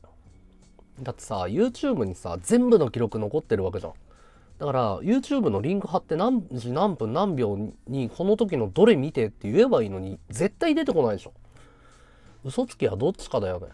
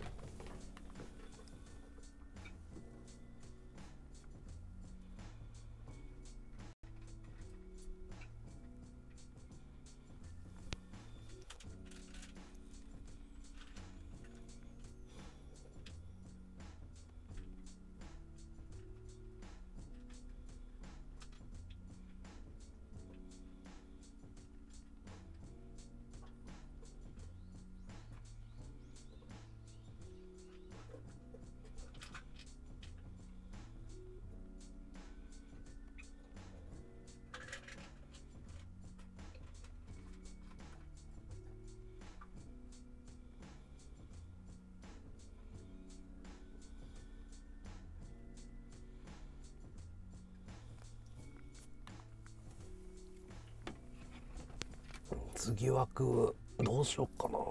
やるか稼げてないし。やるか。もうおあ折り返したんじゃね？おこの枠でさ3500円入ったってことはおいったいったいった。カメラ代半分いった。ありがとうみんな。えこれもう始めてからどれくらい経ってるかな？ちょうど2週間ぐらいか。ありがてえ。まあ次枠計算するの楽しみだな。ありがとうありがとう。次枠行きましょ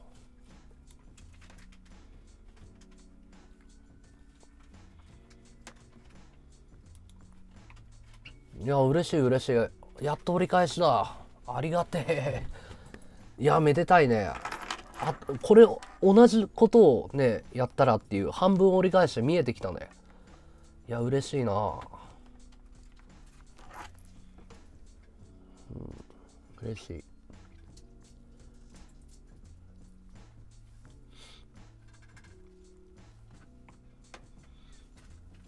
ありが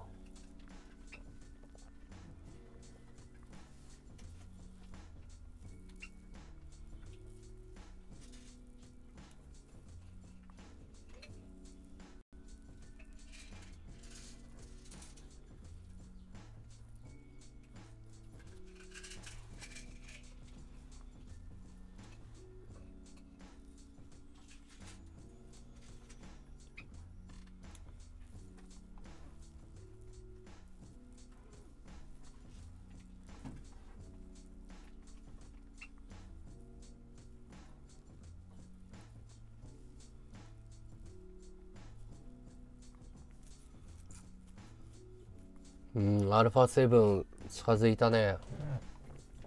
石野は今働いてるって。おめでとう、ありがとう。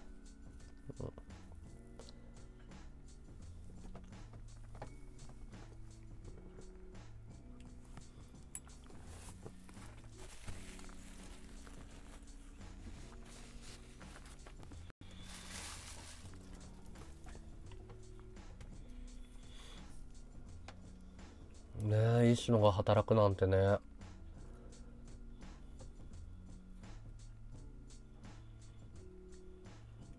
そうだね。うん、標準のレンズ、レンズキットも買うけど、レンズは別で買いますね。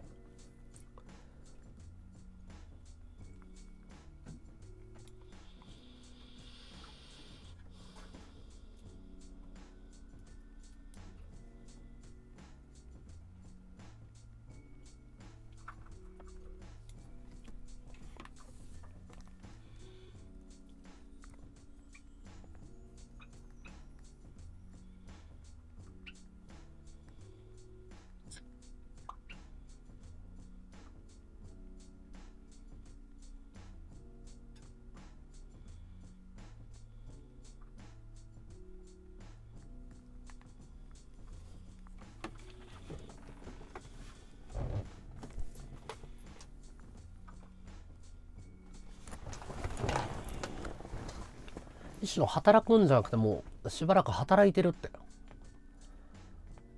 働き始めるとかじゃなくてもう働いてんの現実に。働いてる NOW だよ。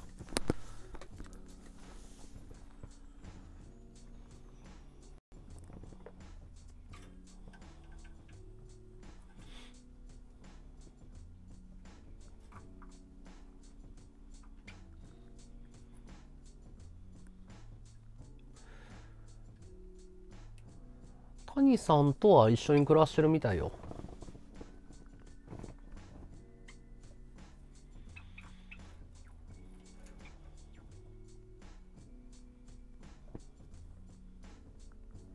じゃあみんなお疲れ、次役いきます。お疲れ様です。おつです。